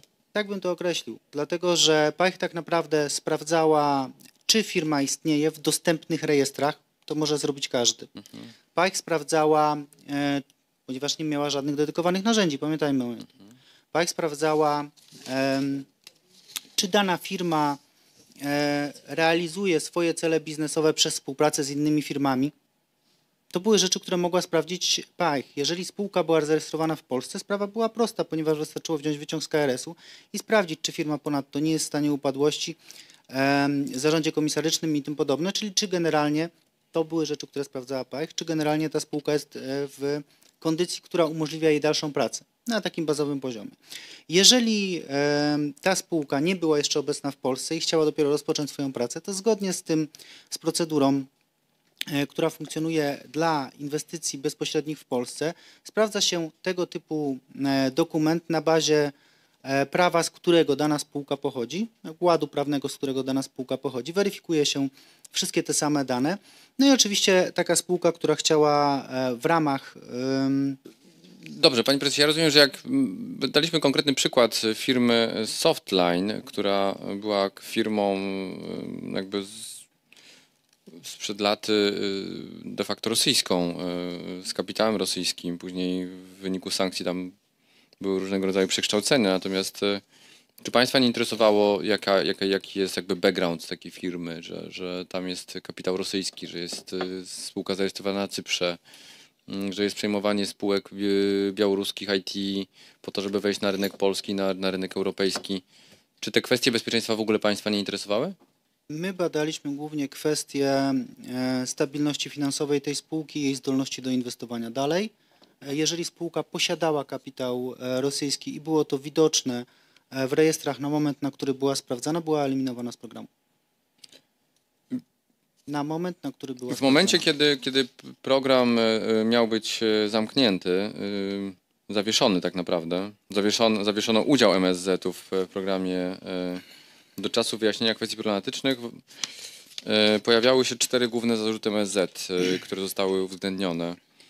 E, Nie było weryfikacji postępów w zatrudnianiu cudzoziemców rekomendowanych przez PAIH. Potwierdza Nie pan to? było to zadaniem PAIH.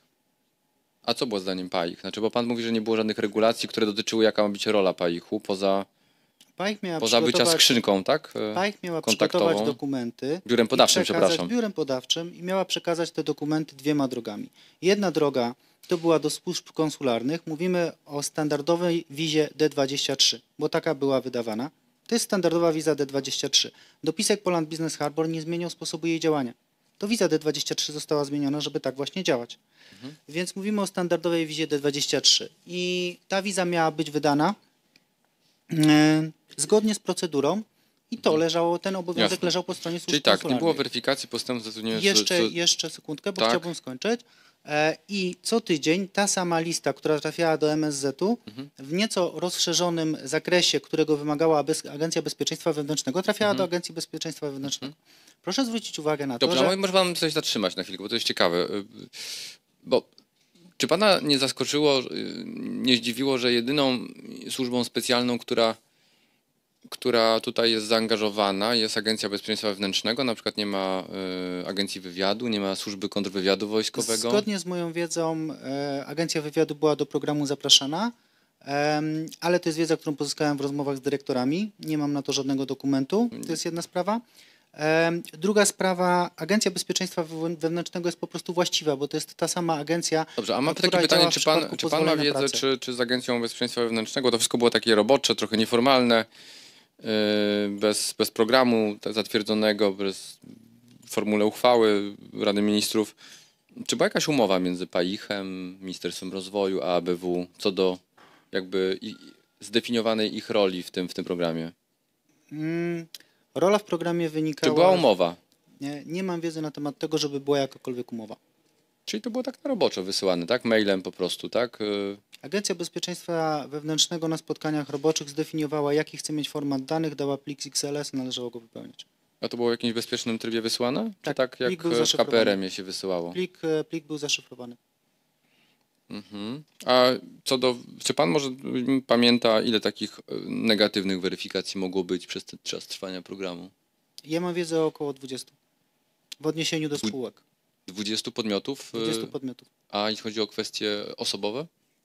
My nie zajmowaliśmy się kwestią poszczególnych osób, tylko No nie, ale podmiotów. za tymi 20 spółkami stały pewnie, pewnie kilkaset osób, tak? Czy pan wie, co do jakiej liczby osób odmówiono? No Nie, ale tak jak mówię, e, jeżeli składała wniosek firma w ścieżce biznesowej, to w zależności od jej rozmiaru mogła złożyć wniosek, w którym Mhm. Czy pan podejmował minimum- jakieś działania, żeby z programu wykluczyć obywateli Federacji Rosyjskiej? Bo pan już przyszedł wtedy, kiedy trwała wojna. Widzieliśmy, co się dzieje. Mm. No tak, no ale ci obywatele Federacji Rosyjskiej to również mogli być ludzie uciekający przed wojną, więc jeżeli e, mieliśmy, bo pytaliśmy o to MSZ wcześniej, ta wiedza, tą wiedzę pozyskałem od pracowników, e, że e, MSZ był pytany o to em, i to sobie sprawdzę. KPRM było to pytany i odpowiedź była taka, jakiej zresztą udzielił e, prezes Drynda, że mają być dalej obsługiwani, e, no to proszę zwrócić uwagę na to, że PAIH mm, zajmowała się obsługą poszczególnych spółek, a te osoby, które w ramach tych spółek były do Polski e, sprowadzane, miały być weryfikowane przez służby konsularne. To było ich zadanie.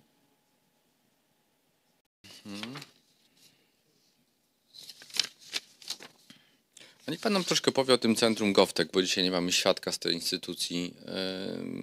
Czy pan dostrzegł jakieś nieprawidłowości, jakieś wątpliwości co do funkcjonowania tej, tej, tej ścieżki indywidualnej? Bo Zdarzały się firmy, co do których PAIH miała wątpliwości e, i wówczas informowała GovTech o tym, że na stronie GovTech było e, rejestr firm, e, które współpracowały z programem. Jeżeli PAIH zauważyła, że któraś z firm, ponieważ zdarzało się, tak jak poprzednio mówił prezes Drynda, że firmy aplikowały w obu tych programach. Jeżeli zdarzyło się, że firma zachowywała się nieprawidłowo w programie biznesowym, to GovTech dostawał taką informację, skutkiem czego e, firma schodziła również z A czy były ścieżki. przypadki, kiedy wizy były anulowane na przykład? Nie mam takiej wiedzy. Ale czy państwo występowaliście kiedykolwiek, jeżeli się okazało, że to jest firma fake na przykład, albo firma, która jednak y, y, wydaliście wizę, a później ABW zweryfikowają Nie negatywnie? dawaliśmy wiz. Proszę, Wnioskowaliście państwo o wydanie wizy, rekomendowaliście. E, My tak naprawdę przekazywaliśmy dokumenty firm oraz listy osób, które te firmy chciały zrelokować.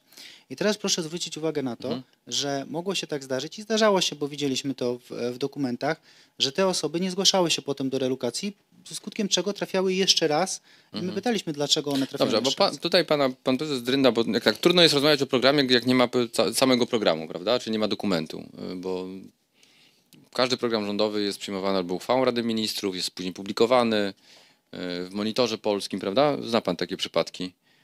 No oczywiście. No właśnie, więc y, można do niego sięgnąć, posprawdzać. E, e, Pytanie jest y, takie właśnie, co się dzieje w sytuacji takiej, kiedy, kiedy mamy jaką, jakiś problem nat, natury takiej, że, no, że, że ten podmiot okazuje się niewiarygodny. Agencja albo... Bezpieczeństwa Wewnętrznego była o tego typu przypadkach informowana, ale w większości przypadków to od niej W każdym przypadku dostawaliście informację zwrotną, czy na przykład była jakaś taka milcząca zgoda, że wysyłacie nazwiska albo na Nie zasadzie... dostawaliśmy żadnej informacji zwrotnej. Przekazywaliśmy dokumenty O, do Agencji ciekawe. Bezpieczeństwa Wewnętrznego.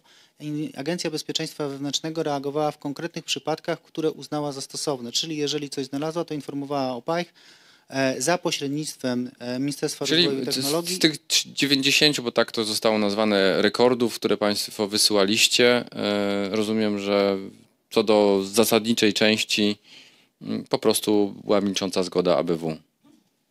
Tak, No dobrze, to ja bym chyba na tym etapie nie miał żadnych innych pytań. Pan poseł wiceprzewodniczący Milewski.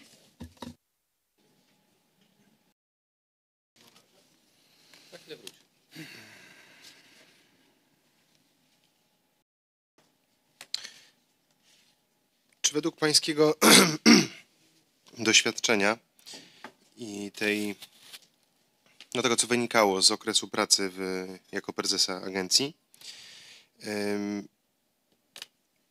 jakby pan porównał pracę wykonywaną, tę pracę zwi- związaną z weryfikacją poszczególnych e, firm w stosunku do e, weryfikacji wykonywanej w ramach e, tej ścieżki e, takiej no zwykłej, czyli w przypadku zwykłych zezwoleń na pracę. Wiza z oznaczeniem Poland Business Harbor, czyli wiza D23, em, pozwalała na to, żeby rozpocząć w Polsce pracę przez okres jednego roku. Następnie trzeba było uzyskać pozwolenie na pracę. Elementem wspólnym obydwu tych procedur była Agencja Bezpieczeństwa Wewnętrznego. W obydwu przypadkach, zarówno w przypadku pozwolenia na pracę, jak i w przypadku wizy D23, e, podmiotem odpowiedzialnym za ten element weryfikacji jest Agencja Bezpieczeństwa Wewnętrznego. Jakie były przyczyny zawieszenia programu? Em, Przyczyny zawieszenia programu, e, które zostały podniesione przez Ministerstwo MSZ, e, wskazują na to, że MSZ miało wątpliwości co do prawidłowości funkcjonowania tego programu. No ale chciałbym podkreślić, że nie po stronie PAIH. Dlatego, że jeżeli widzimy problem z tym, kto się dostał do kraju, to PAIH za to nie odpowiadała.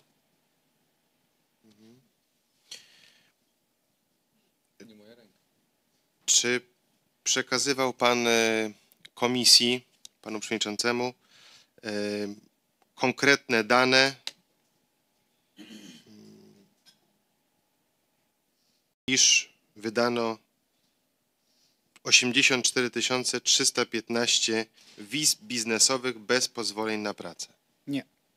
Z dokumentu, który przekazałem, wynika, że jest taka liczba rekordów w bazie. Mam go tutaj. Pan, pan przewodniczący nam taką informację przekazał, cytat. Mm. Nie trudno pomylić te pojęcia, bo proszę Państwa, zwróćmy uwagę na to, że e, było ono dość szeroko Może, może pan wie, ile tych wiz wydano tak, w takiej sytuacji, bo ja tu mam pismo, y, z, przepraszam panie przewodniczący, z 9 lutego 2024, to jest Departament Konsularny, jest mowa o y, 90, ponad 93 tysiącach wiz. I to jest dokument MSZ, więc mo, E, czy nie mam- MSZ ma wiedzę, ile tych wiz było, Tak, czy MSZ. ma wiedzę, ile Nie, tych wiz było? Tylko i wyłącznie MSZ No to już może wiedzę. nie znęcajmy się nad tym dokumentem, który pan podpisał. E, No, my mówiliśmy, te liczby są rzeczywiście podobne, ale to, co widzi MSZ jest jakby jest ujęciem całościowym, bo widzi wszystkie ścieżki programu. PAIH widziała tylko jedną e, i wiemy z tego, że te dokumenty wracały i osoby pojawiały się powtórnie, no, że były odmowy z różnych przyczyn. Nie było też możliwości w żaden sposób, tu nie było żadnej procedury odwoławczej od tej ścieżki wizowej. W związku z powyższym, e, jeżeli e, konsul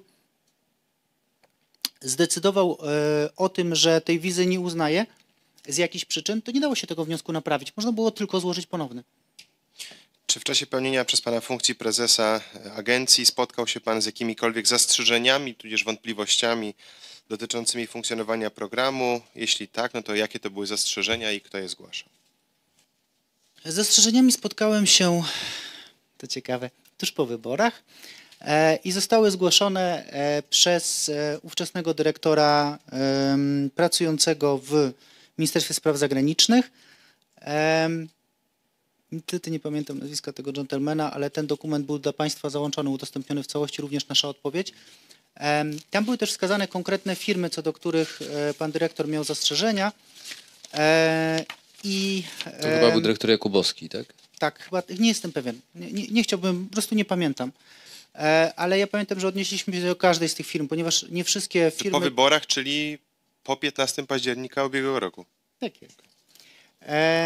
I myśmy odnieśli się do tego pisma bardzo detalicznie i odpowiedzieliśmy na wszystkie pytania, które były tam postawione.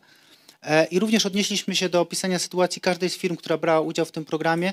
No bo na przykład były wątpliwości co do firmy, to pamiętam Andersen, która jest po prostu bardzo duża i zatrudnia dużą liczbę osób. W związku z powyższym e, te ilości osób, które się tam pojawiły, były rzeczywiste. To znaczy ona wnioskowała rzeczywiście o tyle, no ale to jakby wynikało z jej, e, z jej rozmiaru. Pojawiły się też tam odniesienia do firm, których PAIH nie obsługiwała. Prawdopodobnie były w ścieżce, e, w ścieżce indywidualnej. Czyli osoby, które podjęły pracę w Polsce na podstawie w ramach tej ścieżki, po roku musiały Zyskać pozwolenie na pracę. E, jedno, drugie to wspomniana przez Pana okoliczność, wprowadzona w międzyczasie okoliczność e, raportowania przez, e, przez podmioty, która de facto nie zdążyła zadziałać. No to jak pan oceni, czy porówna, no, jak to, czy jak ocenialiście w ramach swojej, swojej pracy e, kontrolę nad przebiegiem zatrudnienia obcokrajowców w ramach programu?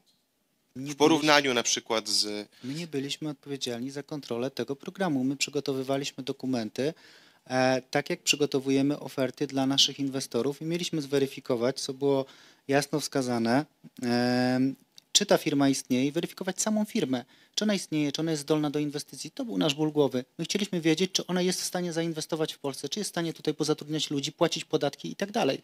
Jakby tym się zajmowała PAIH, e, bo tym się zajmuje na co dzień. W momencie, w którym niczego nie dostaliśmy ponad to, co było w ustawie, to robiliśmy to, co było w ustawie. a roboczy kontakt z tymi podmiotami później utrzymywaliście? Tak, tak, utrzymywaliśmy roboczy kontakt ym, i część podmiotów chętnie się kontaktowała, zwłaszcza te spółki duże, które chciały e, relokować kolejne osoby. No i jest na przykład ciekawy wątek, który w ogóle nie został poruszony. Firmy japońskie.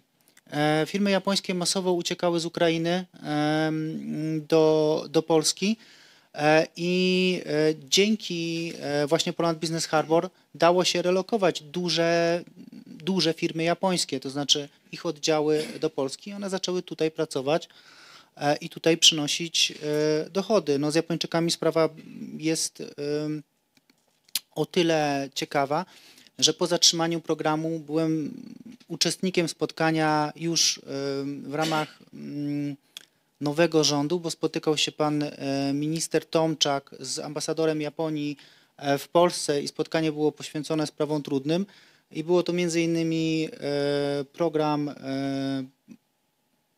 Poland Business Harbor oraz e, obecność Polski na wystawie Expo Osaka w 2025 roku. Więc no, pan ambasador również widział potrzebę e, upomnienia się o ten program, bo z jego punktu widzenia był on e, korzystny. Ten feedback często trafiał do, do PAIH od wielu dużych firm, tych, które tak naprawdę wprowadziły dużą liczbę osób.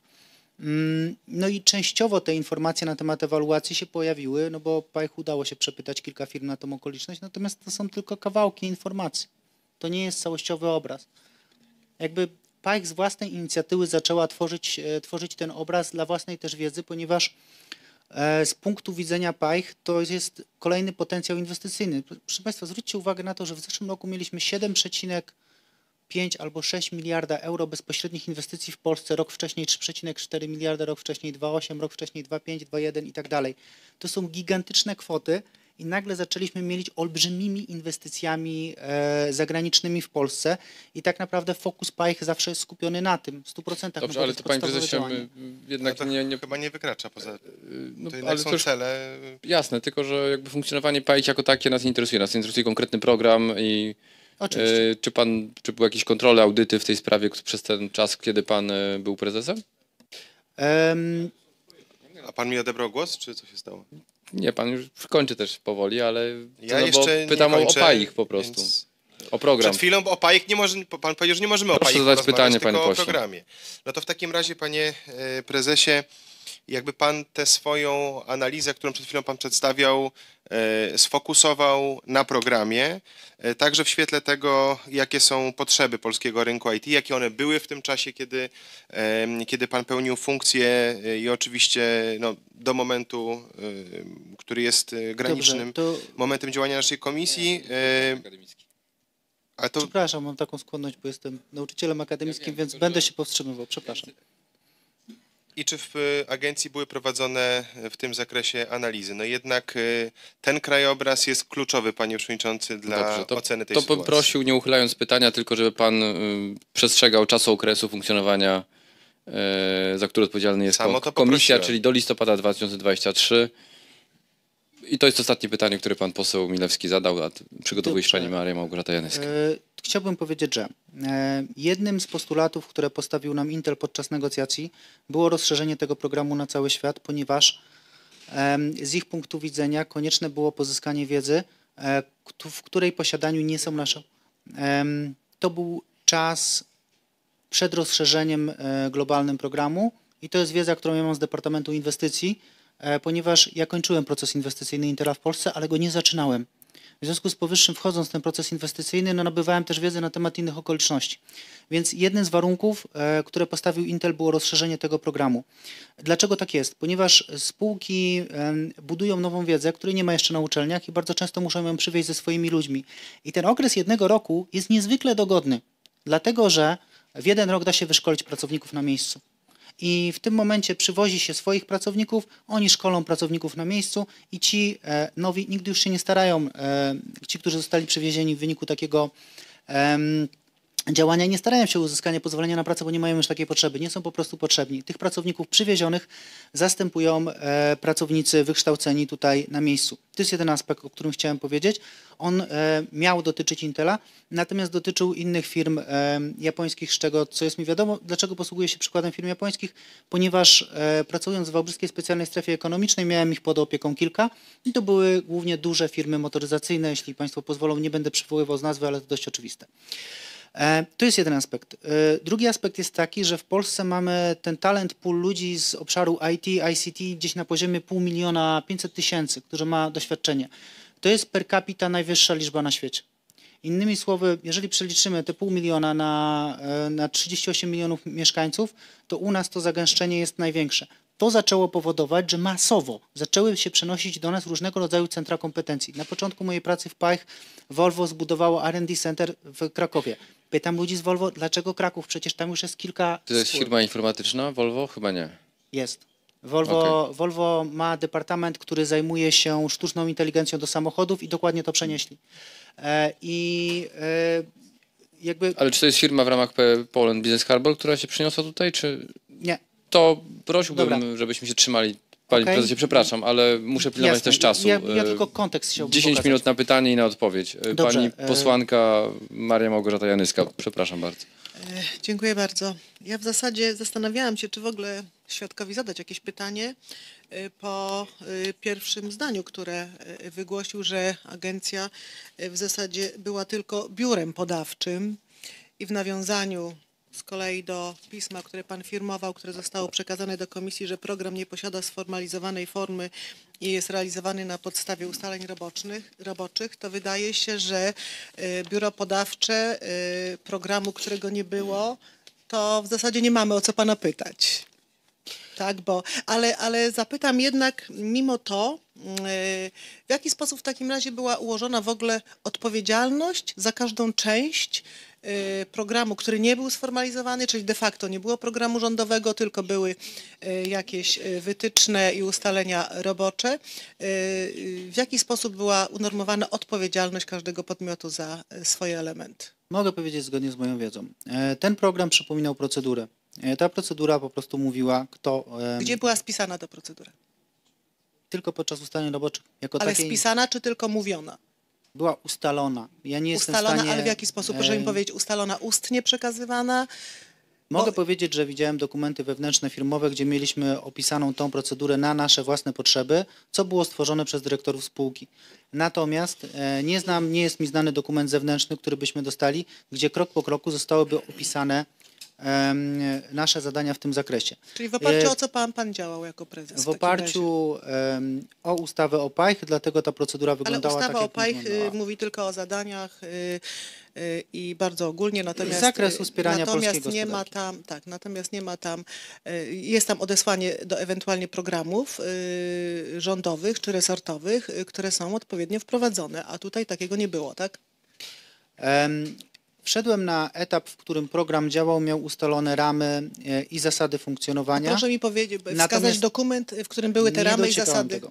Proszę? Tych, nie dociekałem tego. Tych Ale programów, jak pan, które a się to skąd toczyły... pan miał wiedzę na temat tego programu? Jak pan nie dociekał, to, to ja jestem lekko w szoku, bo jeśli ja mam stosować program, e, a nie dociekam nie znam e, formy spisanej i tak dalej, to no podziwiam szczerze, jak można realizować coś, czego nie ma. W momencie, w którym podniosłem pytania dotyczące tego programu, zostałem odesłany do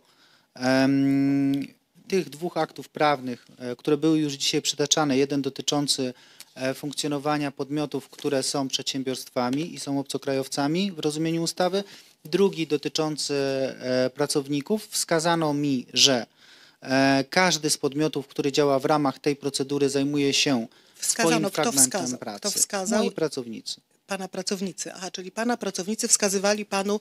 e, Pozyskałem wiedzę od nich, ponieważ jak pani zauważyła, nie miałem dokładnego jednego dokumentu, z którym mógłbym się zapoznać, gdzie kształt tej procedury był Czy pan, opisany. docie, czy pan y, prosił o taki dokument jako odpowiedzialna osoba zarządzająca spółką? Nie się pan ryzyka, że będzie pan działał na szkodę spółki, informacji, skoro nie, to pan nie nie, ma procedury spisanej? spółki. E, Po uzyskaniu jasnej informacji na temat tego, że każdy z podmiotów działających w ramach tego systemu em, działa w ramach umocowania prawnego, które posiada i nie ma żadnego spójnego umocowania prawnego dla całego, e, dla całego programu, to Dobrze, moim, nie, nie będziemy mojej- wręczyć, bo widać, że nie było tutaj żadnej formalizacji, tylko jeden y, pan powiedział drugiemu albo pani y, y, drugiej Były pani. spotkania robocze, y, i, i gdzie tak byli wszyscy funkcjonowała agencja, interesariusze. która była odpowiedzialna za tak poważne sprawy. Y, A co na ten temat podmioty, które, y, przedsiębiorstwa, firmy, które w tej ścieżce chciały współpracować? Proszę doprecyzować pytanie. Czy ta, czy ta wiedza, w jaki sposób mają aplikować, czy mogą, ona była powszechnie dostępna i tak gdzie była mogli? opublikowana na stronie gov.pl, można ją do tej pory Tak? znaleźć. Tam jest I cała nie było procedura żadnego opisana. problemu, czy odnotowywał Pan jakieś y, y, y, pytania, y, czy uwagi y, ewentualnych potencjalnych aplikantów, że nie mają wiedzy na ten temat? Albo nie, że jest ponieważ wszystko niejasne? było... y, I było cała, jasne, tak? Cała procedura została opisana na, na stronach gov.pl. Mhm, E, tam była, mm, jakby jasno były opisane wszystkie kroki, e, który podmiot odpowiada za który fragment ścieżki i e, to było opublikowane przez KPRM i tyle. No dobrze, to ja w takim razie tylko panu przytoczę y, konkluzję jednego z podmiotów, y, który w tym roku y, ją przedstawił, że y, proponują, jeśli program będzie utrzymany, y, żeby zostały uregulowane zasady uczestnictwa w programie w jasny, przystępny i przede wszystkim transparentny sposób.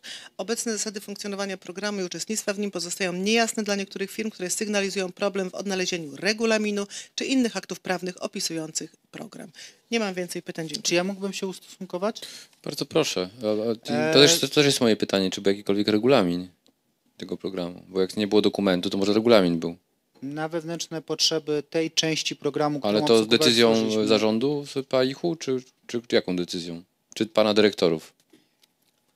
Nie powiem, kto ten regulamin stworzył, ale nie był to raczej regulamin. Dobrze, pani posłanka, Dziękuję. może Aleksandra Leo i pan Jeśli mógłbym, to chciałbym No w to dwóch, proszę. słowach, w dwóch słowach się odnieść. Zgadzam się z tym, e, że każdy program może być lepszy. Zgadzam się z tym, że każdy program trzeba poprawiać.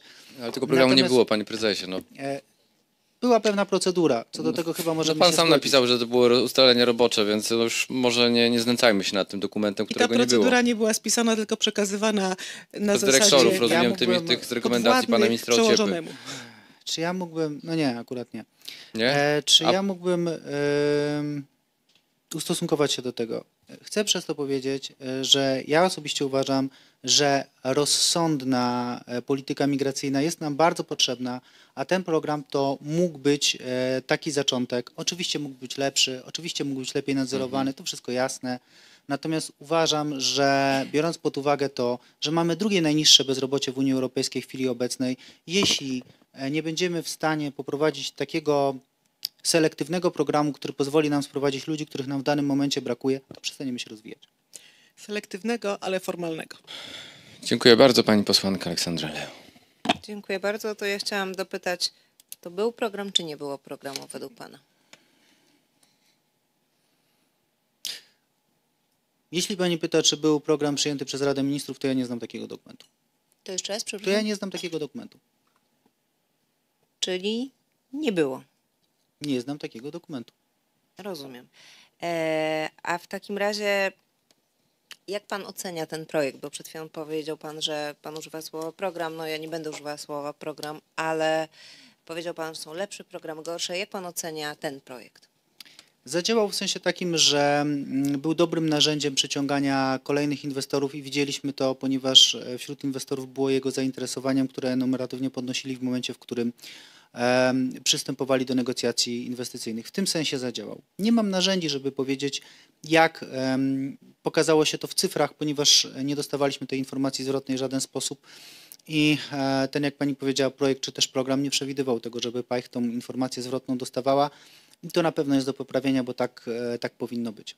Jeżeli natomiast mówimy o sprawdzaniu dalszego losu tych osób, które e, w ramach tego typu wizy pracowały w Polsce, to to jest szerszy problem, bo dotyczy też e, wydawanych od wielu lat e, pozwoleń na pracę, bo tam jest dokładnie tak samo. To znaczy. No ale tu nie było wydawane. To było bez pozwolenia pracy. ale dokładnie taka sama procedura była, ponieważ ABW odpowiada za wpuszczenie kogoś do Polski w przypadku pozwolenia na pracę. I w przypadku wizy D23 też odpowiada ABW. A czy potem ktoś sprawdza, czy ci ludzie pracują? No w obu tych przypadkach nikt tego nie robi. W związku z powyższym e, i w tym starym systemie, który zakładał pozwolenia na pracę, i w tym nowym, zwłaszcza, że ten nowy miał prowadzić do pozwolenia na pracę, bo po to był stworzony, e, ponieważ ta wiza była na jeden rok i z zasady rzeczy miała nie być powtarzana miała prowadzić do tego, żeby ktoś uzyskał pozwolenie na pracę. Firmy natomiast inwestujące wykorzystały to jako wehikuł, narzędzie do ściągania sobie ludzi, i transferu wiedzy pomiędzy swoimi ludźmi, tymi, których już mają e, wykształconych, a tymi, których wykształcić muszą. To chyba nie jest nic złego, to znaczy to zdecydowanie nie jest nic złego, bo powoduje, że mamy brain circulation i pewien import wiedzy, wiedzy do Polski, tak jak w każdych wymianach tego typu, gdzie mamy po prostu do czynienia z tym, że przyjeżdżają do nas ludzie, którzy nierzadko są spoza naszego kręgu e, kulturowego i tym samym, nie z tego powodu, ale też tym samym mogą posiadać zupełnie inne umiejętności. Jasne, rozumiem. A mm, bo powiedział Pan, że te osoby w zasadzie w żaden sposób nie były weryfikowane, e, to znaczy, czy na przykład zajmują się tą branżą IT. Powiedział Pan też, że no nie jest w jakikolwiek sposób sprawdzane, czy te osoby e, nie wykorzystują tych wiz, nie wykorzystywały niezgodnie z ich przeznaczeniem. To znaczy, y, jeżeli że chodzi tak o... czy siak e, to się, to się dzieje, czy są te pozwolenia na pracę, czy nie ma. E, Ale jak ta Pan wiza mógł wygasa firmować swoim nazwiskiem jako prezes coś takiego w takim razie? Ta wiza wygasa po roku. Jest narzędziem pozwalającym na to, żeby uzyskać pozwolenie na pracę. Zasady jej wydawania, jeżeli Ale to chodzi nie jest odpowiedź na moje pytanie. No to już odpowiadam. Jeżeli chodzi o sposób wydania tej wizy, to znaczy to, w jaki sposób ta osoba była weryfikowana, to był tożsamy z wydaniem pozwolenia na pracę, bo w jednym i w drugim przypadku odpowiadało za to ABW. Niczym się to nie różniło. No chyba jednak nie. Znaczy pozwolenie o pracę jest decydujące. Ale w Te jednym i w drugim miały- przypadku sprowadza się to do decyzji ABW i w jednym i w drugim przypadku ABW była o tym informowana i jest agencją do tego dedykowaną. A do czego Państwo byliście dedykowani w takim razie?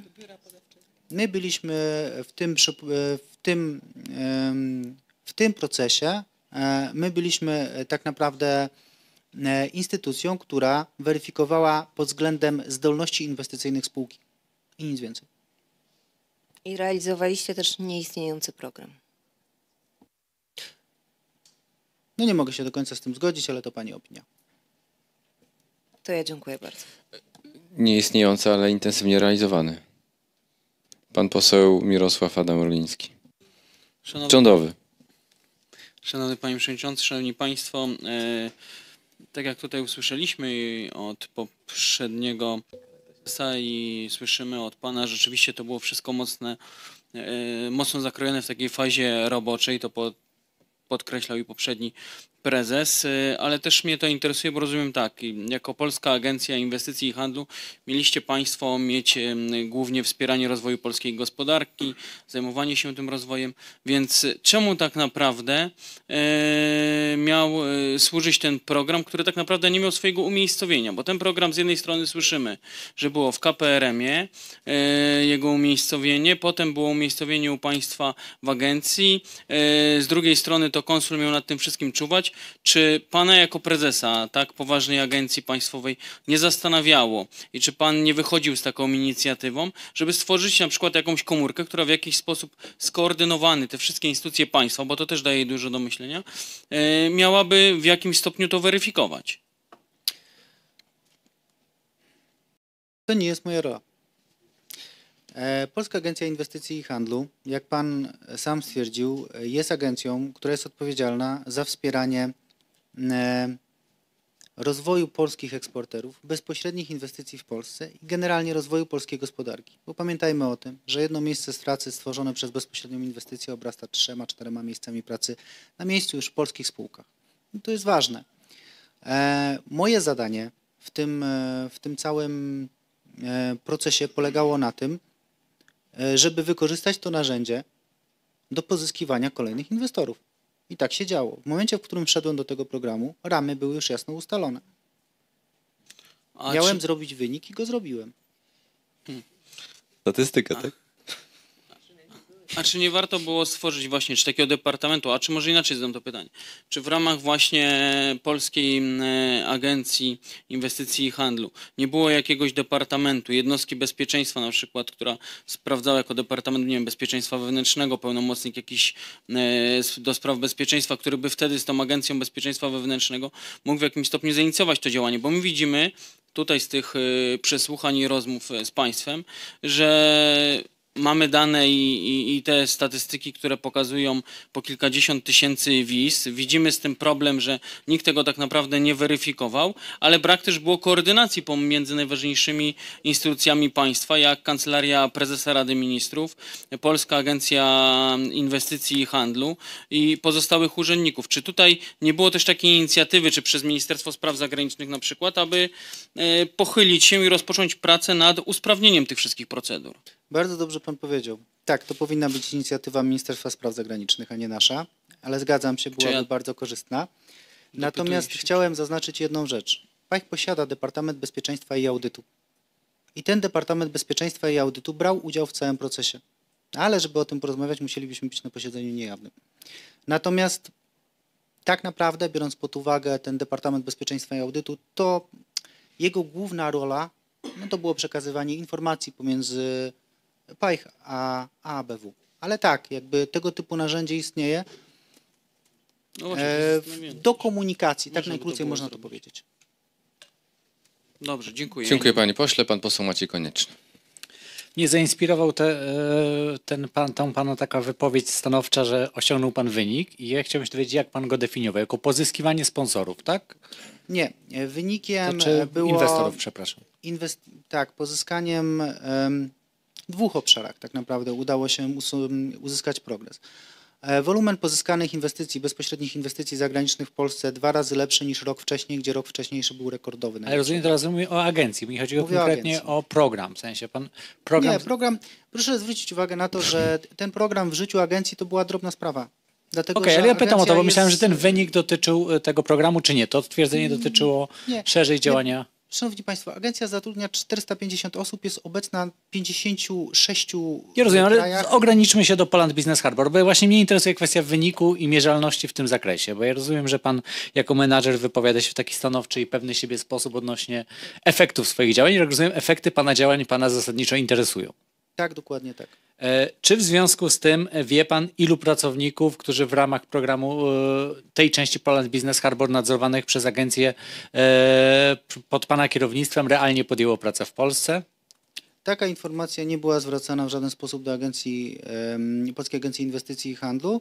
Dla nas efektem jest wolumen inwestycji. Jest Czy efekt. pan wie, ile osób realnie z tych, które, których na podstawie tych list, które pan przekazał e, od tych inwestorów, realnie wjechało do Polski? Nie dostawaliśmy takiej informacji zwrotnej i e, program czy też procedura tego nie przewidywała. Okej, rozumiem, czyli pan byłby, pan mógłby osiągnąć ten sam wynik, gdyby trzy czwarte osób nie przyjechało, a reszta to byli cyrkowcy.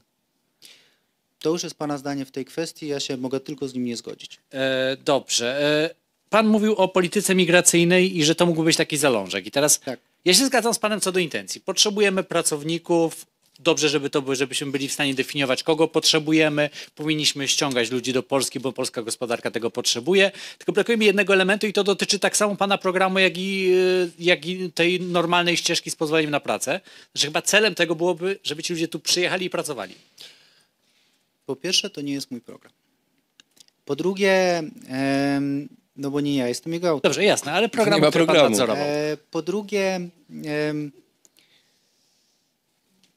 tak, E, Chodzi o to, żeby ci ludzie wbudowali wkład dodany do naszej gospodarki i pytanie brzmi, czy fizycznie muszą tu być. Ja bym sobie życzył, żeby oni rezydentami podatkowymi byli. O Panie, to by panie prezesie, Okej, ale nie jeszcze. dostali. Proszę? No widzę dostali. ale Rozumiem. Nie po to, żeby mieć rozumiem- pamiątkę w paszporcie, naklejkę, tylko żeby przyjechać, pracować. Przepraszam, panie przewodniczący. Spodziewałem się panie- jednak, e, jednak bardziej stanowczej deklaracji, że ludzi, których zapraszamy do Polski w celu, żeby tu pracowali, powinni tu jednak przyjechać. A pan nawet na tym poziomie się zawahał i zaczął kombinować. No mogą przyjechać, ale Nie, niekoniecznie. chodzi o następującą rzecz. Chodzi o to, żeby oni płacili tu podatki. Jeżeli będą chcieli spędzać tylko pół roku w Polsce, a pół roku poza Polską, będą mieli rezydencję podatkową, wszystko jest okej. Okej, ale czy ma pan jakiekolwiek narzędzia mierzenia tego, że to nie jest, bo raz jeszcze, tym mamy przeciążony system, jeżeli chodzi, to wiemy od strony konsulów i to dotyczy tak samo kwestii, e, kwestii pozwoleń na pracę, przeciążony na poziomie urzędów wojewódzkich, na poziomie konsulów, do tego dochodzi uproszczona ścieżka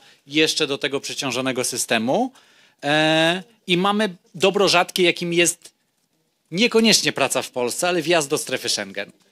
E, Czy pan w ogóle interesował się tym, e, miał takie podejrzenie czy świadomość tego, że ten program może być wykorzystywany wbrew intencji e, przez firmy, z którymi, e, z którymi państwo współpracowali? Jeżeli takie firmy rzeczywiście się pojawiały i je zidentyfikowaliśmy, to były usuwane z programu. Ale tak jak pan powiedział, firmy, a nie poszczególne osoby. To jest jedna rzecz. Druga rzecz, odwołując się do tego, co pan powiedział. Pan przewodniczący ustalił, ile osób wjechało. 93 tysiące.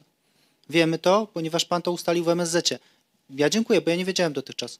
To jest, Nie, 93 tysiące wydanych wiz.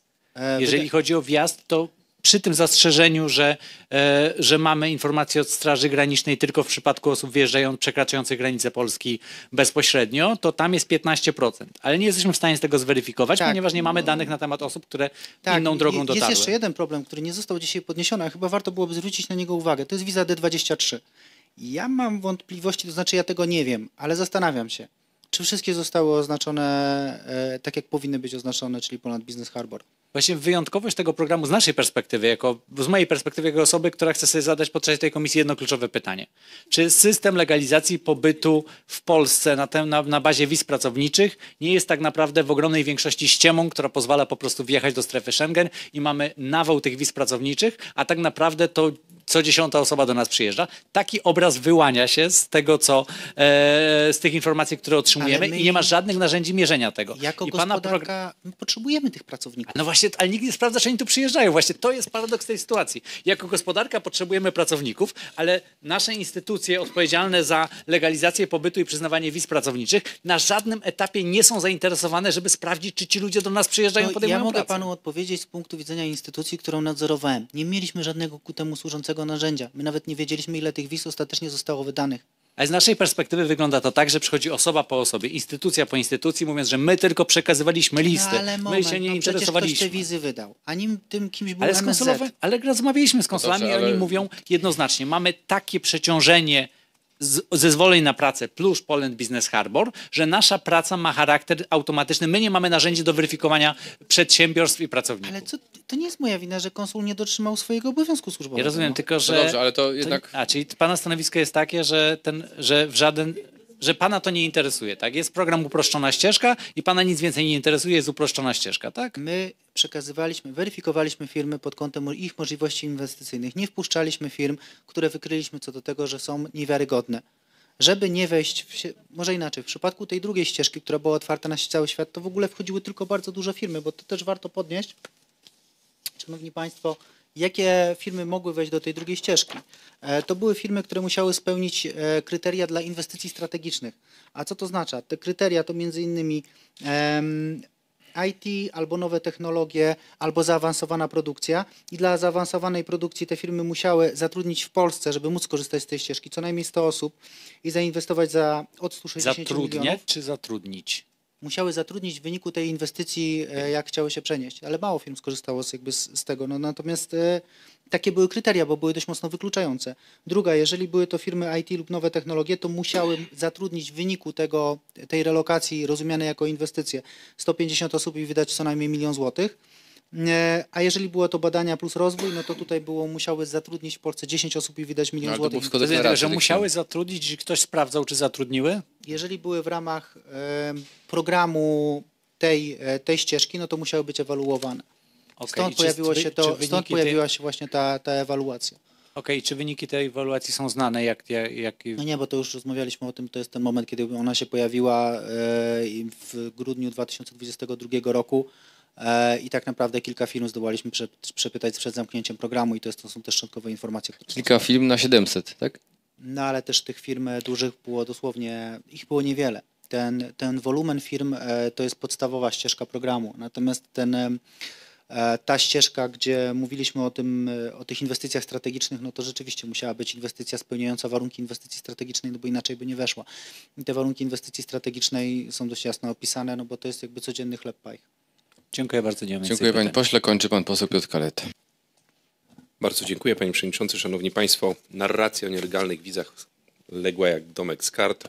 Komisja jest w zasadzie niepotrzebna, bezsensowna, kluczymy w innych tematach, które są tematami pobocznymi, ale żeby jak gdyby iść w tym kierunku, ponieważ w czasie, w czasie posiedzenia tej komisji padały wielokrotnie zarzuty, że mm, pana agencja funkcjonowała jak gdyby bez programu, czy bez jakiejś wizji, czy bez osadowienia w konkretnych ramach, mm, ramach prawnych. Proszę mi powiedzieć, czy program ministerialny, który jest, leżał, le, jest niejako u podstaw funkcjonowania, funkcjonowania agencji, e, musiał mieć e, formę aktu prawnego.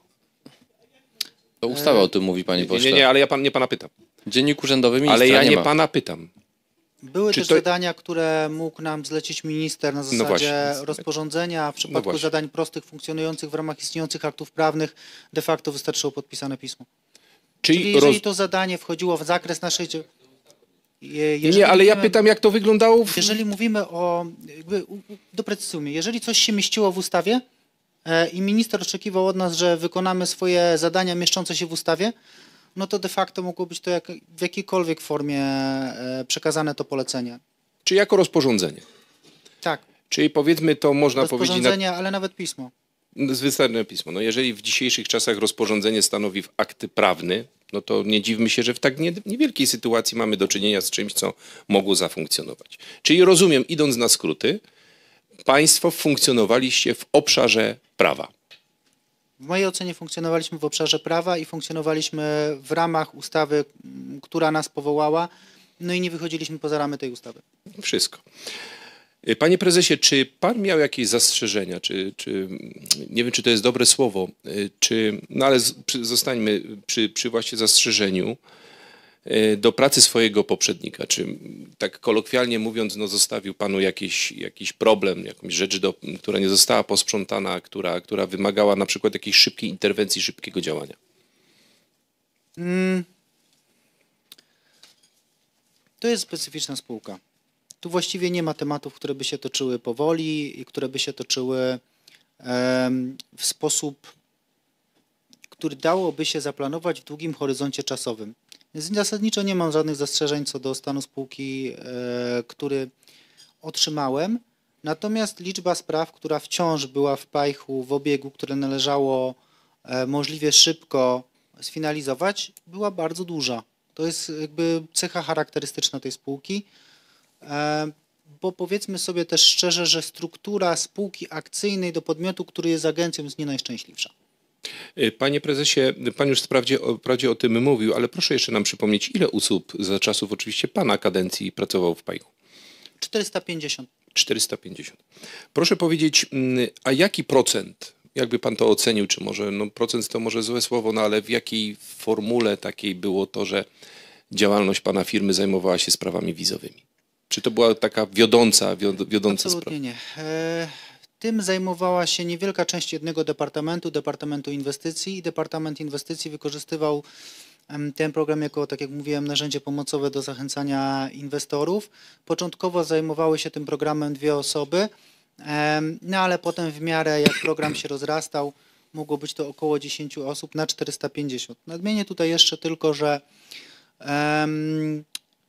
PAIH działa w 57 ładach prawnych, licząc w tym ład prawny polski, e, jest obecny w ponad 70 lokalizacjach, no bo również w kilku, czy około 10 w tej chwili lokalizacjach w Polsce, bo pan prezes Dycha kontynuuje rozpoczęty przeze mnie program regionalnych e, biur handlowych, więc uznał go chyba za dobry, co mnie cieszy.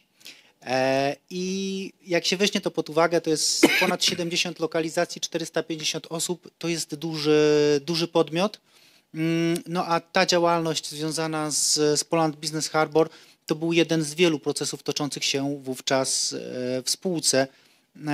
No bo nie tylko zwiększyliśmy e, wynik w obszarze inwestycji, ale również w obszarze eksportu znacząco.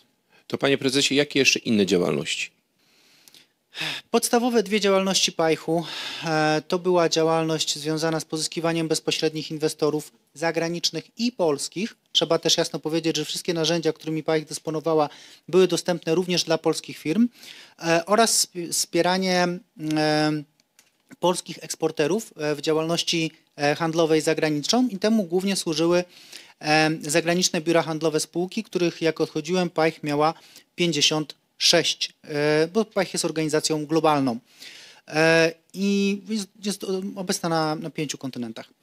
E, Jeżeli weźmiemy to wszystko pod uwagę, no to generuje stały ruch. Niestety to też jest praca w różnych strefach czasowych, więc e, dyrektorzy też nie pracują w stałych, e, w stałych porach, tylko muszą się dopasować do stref czasowych plus minus 9 godzin, tak mniej więcej. To wygląda względem Polski, żeby skoordynować te, te wszystkie prace. To jest ponad 400 imprez targowych rocznie, czyli więcej niż jedna dziennie, organizowanych przez Departament Eksportu. Mm, I różnica, już, już kończę, ale różnica jest mniej więcej taka, że Departament e, Inwestycji obsługuje mało dużych zapytań, czyli około 300 dużych zapytań, a Departament Eksportu obsługuje 5-6 tysięcy zapytań małych. Y, Panie prezesie, ilu cudzoziemców znalazło się w Polsce za czasów pana kadencji? Mm, Łącznie? Nie jestem w stanie powiedzieć, ile osób e, w Polsce znalazło się czasów mojej, chociaż nie. No, jeśli uwzględnić to, co się działo e, w wyniku migracji ludzi z, e, z Ukrainy, no to miliony. Rozumiem. Panie prezesie, czy zna pan jakieś przypadki nielegalnego pozyskania wiz? To jest pytanie, które chyba za, trzeba zadawać każdemu, każdemu świadkowi, Nie, który do nas osobiście nie znam przychodzi. takiego przypadku. A czy były jakieś takie, no nie wiem, naciski, czy jakieś prośby, żeby pan w takim procedurze uczestniczył? Absolutnie nie. Rozumiem. Proszę pana, wspomniał pan również w swojej wypowiedzi, to chyba też jest taki dość ciekawy wątek, że mm, prowadziliście państwo mm, działania czy kwestia przeniesienia funkcjonowania z Ukrainy firmy japońskiej. Tak, E, I firm, tu jak gdyby dwa takie pytania. oddziałów firm japońskich, mówiąc Tak. precyzyjnie. I dwa ta, takie pytania, które wydaje mi się, że, że one się trochę ze sobą łączą. Czy jeszcze jakieś inne kraje, które posiadały tam swoje firmy, też prosiły, czy, czy chciały takie, takie przeniesienie zrobić? I dlaczego pan myśli, że właśnie Japonia chciała się dostać właśnie do Polski? To jest dość naturalne, jeżeli e, dana firma posiada swój oddział w Polsce i posiada swój oddział e, e, na Ukrainie, gdzie ten bazą do ekspansji był oddział polski, no to w tym momencie będzie się zwijała do tego oddziału, który był bazą do ekspansji. Oprócz firm japońskich, ja na przykład pamiętam firmy amerykańskie, które też, też Ja korzystały tylko z, przypominam o, pro, o programie Poland Business Harbor, że No tak, ale to się wiąże z tym programem, tak? Tak, to się Dobrze. wiąże z programem, bo to w wyniku tego programu e, te firmy japońskie mogły realokować swoje projekty, a tym samym osoby, e, na przykład z terytorium Ukrainy. Natomiast no, to nasiliło się po wojnie, jakby po, po wybuchu, po rozgorzeniu, wo- po rozgorzeniu wojny, ponieważ one wtedy miały powód, no bo wcześniej próbowały robić ekspansję na, na Ukrainie. To samo narzędzie zostało do tego wykorzystane.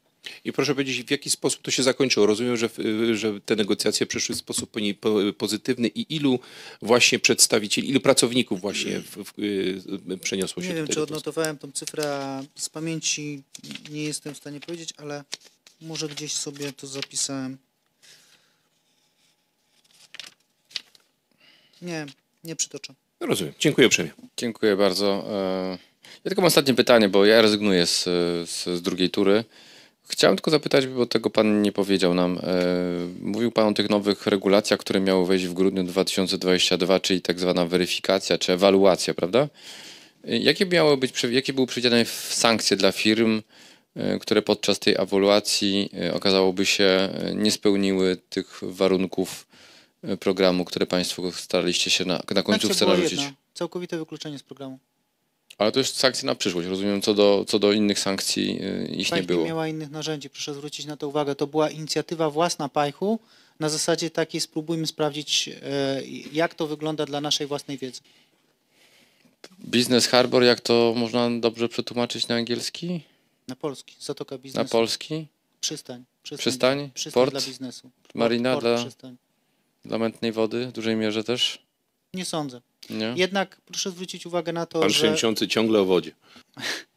E, Proszę zwrócić uwagę na to, że ten program z punktu widzenia wielu spółek, o czym dostawaliśmy feedback od nich, okazał się bardzo przydatny i to e, Ja wiem. było dla nas odpowiedzią. A wie pan- odpowiedzi statystycznej nie mieliśmy. No nie Panie mogę prezesie, my mamy pytanie. dostęp do różnych informacji tutaj w warunkach posiedzenia jawnego e, o nie wszystkim możemy mówić, ale to był czas pełnoskalowej wojny i mam wrażenie, że też stworzono taki kanał, który niekoniecznie był wykorzystywany w sposób właściwy.